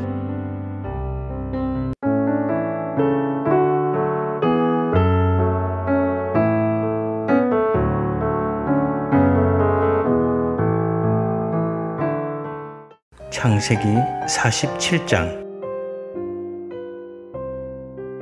요셉이 바로에게 가서 고하여 이르되 내 아버지와 내 형들과 그들의 양과 소와 모든 소유가 가나안 땅에서 와서 고센 땅에 있나이다 하고 그의 형들 중 다섯 명을 택하여 바로에게 보이니 바로가 요셉의 형들에게 묻되 너희 생업이 무엇이냐 그들이 바로에게 대답하되 종들은 목자이온데 우리와 선조가 다 그러하니이다 하고 그들이 또 바로에게 고하되 가나안 땅에 기근이 심하여 종들의 양떼를 칠 곳이 없기로 종들이 이곳에 거류하고자 왔사오니 원하건대 종들로 고센 땅에 살게 하소서. 바로가 요셉에게 말하여 이르되 내 아버지와 형들이 내게 왔선저 애굽 땅이 내 앞에 있으니 땅의 좋은 곳에 내 아버지와 내 형들이 거주하게 하되 그들이 고센 땅에 거주하고 그들 중에 능력 있는 자가 있거든 그들로 내 가축을 관리하게 하라. 요셉이 자기 아버지 야곱을 인도하여 바로 앞에 서게 하니 야곱이 바로에게 축복하매 바로가 야곱에게 묻되 내 나이가 얼마냐 야곱이 바로에게 아뢰되 내 나그네 길의 세월이 130년이니이다. 내 나이가 얼마 못 되니 우리 조상의 나그네 길의 연조에 미치지 못하나 험악한 세월을 보내었나이다 하고 야곱이 바로에게 축복하고 그 앞에서 나오니라. 요셉이 바로의 명령대로 그의 아버지와 그의 형들에게 거주할 곳을 주되 애굽의 좋은 땅 라암셋을 그들에게 주어 소유로 삼게 하고 또 그의 아버지와 그의 형들과 그의 아버지의 온 집에 그 식구를 따라 먹을 것을 주어 봉양하였더라. 기근이 더욱 심하여 사방에 먹을 것이 없고 애굽 땅과 가나안 땅이 기근으로 황폐하니 요셉이 곡식을 팔아 애굽 땅과 가나안 땅에 있는 돈을 모두 거두어 들이고 그 돈을 바로의 궁으로 가져가니 애굽 땅과 가나안 땅의 돈이 떨어진지라 애굽 백성이 다 요셉에게 와서 이르되 돈이 떨어졌사오니 우리에게 먹을 거리를 주소서. 어찌 주 앞에서 죽으리이까? 요셉이 이르되 너희의 가축을 내라. 돈이 떨어졌은즉 내가 너희의 가축과 바꾸어 주리라. 그들이 그들의 가축을 요셉에게 끌어오는지라. 요셉이 그 말과 양떼와 소떼와 나귀를 받고 그들에게 먹을 것을 주되 곧 그 모든 가축과 바꾸어서 그 해 동안에 먹을 것을 그들에게 주니라. 그 해가 다 가고 새 해가 되매 무리가 요셉에게 와서 그에게 말하되 우리가 죽게 숨기지 아니하나이다. 우리의 돈이 다 하였고 우리의 가축대가 죽게로 돌아갔사오니 죽게 낼 것이 아무것도 남지 아니하고 우리의 몸과 토지뿐이라. 우리가 어찌 우리의 토지와 함께 주의 목전에 죽으리이까? 우리 몸과 우리 토지를 먹을 것을 주고 사소서 우리가 토지와 함께 바로의 종이 되리니 우리에게 종자를 주시면 우리가 살고 죽지 아니하며 토지도 황폐하게 되지 아니하리이다. 그러므로 요셉이 애굽의 모든 토지를 다 사서 바로에게 바치니 애굽의 모든 사람들이 기근에 시달려 각기 토지를 팔았습니다.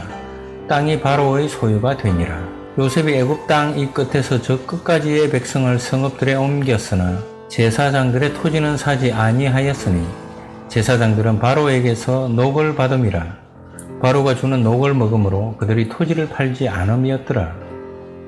요셉이 백성에게 이르되 오늘 내가 바로를 위하여 너희 몸과 너희 토지를 샀노라. 여기 종자가 있으니 너희는 그 땅에 뿌리라. 추수의 5분의 1을 바로에게 상납하고 5분의 4는 너희가 가져서 토지의 종자로도 삼고 너희의 양식으로도 삼고 너희 가족과 어린아이의 양식으로도 삼으라. 그들이 이르되 주께서 우리를 살리셨사오니 우리가 주께 은혜를 입고 바로의 종이 되겠나이다. 요셉이 애국 토지법을 세우매 그 5분의 1이 바로에게 상납되나 제사장의 토지는 바로의 소유가 되지 아니하여 오늘날까지 이르니라.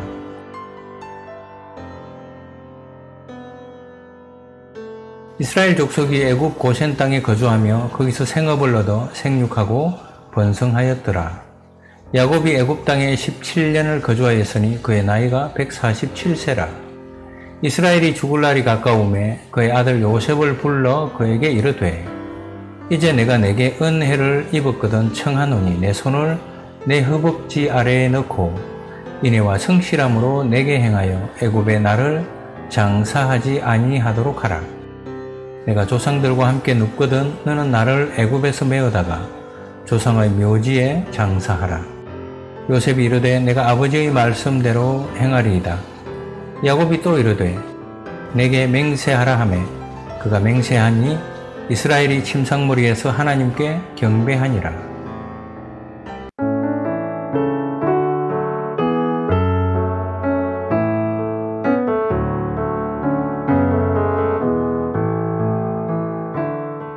창세기 48장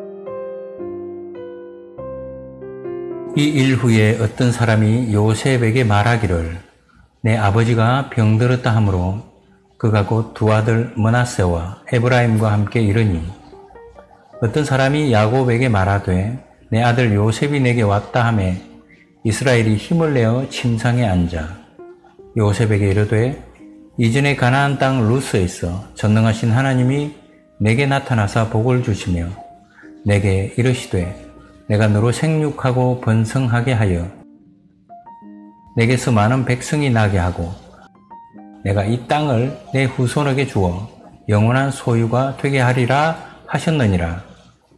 내가 애굽으로 와서 내게 이르기 전에 애굽에서 내가 낳은 두 아들 에브라임과 문하세는 내 것이라 르우벤과 시므온처럼 내 것이 될 것이요 이들 후의 내 소생은 내 것이 될 것이며 그들의 유산은 그들의 형의 이름으로 함께 받으리라. 내게 대하여는 내가 이전에 바단에서 올 때에 라헬이 나를 따르는 도중 가나안 땅에서 죽었는데 그곳은 에브라까지 길이 아직도 먼 곳이라.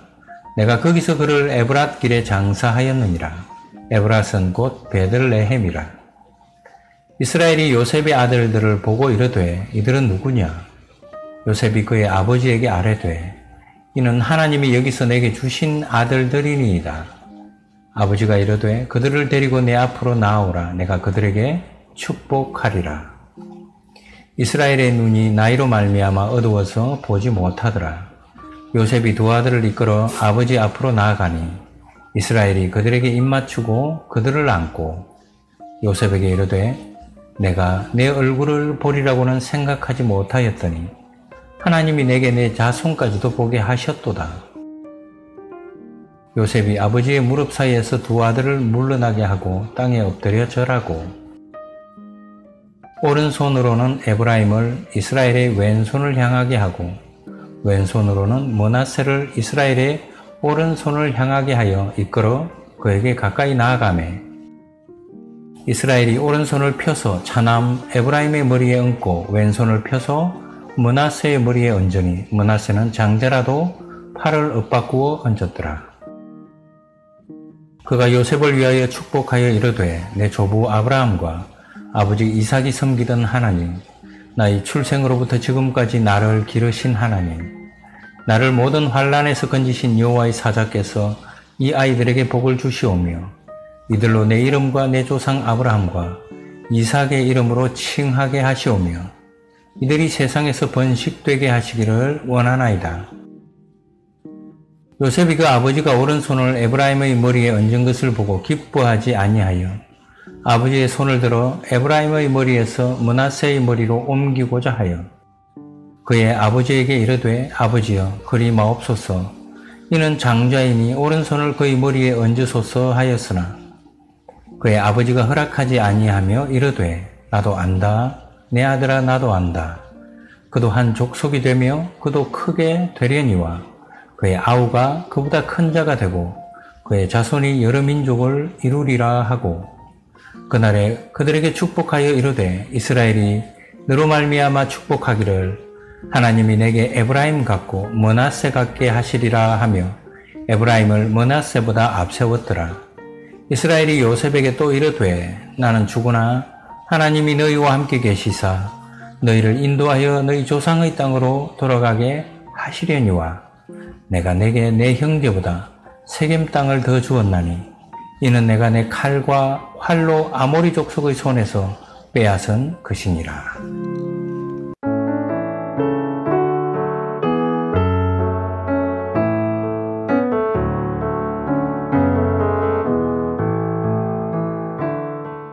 창세기 49장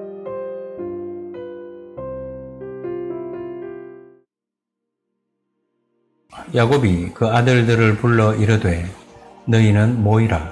너희가 후일에 당할 일을 내가 너희에게 이르리라. 너희는 모여 들으라. 야곱의 아들들아 너희 아버지 이스라엘에게 들을지어다. 러우베나 너는 내 장자요 내 능력이요 내 기력의 시작이라. 위풍이 월등하고 권능이 탁월하다마는 물의 끓음 같았은적 너는 탁월하지 못하리니 내가 아버지의 침상에 올라 더럽혔음이로다. 그가 내 침상에 올랐었도다. 시몬과 레위는 형제요 그들의 칼은 폭력의 도구로다. 내 호나 그들의 모의에 상관하지 말지어다. 내 영광아 그들의 집회에 참여하지 말지어다. 그들이 그들의 분노대로 사람을 죽이고 그들의 혈기대로 소의 발목 힘줄을 끊었음이로다. 그 노여움이 혹독하니 저주를 받을 것이요 분기가 맹렬하니 저주를 받을 것이라. 내가 그들을 야곱 중에서 나누며 이스라엘 중에서 흩트리로다. 유다야 너는 내 형제의 찬송이 될지라. 내 손이 내 원수의 목을 잡을 것이요 내 아버지의 아들들이 내 앞에 절하리로다. 유다는 사자 새끼로다. 내 아들아 너는 움킨 것을 찢고 올라갔도다. 그가 엎드리고 웅크림이 수사자 같고 암사자 같으니 누가 그를 범할 수 있으랴. 규가 유다를 떠나지 아니하며 통치자의 지팡이가 그 발 사이에서 떠나지 아니하기를 실로가 오시기까지 이르리니 그에게 모든 백성이 복종하리로다. 그의 나귀를 포도나무에 매며 그의 암나귀 새끼를 아름다운 포도나무에 맬 것이며 또 그 옷을 포도주에 빨며 그의 복장을 포도즙에 빨리로다. 그의 눈은 포도주로 인하여 붉겠고 그의 이는 우유로 말미암아 희리로다. 스불로는 해변에 거주하리니 그곳은 뱀에는 해변이라 그의 경계가 시동까지리로다.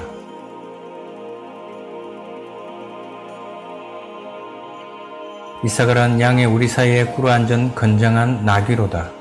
그는 쉴 곳을 보고 좋게 여기며 토지를 보고 아름답게 여기고 어깨를 내려 짐을 메고 앞제 아래에서 섬기리로다.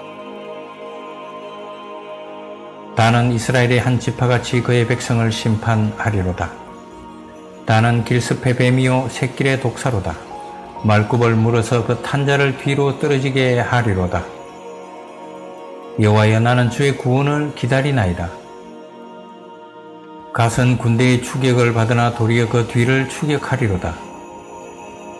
아셀에게서 나는 먹을 것은 기름진 것이라 그가 왕의 수라상을 차리리로다. 납달리는 노인 암사슴이라 아름다운 소리를 발하는 도다. 요셉은 무성한 가지 곧 샘 곁에 무성한 가지라 그 가지가 담을 넘었도다. 발 쏘는 자가 그를 학대하며 적개심을 가지고 그를 쏘았으나 요셉의 활은 도리어 굳세며 그의 팔은 힘이 있으니 이는 야곱의 전능자 이스라엘의 반석인 목자의 손을 힘입음이라. 내 아버지의 하나님께로 말미암나니 그가 너를 도우실 것이요 전능자로 말미암나니 그가 내게 복을 주실 것이라. 위로 하늘의 복과 아래로 깊은 샘의 복과 젖먹이는 복과 태의 복이리로다. 내 아버지의 축복이 내 선조의 축복보다 나아서 영원한 산이 한없음 같이 이 축복이 요셉의 머리로 돌아오며 그 형제 중 뛰어난 자의 정수리로 돌아오리로다. 베냐민은 물어 뜯는 일이라 아침에는 빼앗은 것을 먹고 저녁에는 움킨 것을 나누리로다. 이들은 이스라엘의 열두 지파라 이와 같이 그들의 아버지가 그들에게 말하고 그들에게 축복하였으니 곧 그들 각 사람의 분량대로 축복하였더라. 그가 그들에게 명하여 이르되 내가 내 조상들에게로 돌아가리니 나를 햇사람 에브론의 밭에 있는 굴에 우리 선조와 함께 장사하라. 이 굴은 가나안 땅 마모레 앞 막벨라 밭에 있는 것이라. 아브라함이 햇사람 에브론에게서 밭과 함께 사서 그의 매장지를 삼았으므로 아브라함과 그의 아내 사라가 거기 장사되었고 이삭과 그의 아내 리브가도 거기 장사되었으며 나도 레아를 그곳에 장사하였노라. 이 밭과 거기 있는 굴은 햇사람에게서 산 것이니라. 야곱이 아들에게 명하기를 마치고 그 발을 침상에 모으고 숨을 거두니 그의 백성에게로 돌아갔더라.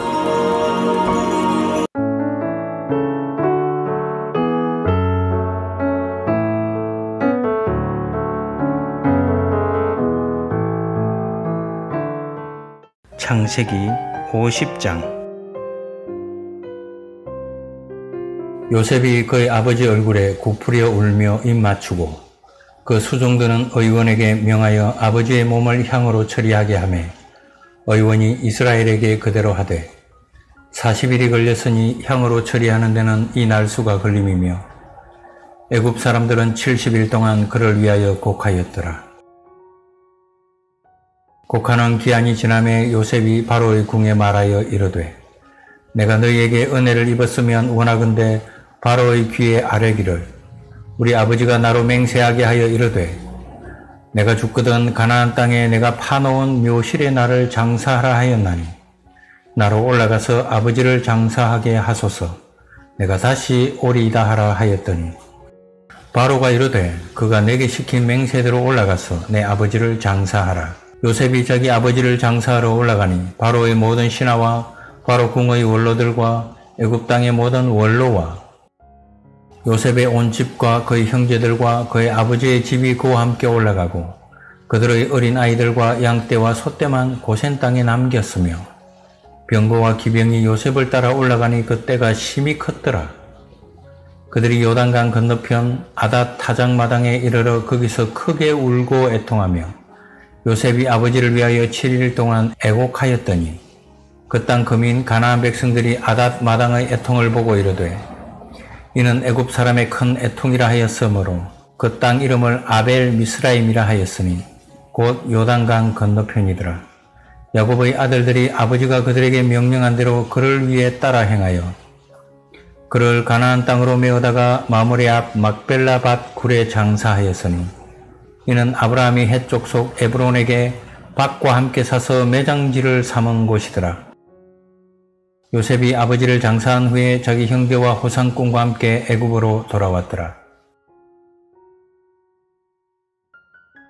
요셉의 형제들이 그들의 아버지가 죽었음을 보고 말하되 요셉이 혹시 우리를 미워하여 우리가 그에게 행한 모든 악을 다 갚지나 아니할까 하고 요셉에게 말을 전하여 이르되 당신의 아버지가 돌아가시기 전에 명령하여 이르시기를 너희는 이같이 요셉에게 이르라 내 형들이 내게 악을 행하였을지라도 이제 바라건대 그들의 허물과 죄를 용서하라 하셨나니 당신 아버지의 하나님의 종들인 우리 죄를 이제 용서하소서 함에 요셉이 그들이 그에게 하는 말을 들을 때에 울었더라.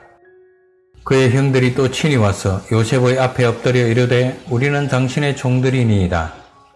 요셉이 그들에게 이르되 두려워하지 마소서 내가 하나님을 대신하리이까